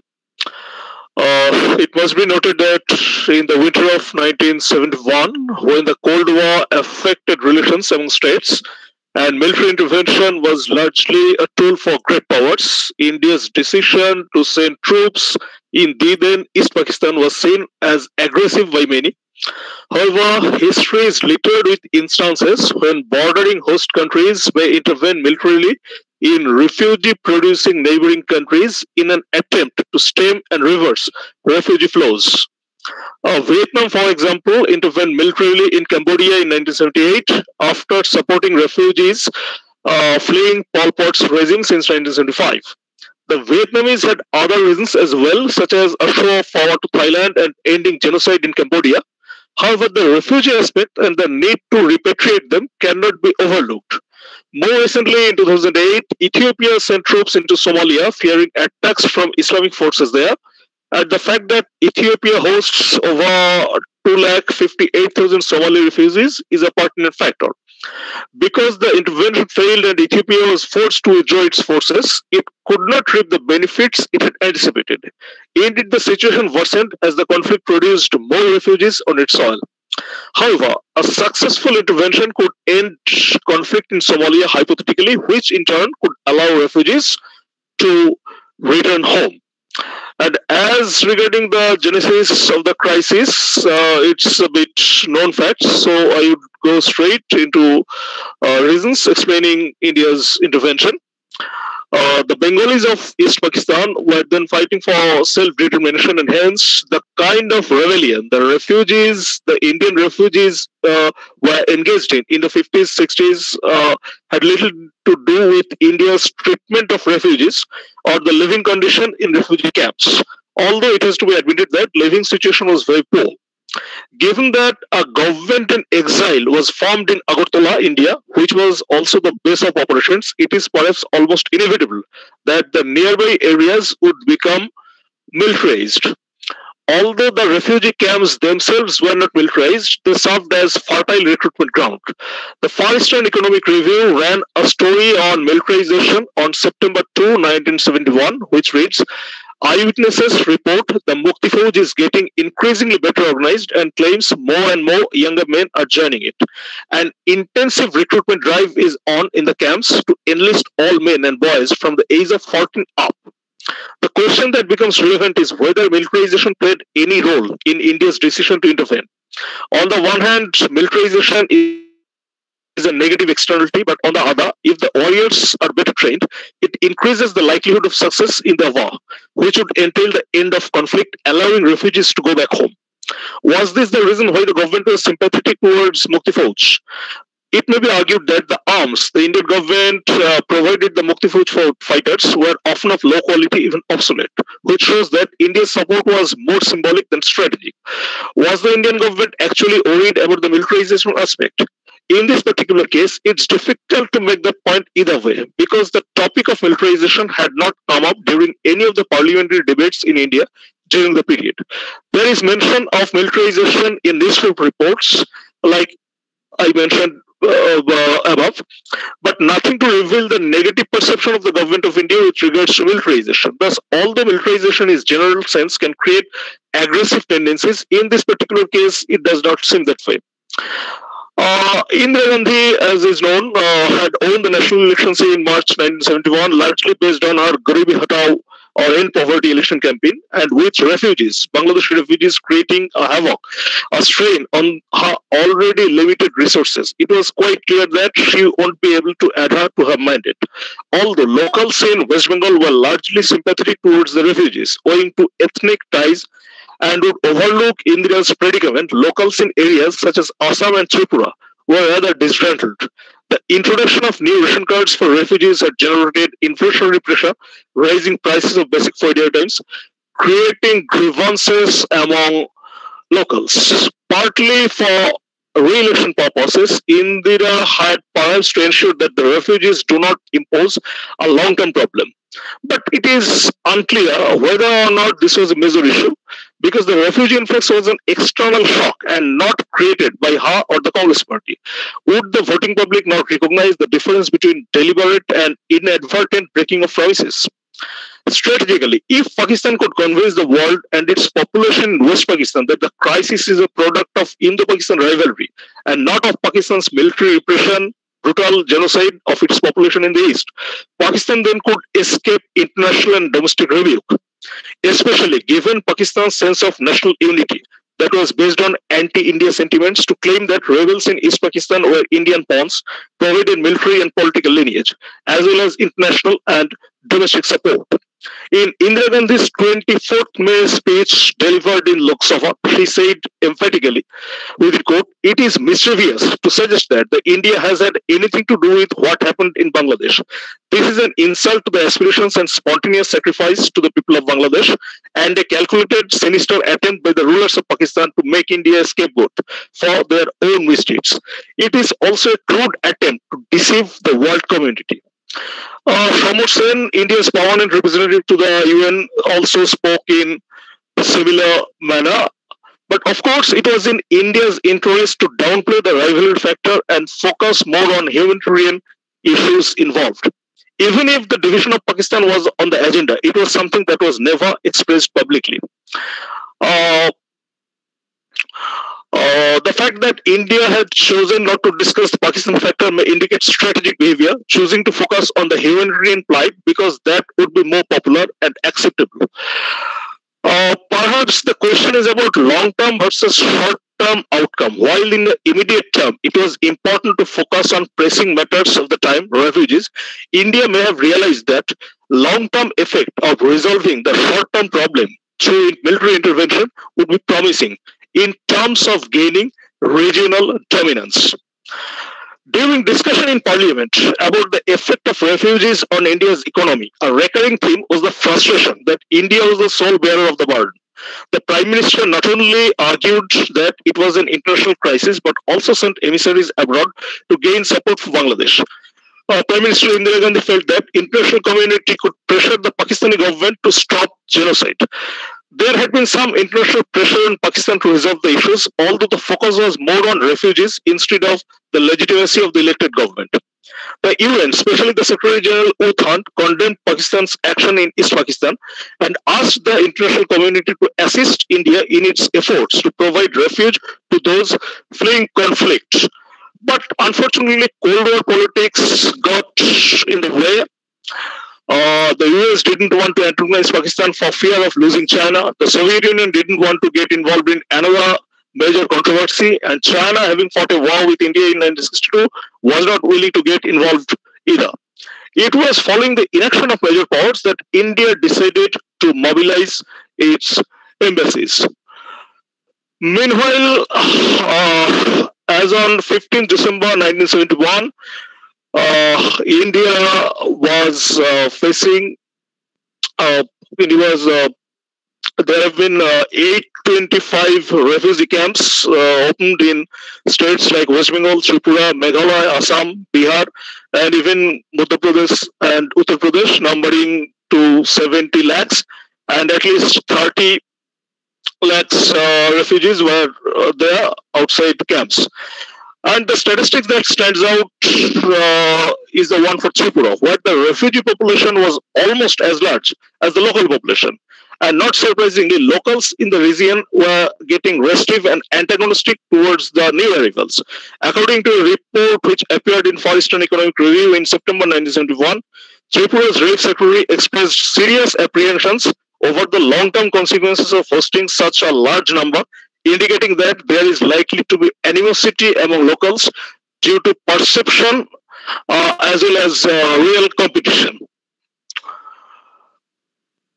And it becomes clear by May June 1971 that India's resources were stretched thin and they were almost over overwhelmed by the masses of refugees uh, coming in.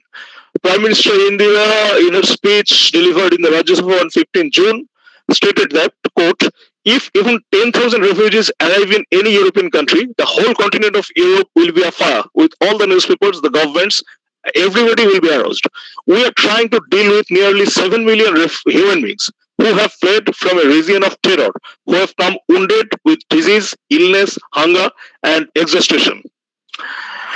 When diplomatic talks failed, the Prime Minister himself herself went on at work to, to garner support. In all her speeches, uh, whether by the Prime Minister or any senior minister, India's representatives were clear and consistent in saying that India would be unable to support refugees for longer than six months, even though they were not very specific about what would happen after that six month period was over.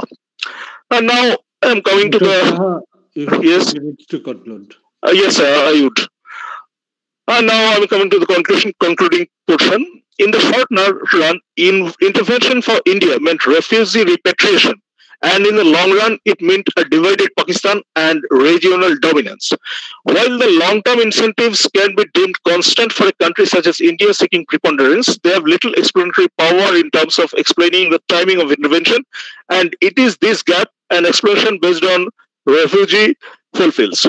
Having ensured that the international community would remain uh, deaf to the calls of help, India was able to utilize a cost benefit analysis based on purely her na- uh, national interests.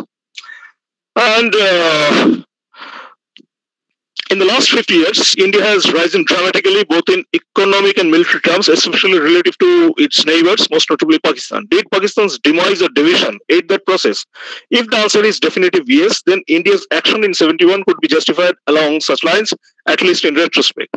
However, Pakistan had maintained that East Pakistan didn't add much to its economy, as a result of which its segregation didn't have much impact.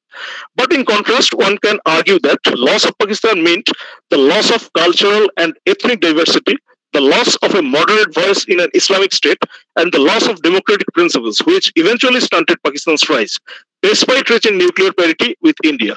Moreover, in 1971, India signaled to the world that it will not sit idle when its national interests are at stake. Even though India's action at the time was based on the state of economy affected by the refugees, the longer run effect has been to establish India as a credible regional power. Thank you. Thank you, uh, Dr. Shah. In fact, uh, uh, Dr. Shah actually tells us uh, whether India's involvement in the Bangladesh Liberation War was uh, mere humanitarian intervention or, in effect, a strategic, uh, calculated move. Now, this is one way of looking at it. Strategic motivations were many. And uh, in fact, uh, no intervention, humanitarian or otherwise, is free from strategic calculations the intervening party will seek to settle the issue as per its preferences. Uh, there was obviously an objective to obliterate Pakistan's Eastern Front. But at the same time, of course, uh, you know, the, the, you know, strategic motivations that you have uh, very rightly, you know, kind of uh, enumerated. It, it is also to be taken into consideration that uh, yes, international problem, international politics is all about power, national interest, uh, realism, and things like that. But uh, how can one completely ignore the humanitarian aspects as well, as it was happening just, in fact, at our border? And uh, we were not free from the kind of uh, impact it had on the psyche of Indian people, especially the Bengalis in this part of the, uh, you know, kind of uh, this region. So basically, uh, thank you for uh, pointing out these strategic calculations. Uh, but there is some kind of complexity that comes in when we think in terms of the emotional aspects and, uh, in, in fact, to try to accommodate uh, emotion, you know, into some kind of rational decision making. It plays its own role. So it, it, it is obviously just just a kind of comment uh, for you to consider uh, in your future endeavors. Uh, thank you very much. Uh, next presentation, final presentation of the session will be from Dr. Papri Chakraborty. Dr. Papri Chakraborty, Assistant Professor, Department of Political Science, University of Gaur Malda, India. Her topic is negotiating repatriation of the Rohingya refugees, the need for India-Bangladesh Security Initiative. Please welcome Dr. Papri Chakraborty.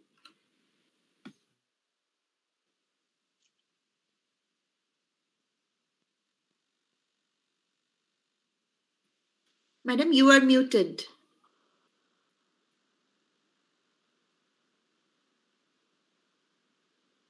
Thank you. Thank you. Respected chairperson, respected key speaker, dignitaries of KSAs, eminent professor from Bangladesh, learned co-speakers, and learned audience. Good evening to all. Today, the topic of my presentation, as is introduced, negotiating repatriation of the Rohingya refugees, the need for India Bangladesh Security Initiative. Now, I begin by quoting Prime Minister Hasina as she emphasized India Bangladesh relation during his visit to India in 2019 as a bond transcending strategic relationship. Uh, now coming to Rohingyas, according to United Nations, Rohingya are, Rohingyas are the most persecuted minority in the world. Former United Nations High Commission of uh, for Human Rights, Zeid Ra'ad Al Hussein marked the 2017 Rohingya refugee crisis as a textbook example of ethnic cleansing. Rohingyas are basically stateless Muslim minorities in Theravada Buddhism dominated Myanmar.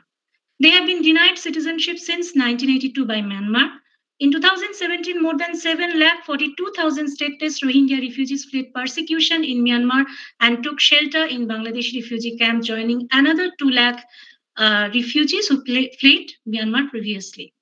World's largest refugee camp is situated in Cox's Bazar district of Bangladesh, comprising these Rohingya refugees. According to UNHCR data, as on 30th November 2022, the refugee population in Bangladeshi camps is 9,50,972. According to UNHCR statistics, 49% of the refugees are children and 25% are women.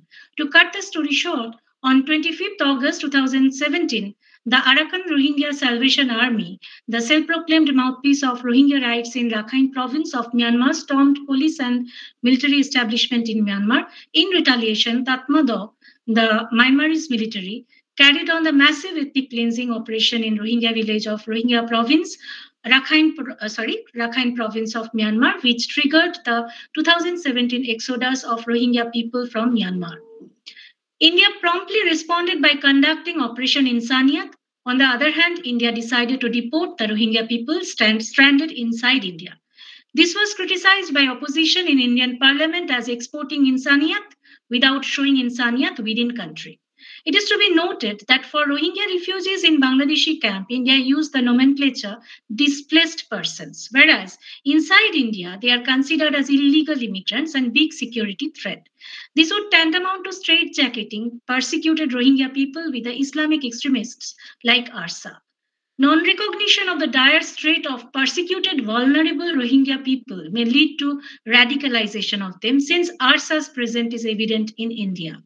In the present paper, security refers to both state security and people's security of the entire South and Southeast Asian region because Rohingya refugee crisis is not only Asian humanitarian crisis, but it has raised global concern when in November 2019, Gambia, backed by Organization of Islamic Cooperation OIC, filed a case in Inter- International Court of Justice against Myanmar for committing genocidal crime against Rohingya people. So far as the term repatriation is concerned, it refers to not forceful repatriation uh, in the present paper, not any kind of token repatriation agreement as was signed by 2000 eh, in 2017 between Bangladesh and Myanmar, mediated by China, but sustainable, peaceful, voluntary repatriation of the Rohingya refugees. For the voluntary uh, repatriation, confidence among the refugees needs to be built by addressing their perception of threat. For sustainable repatriation and as a precondition of confidence building measures among the refugees, only developmental aid to Myanmar for rebuilding Rakhine province, the homeland of the Rohingyas, in the form of constructive engagement will not be sufficient. After the February 2021 coup by Tatmadaw in Myanmar, situation changed drastically. Civil disobedience movement, activities of ethnic armed groups in Myanmar, and military operation destabilized Myanmar, affecting the neighboring countries. The OIC and Western countries and Myanmar's exiled National Unity Government led by the Aung San Suu Kyi vowed to assist ICJ by providing the required information about the genocide perpetrated against Rohingyas. This make the situation favorable for both India and, and Bangladesh the two parties of 1948 Genocide Convention to put pressure on Myanmar junta government. However, it is challenge for India to put pressure on Myanmar junta by crossing the threshold of persuasion regarding repatriation, as India has its stake in trilateral highway project, Kaladan multimodal transit and transport project with Myanmar. Myanmar is a gateway, pivotal neighboring state for India to realize India's Act East policy. Insurgency in Northeast India is yet another security concern for India. Security threat to economic projects are also of a grave concern for India, even if India keeps open communication channels uh, with the authoritarian government of Myanmar. A positive aspect is that under huge inter- international pressure, Myanmar junta government has agreed to repatriate uh, the Rohingyas. But given the turbulent situation in Myanmar, Rohingyas are losing confidence on Myanmar. On the other hand, National Unity Government in Exile, led by National League of Democracy, reportedly has promised to arm, uh, sorry, uh, promised to amend Myanmar's constitution for giving citizenship to Rohingyas in a very cautious manner. Here, I want to share an intention survey report conducted by UNHCR. In that survey report, intentions of total uh, 2,846 Rohingya refugees hosted by Bangladesh, India, Indonesia, Nepal, Thailand, Malaysia were surveyed. Rohingya, in that report, Rohingyas who uh, are waiting for return from the six host uh, countries raised five key issues to be dealt with by Myanmar before voluntary repatriation, and those are safety and security, citizenship and documentation, land and livelihoods, freedom of movement, and education. But 2021 authoritarian junta regime makes entire domestic situation more turbulent as evident in the view expressed by Chinese Foreign Minister Wang Yi during his visit to Bangladesh in 2022. Although under pressure, Myanmarese junta has started the uh, documentation process, the nascent stage of repatriation, we can call it, Bangladesh should be cautious about the fact that the repatriation negotiation with Tatmadaw may yield only token repatriation, which may be tantamount to jumping from the frying pan to the fire for the Rohingya refugees. February 2021, ARSA, that is Arakan Rohingya Salvation Army, the self-proclaimed mouthpiece for the Rohingya right, uh, is losing its ground in Rakhine province. It is reportedly gradually concentrating in Bangladeshi camps. It is engaged in killing, abduction, and recruiting vulnerable Rohingya refugees in Arsa. Uh, it is allegedly killed. Uh, it allegedly killed Rohingya leaders working on refugee repatriation. Uh, like, for instance, Advocate Muhibullah, the head of the Arakan Rohingya Society for Peace and Human Rights, who was working on project Going Home for the repatriation of Rohingya refugees, was allegedly assassinated by ARSA in 2021, as claimed by his family. Bangladesh launched Operation Root Out to stop these targeted killings by uprooting ARSA. After emergence of Tatmadaw, rule uh, in Myanmar in 2021, the previously defunct Rohingya Solidarity Organization, a rival organization of ARSA, reappeared in Bangladesh camps. So, uh, making the situation more grave for the Rohingya refugees there. However, facing obstruction from Myanmar and uprooted from Bangladeshi camps, ARSA may expand its western uh, in Western Front uh, may infiltrate in India, this would lead to further radicalization. In this situation, it is highly essential to change the threat perception of the Rohingya people, which will determine whether they will take side of the states or non-state actors like Islamic extremists. Various surveys conducted in Delhi, Jammu, and other camps reveal that persecuted Rohingyas are perceived, sorry, perceiving threat from the policy of deportation. However, in April 2021, the Supreme Court of India said that Rohingya detained in Jammu should not be deported unless proper procedure is followed. India is not a party to the 1951 Refugee Convention and its 1967 protocol, and therefore India. Dr. Chakraborty, you have just uh, two minutes to conclude. Sir. Yes, sir. India does not have uh, focused refugee policy. India is not the capital of the immigrant of the world, as stated by Solicitor General Tushar Mehta, representing the center in March 2018 in the case of Muhammad Salimullah versus Union of India. The petition was filed for the recognition of protection of Rohingya Muslims. The affidavit filed on behalf of the Union of India also stated that uh, increasing influx of Rohingyas is the root cause of spread of terrorism. This is the problem. But however, uh, uh, in uh, India has to uh, has to be very cautious about the nomenclature illegal immigrant. However, in March 2020, uh, in Indian Union of Muslim League versus Union of India case, India finally acknowledged that Rohingya Muslims faced persecution. So finally, Rohingyas are recognized as persecuted people by India, which is more of a humanitarian approach expected by its neighbors. Herein lies the difference between extremists and Rohingya refugees. Bangladesh has also requested for India's cooperation in the repatriation process, but given the present situation in Myanmar, it is hard to build confidence among the Rohingya refugees in favor of voluntary repatriation. China may acknowledge the fact that Myanmar has internal problems as expressed by Wang Yi, but China is not willing to address the international terrorism issue unilaterally. According to Professor Mojumdar, who is present amongst us, uh, in one of his articles published in The Asian Problematic in the 21st Century, to quote him, China has taken care not to be seen spearheading war against Islamic terrorists. It is to be noted, Myanmar has official de- officially declared ARSA as a terrorist group. China is in favor of multilateral engagement so far as tackling international terrorism is concerned. So, taking that into consideration, India and Bangladesh can very much raise the issue in BCIM, that is Bangladesh, China, India, Myanmar Forum. On the other hand, India and Bangladesh can take the other four host countries in confidence, namely Indonesia, Nepal, Thailand, Malaysia, for negotiating voluntary sustainable repatriation. India and Bangladesh may can communicate with national unity government through diplomatic channels as done by US and France. The reason being Myanmar's turbulence in Myanmar during recent junta regime has tremendous impact on India's northeast as the civil disobedience movement along with clashes uh, between the junta and the NUJ, ERO displaced around 50,000 individuals belonging to Dr. Chakraborty, please conclude.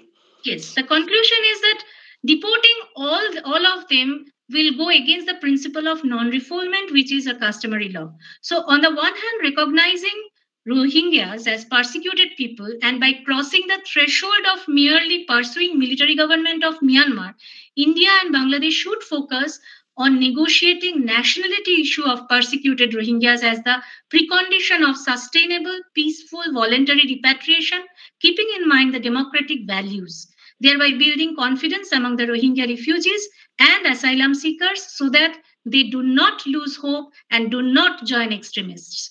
This is a humanitarian dimension to ensure success to the economic efforts and sustainable growth and development of Asia. Thank you, sir. Uh, thank you, uh, Dr. Chakraborty. Essentially, here we find yet another complex situation that is uh, in fact, uh, where the role of national interest uh, is overriding uh, humanitarian considerations, but cannot be entirely neglected. This uh, leads me to think over another aspect that is, there is this UNHCR, the UN body, and uh, what it is doing. In fact, it, apparently in contemporary period, uh, the UN bodies are uh, least effective when they're most needed. So this is another dimension of the issue, and uh, whether uh, you know, uh, I, I, think you might include a section, perhaps a subsection, in your uh, paper as well, uh, to discuss the kind of role that uh, international bodies can play in this particular issue. So thank you very much. can we have any kind of brief discussion Oh, Sir, here are some questions in our uh, chat box. Uh, the first is from our uh, respected professor, Dr. Mesbah Kamal. Uh, sir asked, Anjan Shah referred to Mukti Fauj as low quality. May I ask, in what sense? It was a guerrilla warfare and didn't they do well? And uh, another question is from Annesha Shaha. Uh, wrote, myself Annesha from the Department of South and Southeast Asian Studies, the University of Calcutta. My question is, uh, Professor Papri ma'am, India have no perfect refugee law ma'am. Uh, even we are not a signatory of inter, uh, international refugee law. So, ma'am, in that case, what can be your suggestion on that? Okay, uh, Dr. Ranjan Shah, would you respond? Are you there? In fact, I didn't get that particular word, what Professor Kamal has uh, pointed out.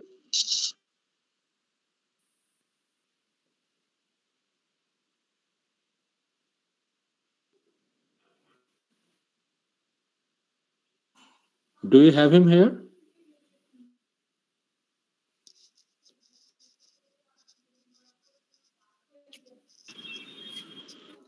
He is here online, but uh, not responding. Um, I just saw him get disconnected. He seemed to have. I think he's disconnected. Maybe you can. There's another question for Papi. I can see. Uh, there is a question for Papia as well. So, uh, you know, Papi, uh, Papri. Yes. In, in fact, you, you you can respond to the question that has been Yes, uh, India is not a signatory or party to the Refugee Convention or uh, the protocol, but uh, that is why India doesn't have a focused refugee policy. And what is needed is that uh, India may proceed to that, uh, but other than that, for uh, keeping in mind international, sorry, national interest and some humanitarian uh, mm, moorings. Uh, India, what I have argued in my paper presentation, that India should be cautious about uh, the nomenclature it is using for the uh, displaced persons, asylum seekers. As I have already told that in uh, uh, Supreme Court, India has Union of India has already acknowledged Rohingyas as persecuted people, but merely per- acknowledging persecuted people, and that too uh, based on religious identities, will not be very uh, sustainable uh, for India's uh, refugee policy, if at all it will take uh, any refugee policy per se. But yes, it has to have some focused refugee policy. Thank you. Okay. Um, all right. Uh, since Dr. Shah is not there. Uh, in fact, uh, she should have he should have been there to respond to the question. Uh, I didn't really get that particular, uh, you know, this uh, you know this low quality aspect of Fauj or something of that sort from his presentation. But obviously, uh, you know, that is that is not the way. In in fact, to perceive in fact, uh, these uh, the valiant efforts that Mukti Fauj obviously is known for. Anyway, we really this is eight o'clock, so I, I just ask the organizers. I have problem with my device, so so now the camera is not working. So perhaps you cannot see me right now. You can hear my voice, but uh, in fact, uh, hmm, do we have five minutes? The chair's prerogative, or do you close, in fact, the session right now? Yes, sir. Please continue. Okay, I, I will. I won't take much time. Uh, I, I would simply say, uh, in fact, uh, that it was a kind of uh, nice session, uh, kind of learning experience for me. But when we try to understand relations between two countries, in fact, there could be thousand points of contact and plethora of issues between two states in bilateral relations. Uh, not all of these are uh, apparently strategic. It is the approach actually towards these issues uh, that makes certain uh, issues strategic. And these are not necessarily security centric in true sense or as understood in conventional terms, but it is the approach to a, a particular issue that makes it strategic. For example, you know, uh, we, you know, relations can be analyzed from different perspectives. My favorite approach, essentially, in fact, when I wrote an article long before in India Quarterly on making sense of India Bangladesh relations, I focused on geopolitics. I focused on attitudinal influence, so the kind of attitude we harbor towards each other, and also the functional exchanges and then there is, of course, the idea of in human ingenuity that you have certain given things uh, like you know geographical arrangements that you cannot change. But how do you interpret that? How do you perceive that? How do you take initiatives? All these would depend on human ingenuity. So there would be the question so that you would consider the borders, you know, there is a saying, border as bridges or borders as barriers. It depends on the people of both the countries. You know, if you think of attitude, whether you'd accommodate or there would be hostility, you know, in terms of politicization, strategizing, etc., etc. There is cultural proximity. There is arrogance of power. There is the need for nation building. The situation is complex. If you think of functional exchanges, that is essentially economic uh, relations, trade, etc., uh, investment. Uh, but then again, one can use economic instruments like giving concessions, etc., as reward, or can create hurdles as a coercive strategy. So, whether you should go for optimum advantage or weaponization. In each case, I usually find that when we talk about strategic issues, issues of high politics or issues of low politics, it is essentially at a particular given point of time how the states would like to interpret their objectives and how they would therefore formulate strategies to achieve those objectives actually uh, influence the uh, relations between the two parties. So there would be fluctuations. Uh, there would be stages of, uh, you know, the current golden chapter that we are experiencing in India Bangladesh relations. There would be fluctuations, which is natural. But on the whole, uh, you know, I would just borrow these uh, words from Professor Sreeradha Datta that there should be a sustainable relationship, a relationship that would be mutually advantageous for both the parties, because there is no gain if we, you know, kind of weaponize uh, everything, not merely our political or relations, but also our economic and other functional cultural relations. So that is what uh, I thought uh, would you know, be my from my side, my wrapping up comments. I have uh, enjoyed this particular session. Uh, there were different kinds of viewpoints that were expressed, and I thank all the presenters and also uh, the organizers and the audience who have been with us for this whole session. Thank you very much. I want to thank our chairperson, Professor Anindo Jyoti Mojumdar. Thank you, sir.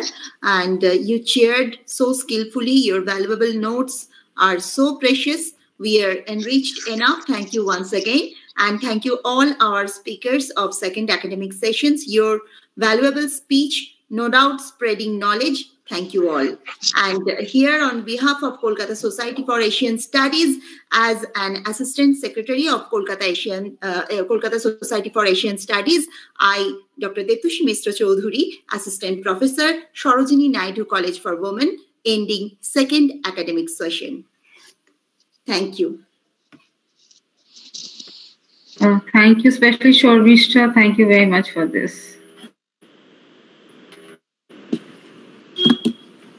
Thank you. we all enjoyed and all getting so enriched uh, with this session. The session is so successful.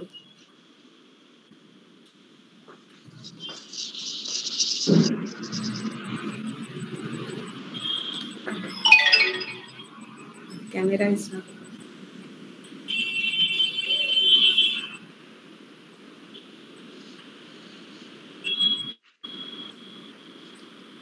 I'm requesting uh, Shivli to start the next session. Thank you.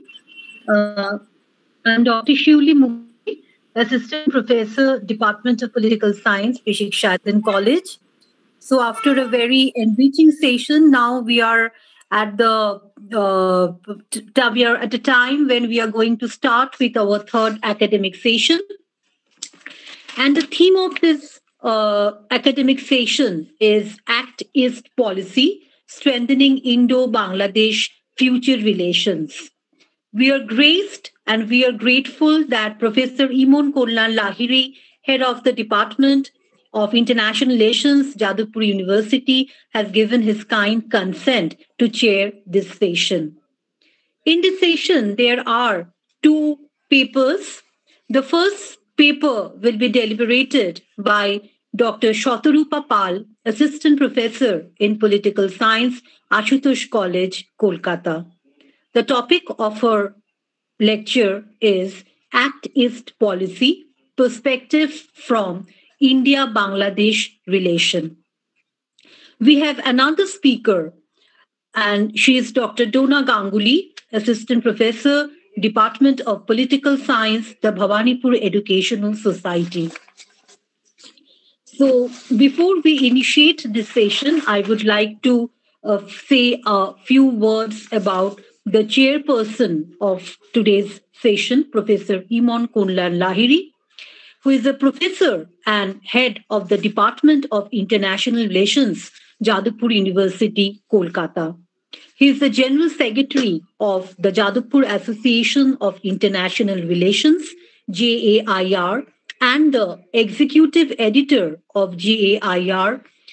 He is the Director of the School of International Relations and Strategic Studies, Jadavpur University.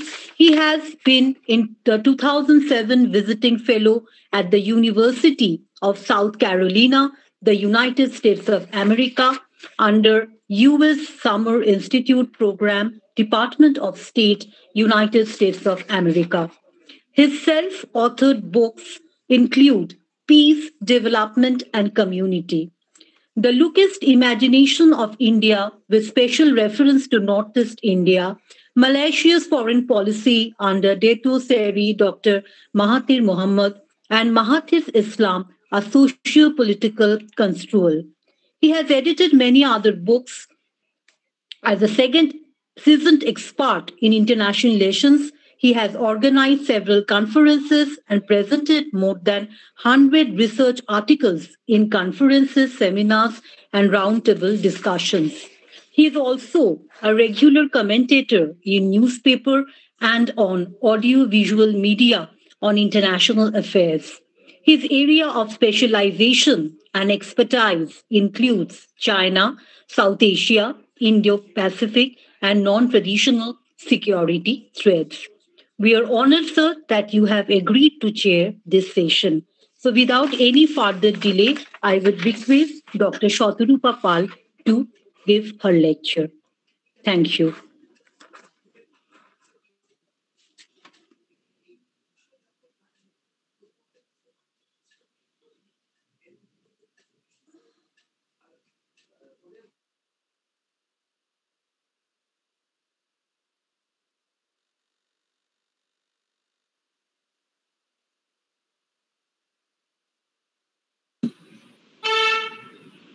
Sir, may I start?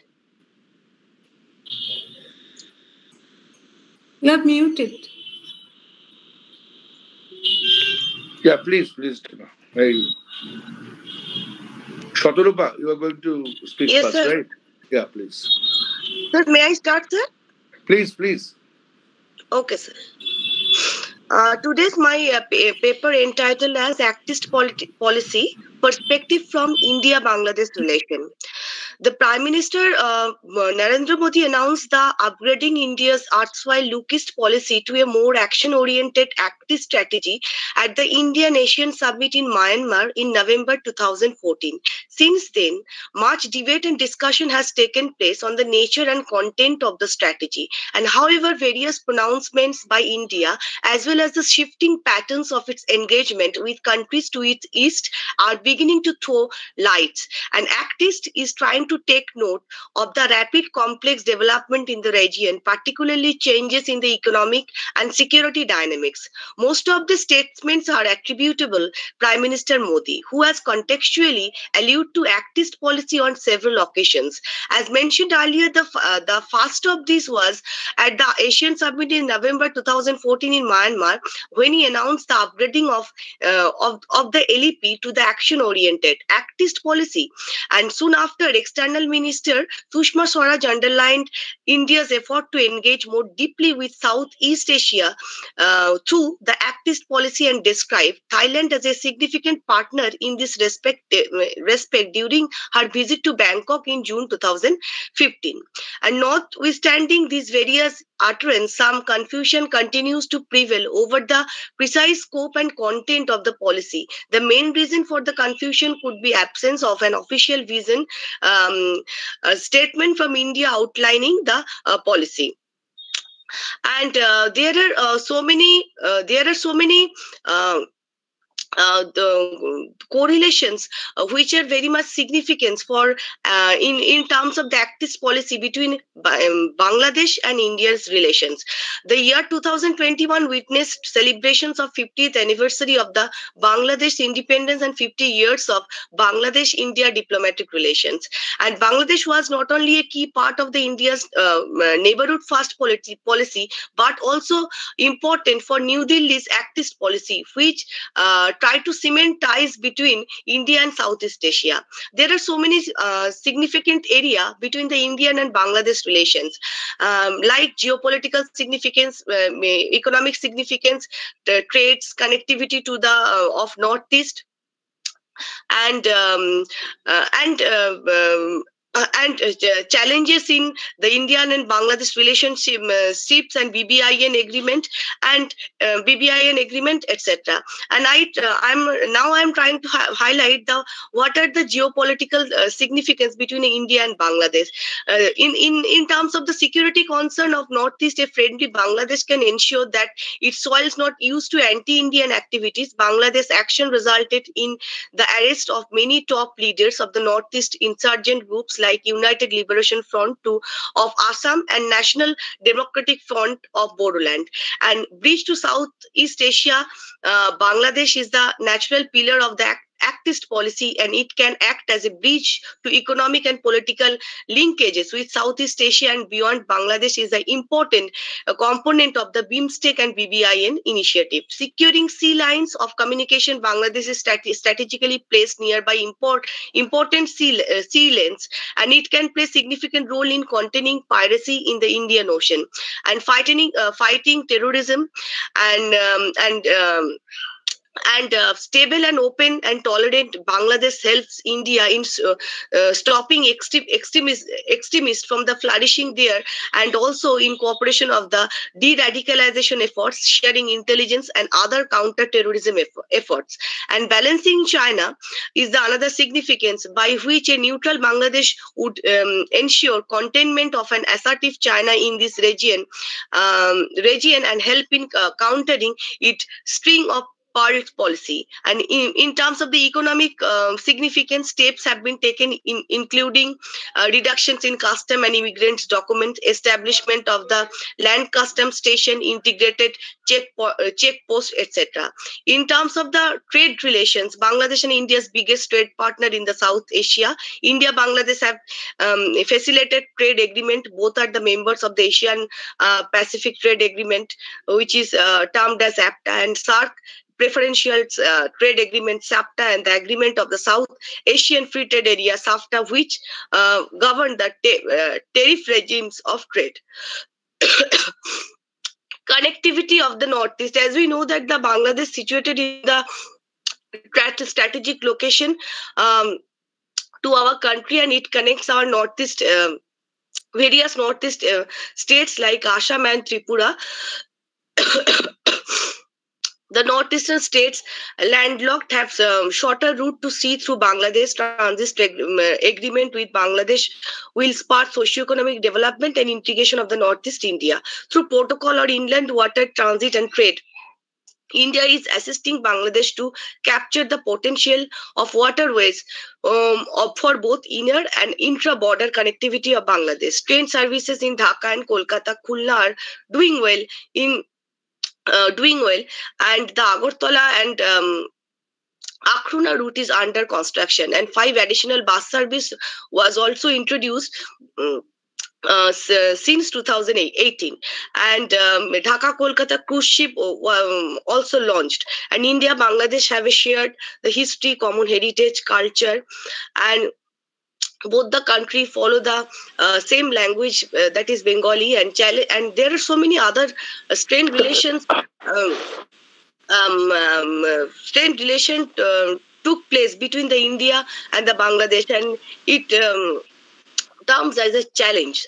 Like river disputes india shares 54 transboundary rivers with bangladesh. Some of the major dispute in, include tista water river sharing issue and the um, Tipaimukh hydroelectric power projection, the Barak River and the Ganga River uh, dispute, etc. Illegal immigrants and Rohingya crisis also took place uh, between India and Bangladesh issues, and the border management uh, was also is also very much necessary to tackle the um, uh, border uh, border issues between the two countries and delaying project execution as of 2017 india had extended lines of credit worth approximately 7.4 billion dollar. However less than 10% of the uh, cumulative commitments have been dis- disbursed so far. Also there is delay in the implementation of the bbi in bangladesh bhutan india nepal initiative projects. And um, increasing rad- radicalization presence of group like Harkal al Jihad, uh, Il Islami and Jamaati Islami, uh, etc.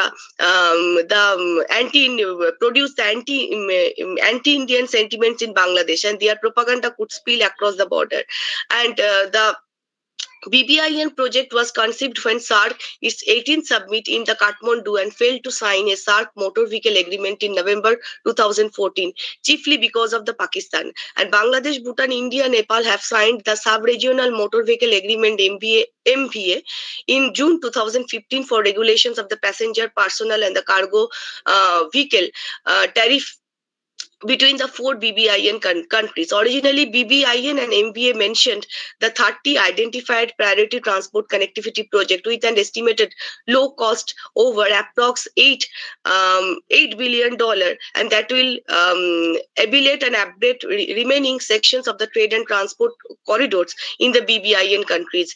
And apart from that, India and Nepal, Bangladesh have ratified the agreement while Bhutan failed to get it permanent not to ratify the same. It has some reservation about the environmental impact owing to in, increased um, traffic uh, of heavy duty vehicles. Under south asia sub regional economic cooperation program asian development bank has been providing technical advisory and financial support to this in initiative. On november 2015 a cargo vehicle made the first successful trial run from the kolkata to agartala via bangladesh that reduced the distance um, over, uh, by over a thousand kilometers.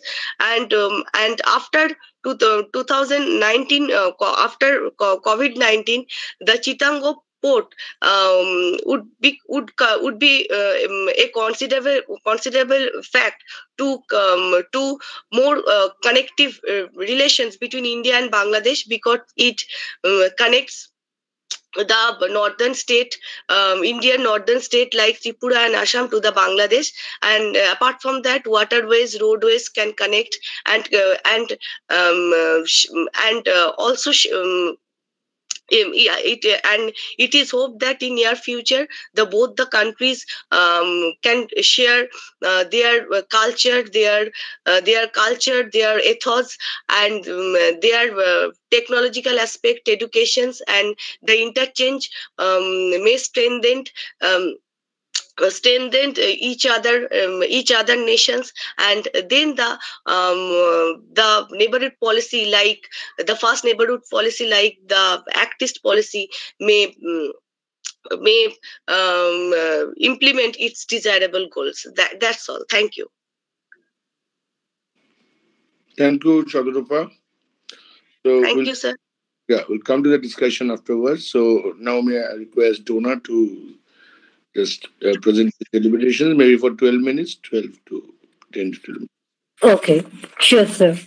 Next, we have Dr. Dona Ganguly, who is the Assistant Professor, Department of Political Science, the Bhawanipur Educational Society. And she is going to present her paper on India's leap from Act East to Act Indo-Pacific, Bangladesh Factor.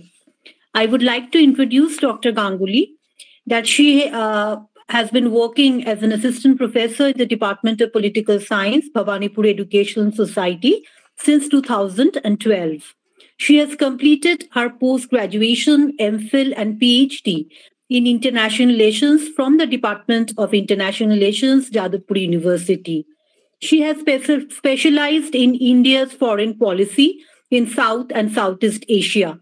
She has authored many articles in various national journals and has contributed chapters in many edited books. She is an active member of two academic bodies, Council for Political Studies and Bengal Institute of Political Studies. She has present scholarly articles in many national in international seminars and has been the co-convener of international seminar on India and Indian Ocean. She has also successfully carried out her role as a peer reviewer of the UGC enlisted Journal of Kolkata Society for Asian Studies. She has been selected as the Executive Council member of Indian Association of Asian and Pacific Studies. Without any further delay, I would request Dr. Ganguly to present her paper.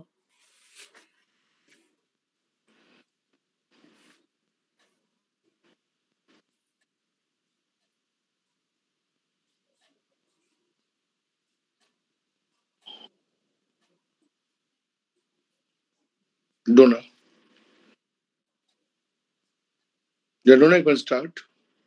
Hmm. We are not. You were muted, Dona Ganguly. You were muted.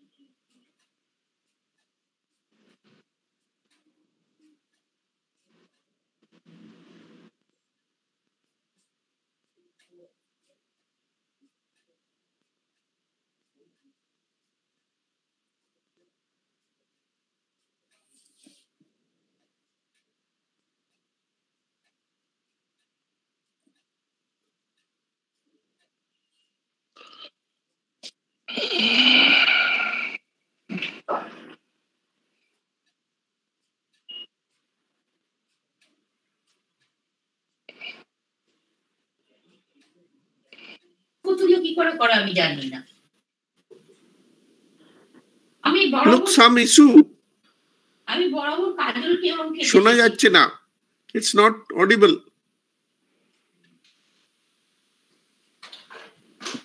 Okay, Dr. Ganguly is some having some issue. She's trying to settle with that. So we can, uh, by that time, surely we can go back to uh, Shatorupa. Dr. Pal, yes, if there is any question, uh, please, uh, learned audience, please uh, raise that for Dr. Shatarupa Pal.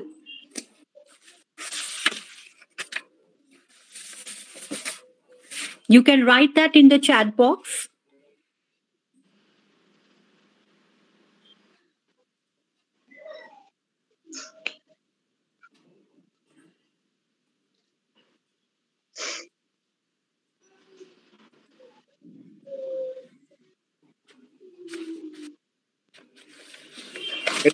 Having question for Shatarupa?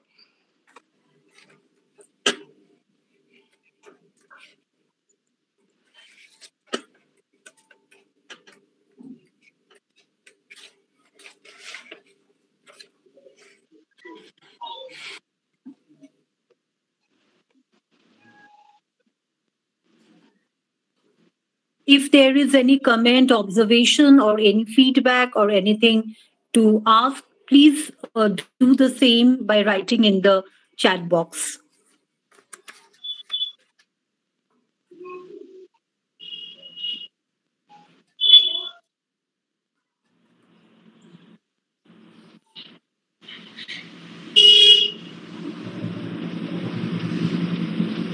You're having any questions?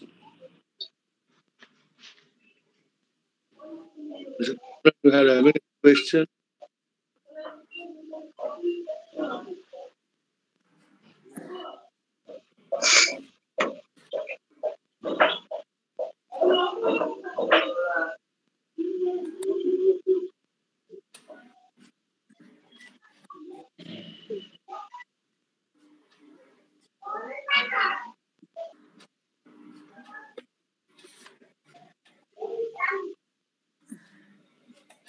The donor is not yet ready, I think, so. Dona Ganguly is present, but I think she's having the problem. So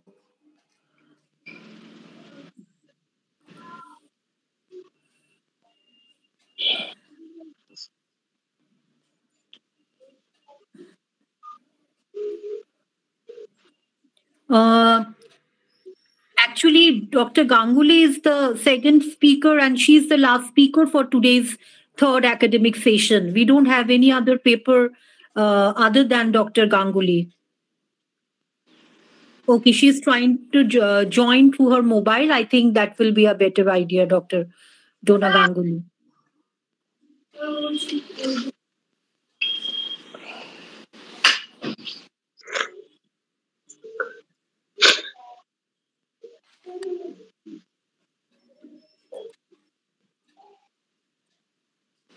Is there any question for Dr. Shatarupa Pal? Any comments or feedback or any question? If it is there, please write that in the chat box.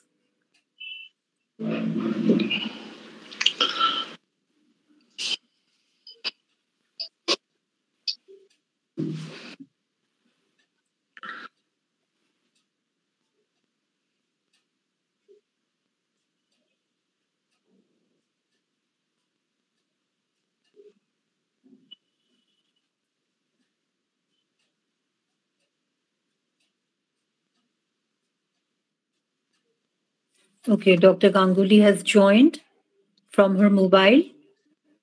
Am I audible, sir, now? Yes, Yeah, yes, good. perfect. I'm extremely sorry for this technical glitch. I just couldn't make out what happened to the Gmeet. Uh, any, uh, I will not uh, waste any further time.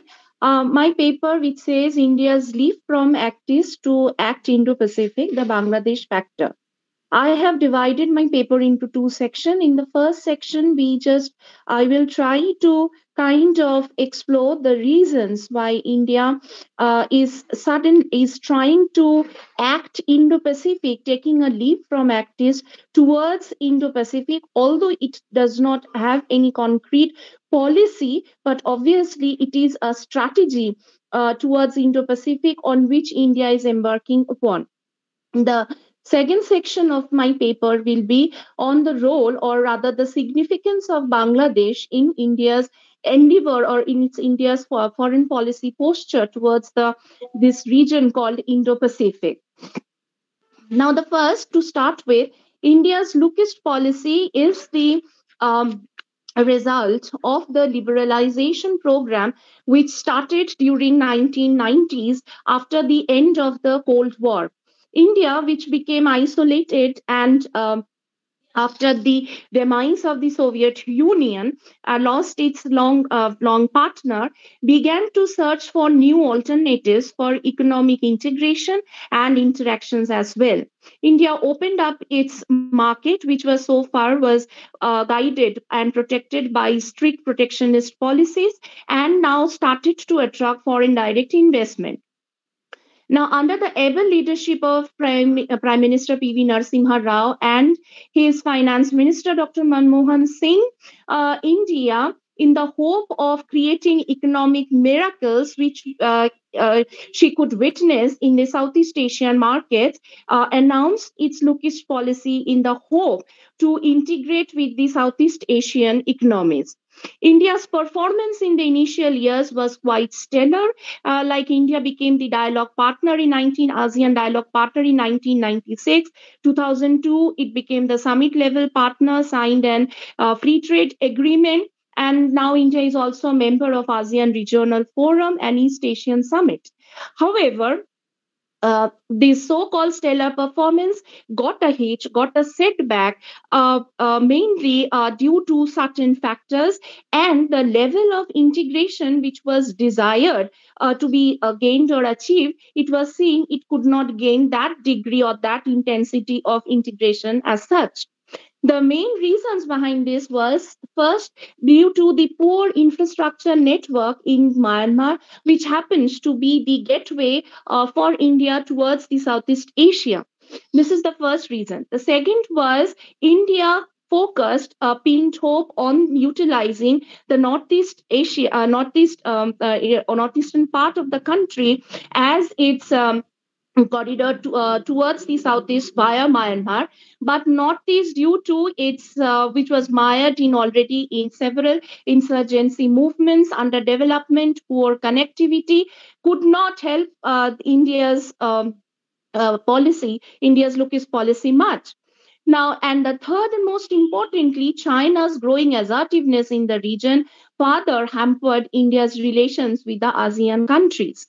Now, it was during this time of crisis that the uh, our current Prime Minister Narendra Modi, in 2014, after coming to power, he announced, uh, other, or rather, I will say, he re-Christianed Look East policy into Act East policy, and uh, where he suggested that India has uh, kind of entered into a new era of economic development, industrialization, and trade, and would be keen on acting east by utilizing the three C's that is connectivity, commerce, and cooperation. Now, uh, with this, uh, we now come to a major difference, which will actually help us to understand why Act East is gradually shifting to, towards acting Indo-Pacific. There is a key difference of understanding between Look East policy and Act East policy, specifically in terms of geography, geographical scope, rather, I'll say. So, Look East exclusively uh, you know uh, it was based on exclusively on the uh, exclu- ex- exclusively on the uh, uh, uh, on the Southeast Asian economy and um, the um, Act policy uh, kind of extended its focus beyond the Southeast Asian economies and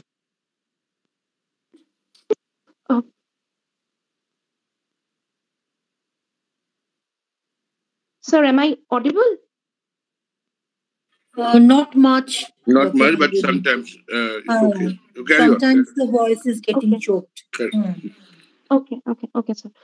Uh, so basically, what it uh, did is that uh, the Act East policy it expanded its focus beyond the East Asia, uh, beyond the Southeast Asia, and towards East Asia and the Pacific, Japan, and South Korea. Now, Japan and India in the recent years are having uh, bilateral, uh, it's strengthening its bilateral relations to the extent that Japan is investing heavily in the development of the Northeast.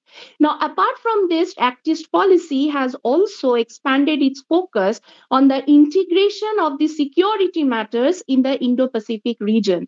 Along with Tokyo and Washington, India is also concerned in achieving a free and open Indo Pacific.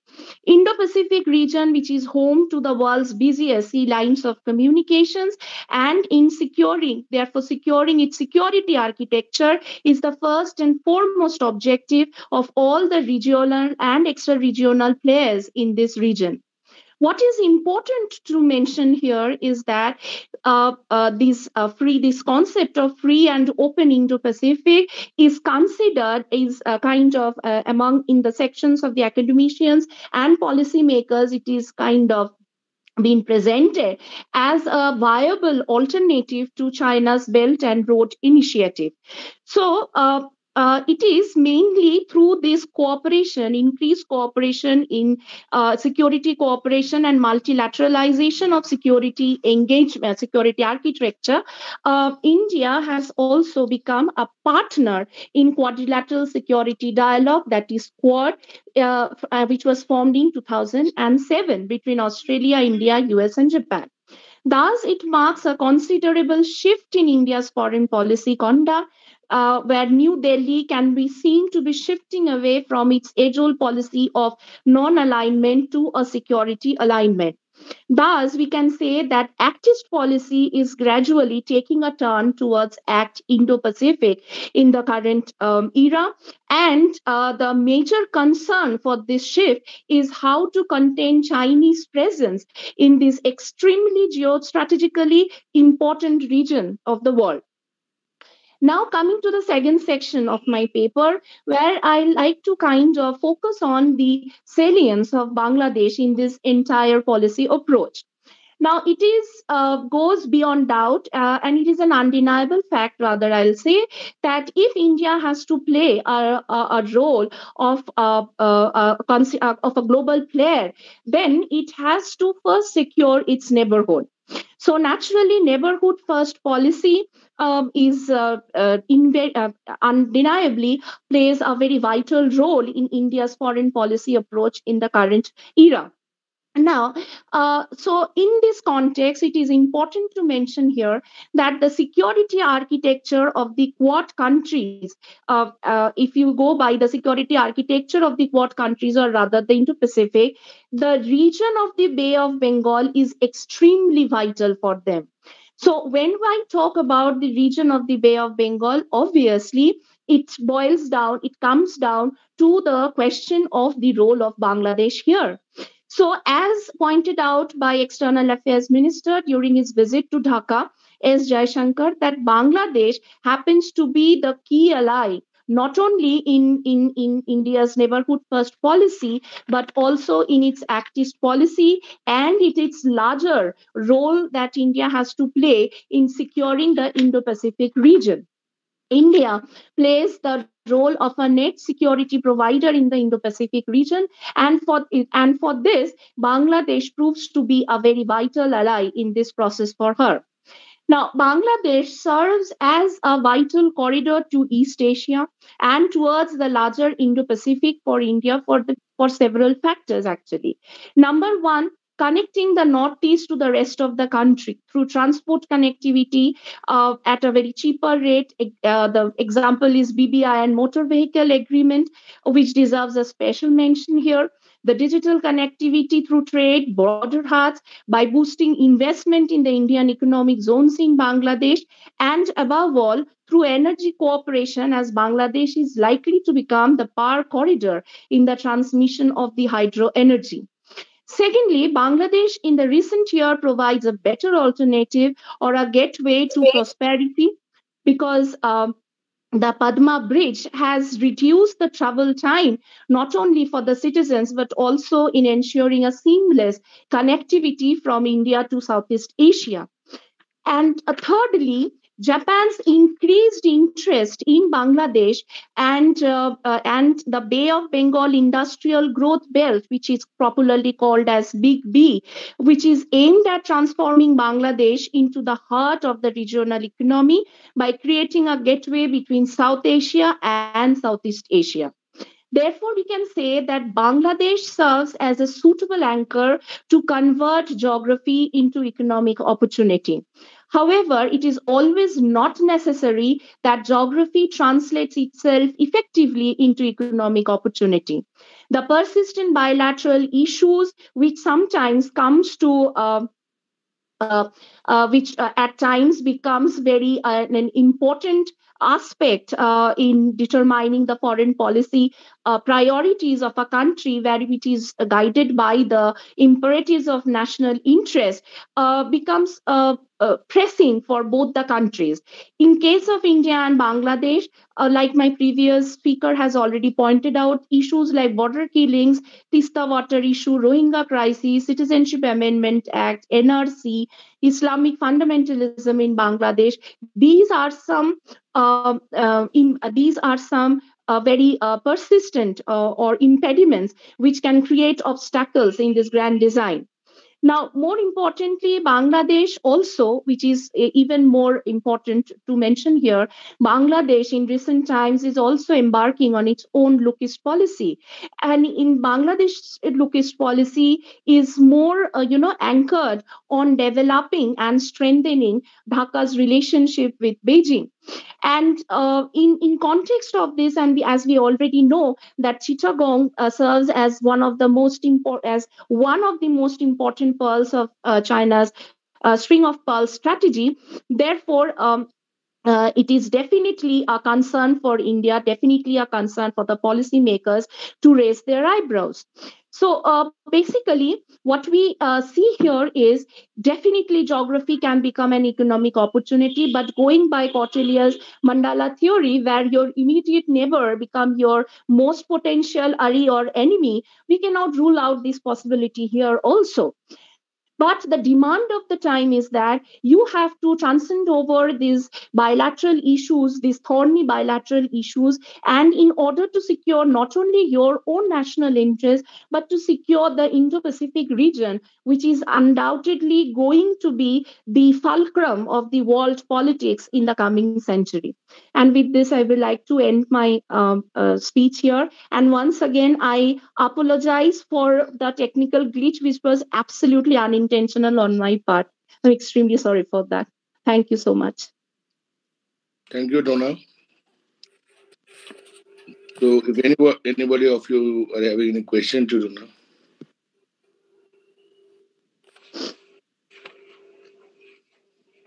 anybody is having any question for Dona?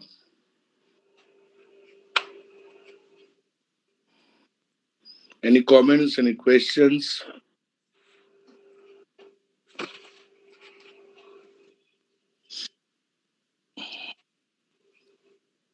So I thank both the speakers, Shatarupa and Dona, for their presentation tonight. And I think uh, both the papers are very insightful, but only few things I would like to. Uh, there any questions? Somebody else? Yes, there is a question, sir. Yeah. Uh, and the question is for Dr. Dona Ganguly. Uh, the question has been raised by Orne Shaha. She's from the Department of South and Southeast Asian Studies, the University of Calcutta. Now, the question goes like this that in regard to your first viewpoint, we know China and America are in constant tussle in South China Sea. So, ma'am, how is it possible for India have its control over it without engaging itself with Southeast Asian countries as a whole? What can be your suggestion on that?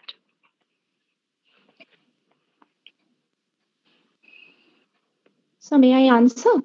Yeah, please. Okay. Uh, Yes. uh, thank you. Um, thank you, ma'am. Uh, thank you for the uh, very interesting question which you have raised. Uh, mm, uh, to this, my I, I I'm I'm not really I don't really know whether I'm anyone really worthy enough to give any suggestions. But what I uh, think is that uh, the tussle over the South China Sea is not only an issue between America and China, it is an issue between Southeast Asian countries and China as well. And if you see, it is an issue for the the security architecture of the entire Indo-Pacific. So when you are saying that India is not getting uh, getting itself engaged in the tussle, to that I will slightly I will differ with you, saying that India is already playing a very proactive role in the security architecture of the Indo Pacific. And by default, when it is playing the role, trying to play the role of a security provider, so uh, directly if even if it is not directly but indirectly india's definite engagement in any kind of tussles between uh, china and other extra regional players india's engagement in the uh, process becomes inevitable because quad you know it's a uh, it's a uh, uh, it's a grouping which is the the main objective of quad is to contain china throughout this region. The main objective of quad is to contain belt and road initiative. All right. So india not getting itself uh, uh, engaged directly in the process uh, to that i will say it is indirectly it is obviously engaged in the process when its concern is to secure the Indo- indo-pacific at large i hope i could answer your query Okay. Thank, Thank you. you, Dr. Ganguly. Is there any other question, any comment, observation for uh, either Dr. Shatarupa Pal or Dr. Dona Ganguly?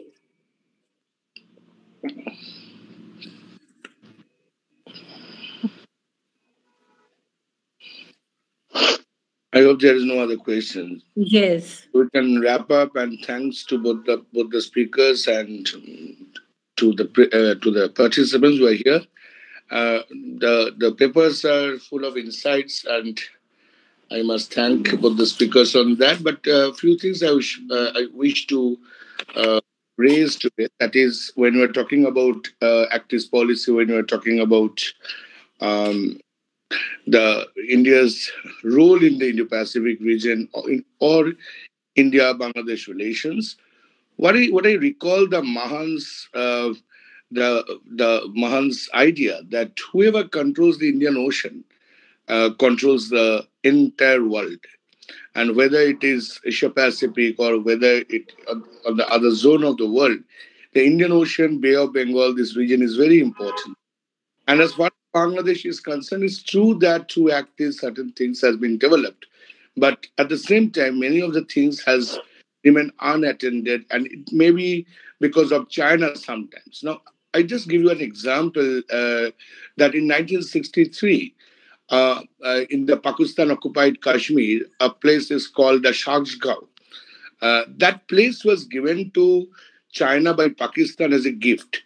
And you know that that place is the origin of nearly 150 glaciers of the world. There is a fresh water. And today in the world, when we are fighting about microchips, that remains a very vital element to our understanding of international relations. The nation states are no more fighting for oil. Nation states are fighting for technology and inter-trade that is that is basically dependent on the microchip.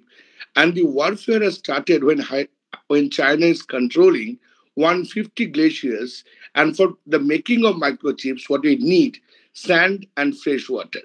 So now we could see that just reverse the map of India. If you reverse the map of India the other way around, uh, see the oceans are above. If you see that is a huge water resources that is sometimes under the control of China.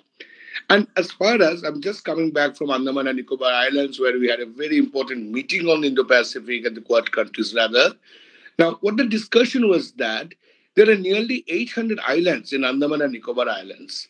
And out of uh, 800, uh, 802, 804 islands, only 34 islands are uh, occupied by human beings. They stay over there. The inhabitants are there. Now, rest of the islands are, uh, it's not for any use. Nobody is there. And sometimes Indian ships are patrolling, Indian Navy is patrolling.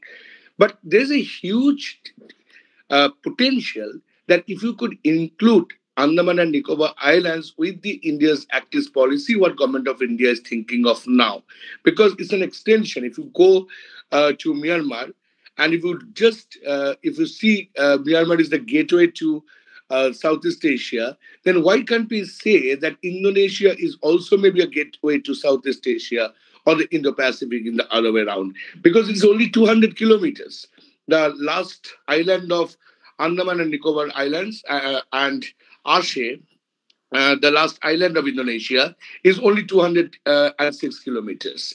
So if you could see the mapping that way, that geostrategically we have to reinterpret the world order again, and we have to refine the India's uh, look policy uh, in a newer way and near, with new modifications.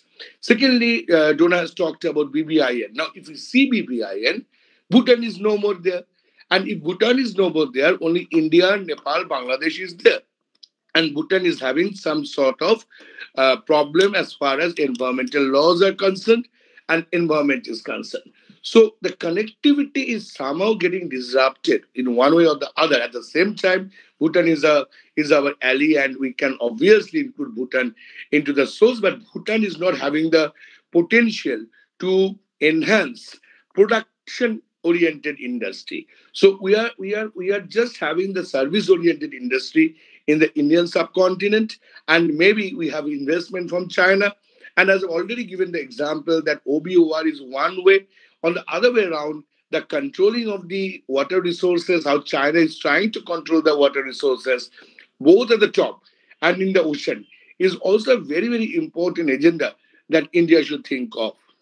And as far as Bangladesh is concerned, there must be a continuity. Uh, again, uh, Dona has given the, the example of uh, mandala theory, but I don't feel that for Bangladesh, mandala theory is that way in that way applicable because Bangladesh and West Bengal particularly is having a continuity. Uh,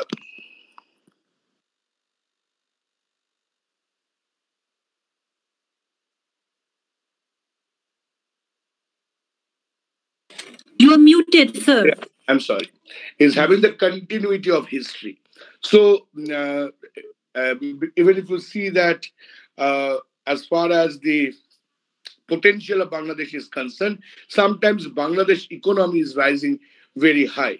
But we have to sort out certain things between India and Bangladesh that exist between the two nations. I don't know that what uh, the people of Bangladesh will decide in the election, in the coming election, that whether they will favor the Awami League or not, or BNP will come, or Jamaat will come. But in any way or the other, our strategy should remain same as far as Bangladesh is concerned because of connectivity, because the distance between in, uh, Kolkata and Agartala is nearly 650, 700 kilometers. Now, after partition, it was 1,800 kilometers. If, I, if we just go uh, from above. So this kind of things has to be sorted out. Ports has to be uh, Uh, developed. Now, now another important thing: developing is developing a port is only an infrastructural thing. We can develop port anytime, but to bring business in those ports. Suppose we are having in a port in Andaman and Nicobar Islands. So who will go there to do the business? That is also very important. So building up a port is an infrastructural factor, but using the port for business is another important factor.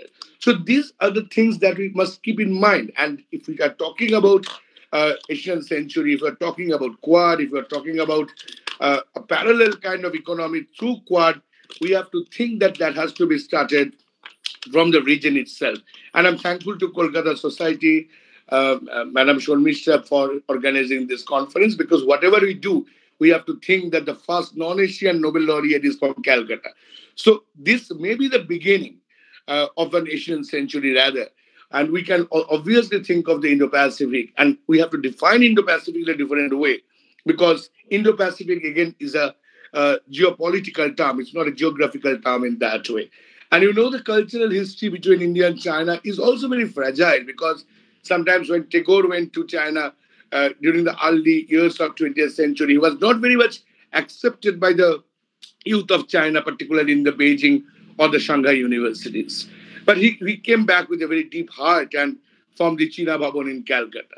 These are the stories and these are the facts that we need to analyze again to reconstruct a new uh, economic order. And at the same time, we have to think that how to how to redefine the border arts. Many of the borders are, hearts are not functioning you know, more, even if you go to Moreh or Tamu, uh, just after COVID period, Moreh Tamu border trade is not taking place. And what, what they're selling, they're selling Chinese products and Indians are going on the other side, even if it is open, to buy the Chinese products at a cheap, cheaper rate.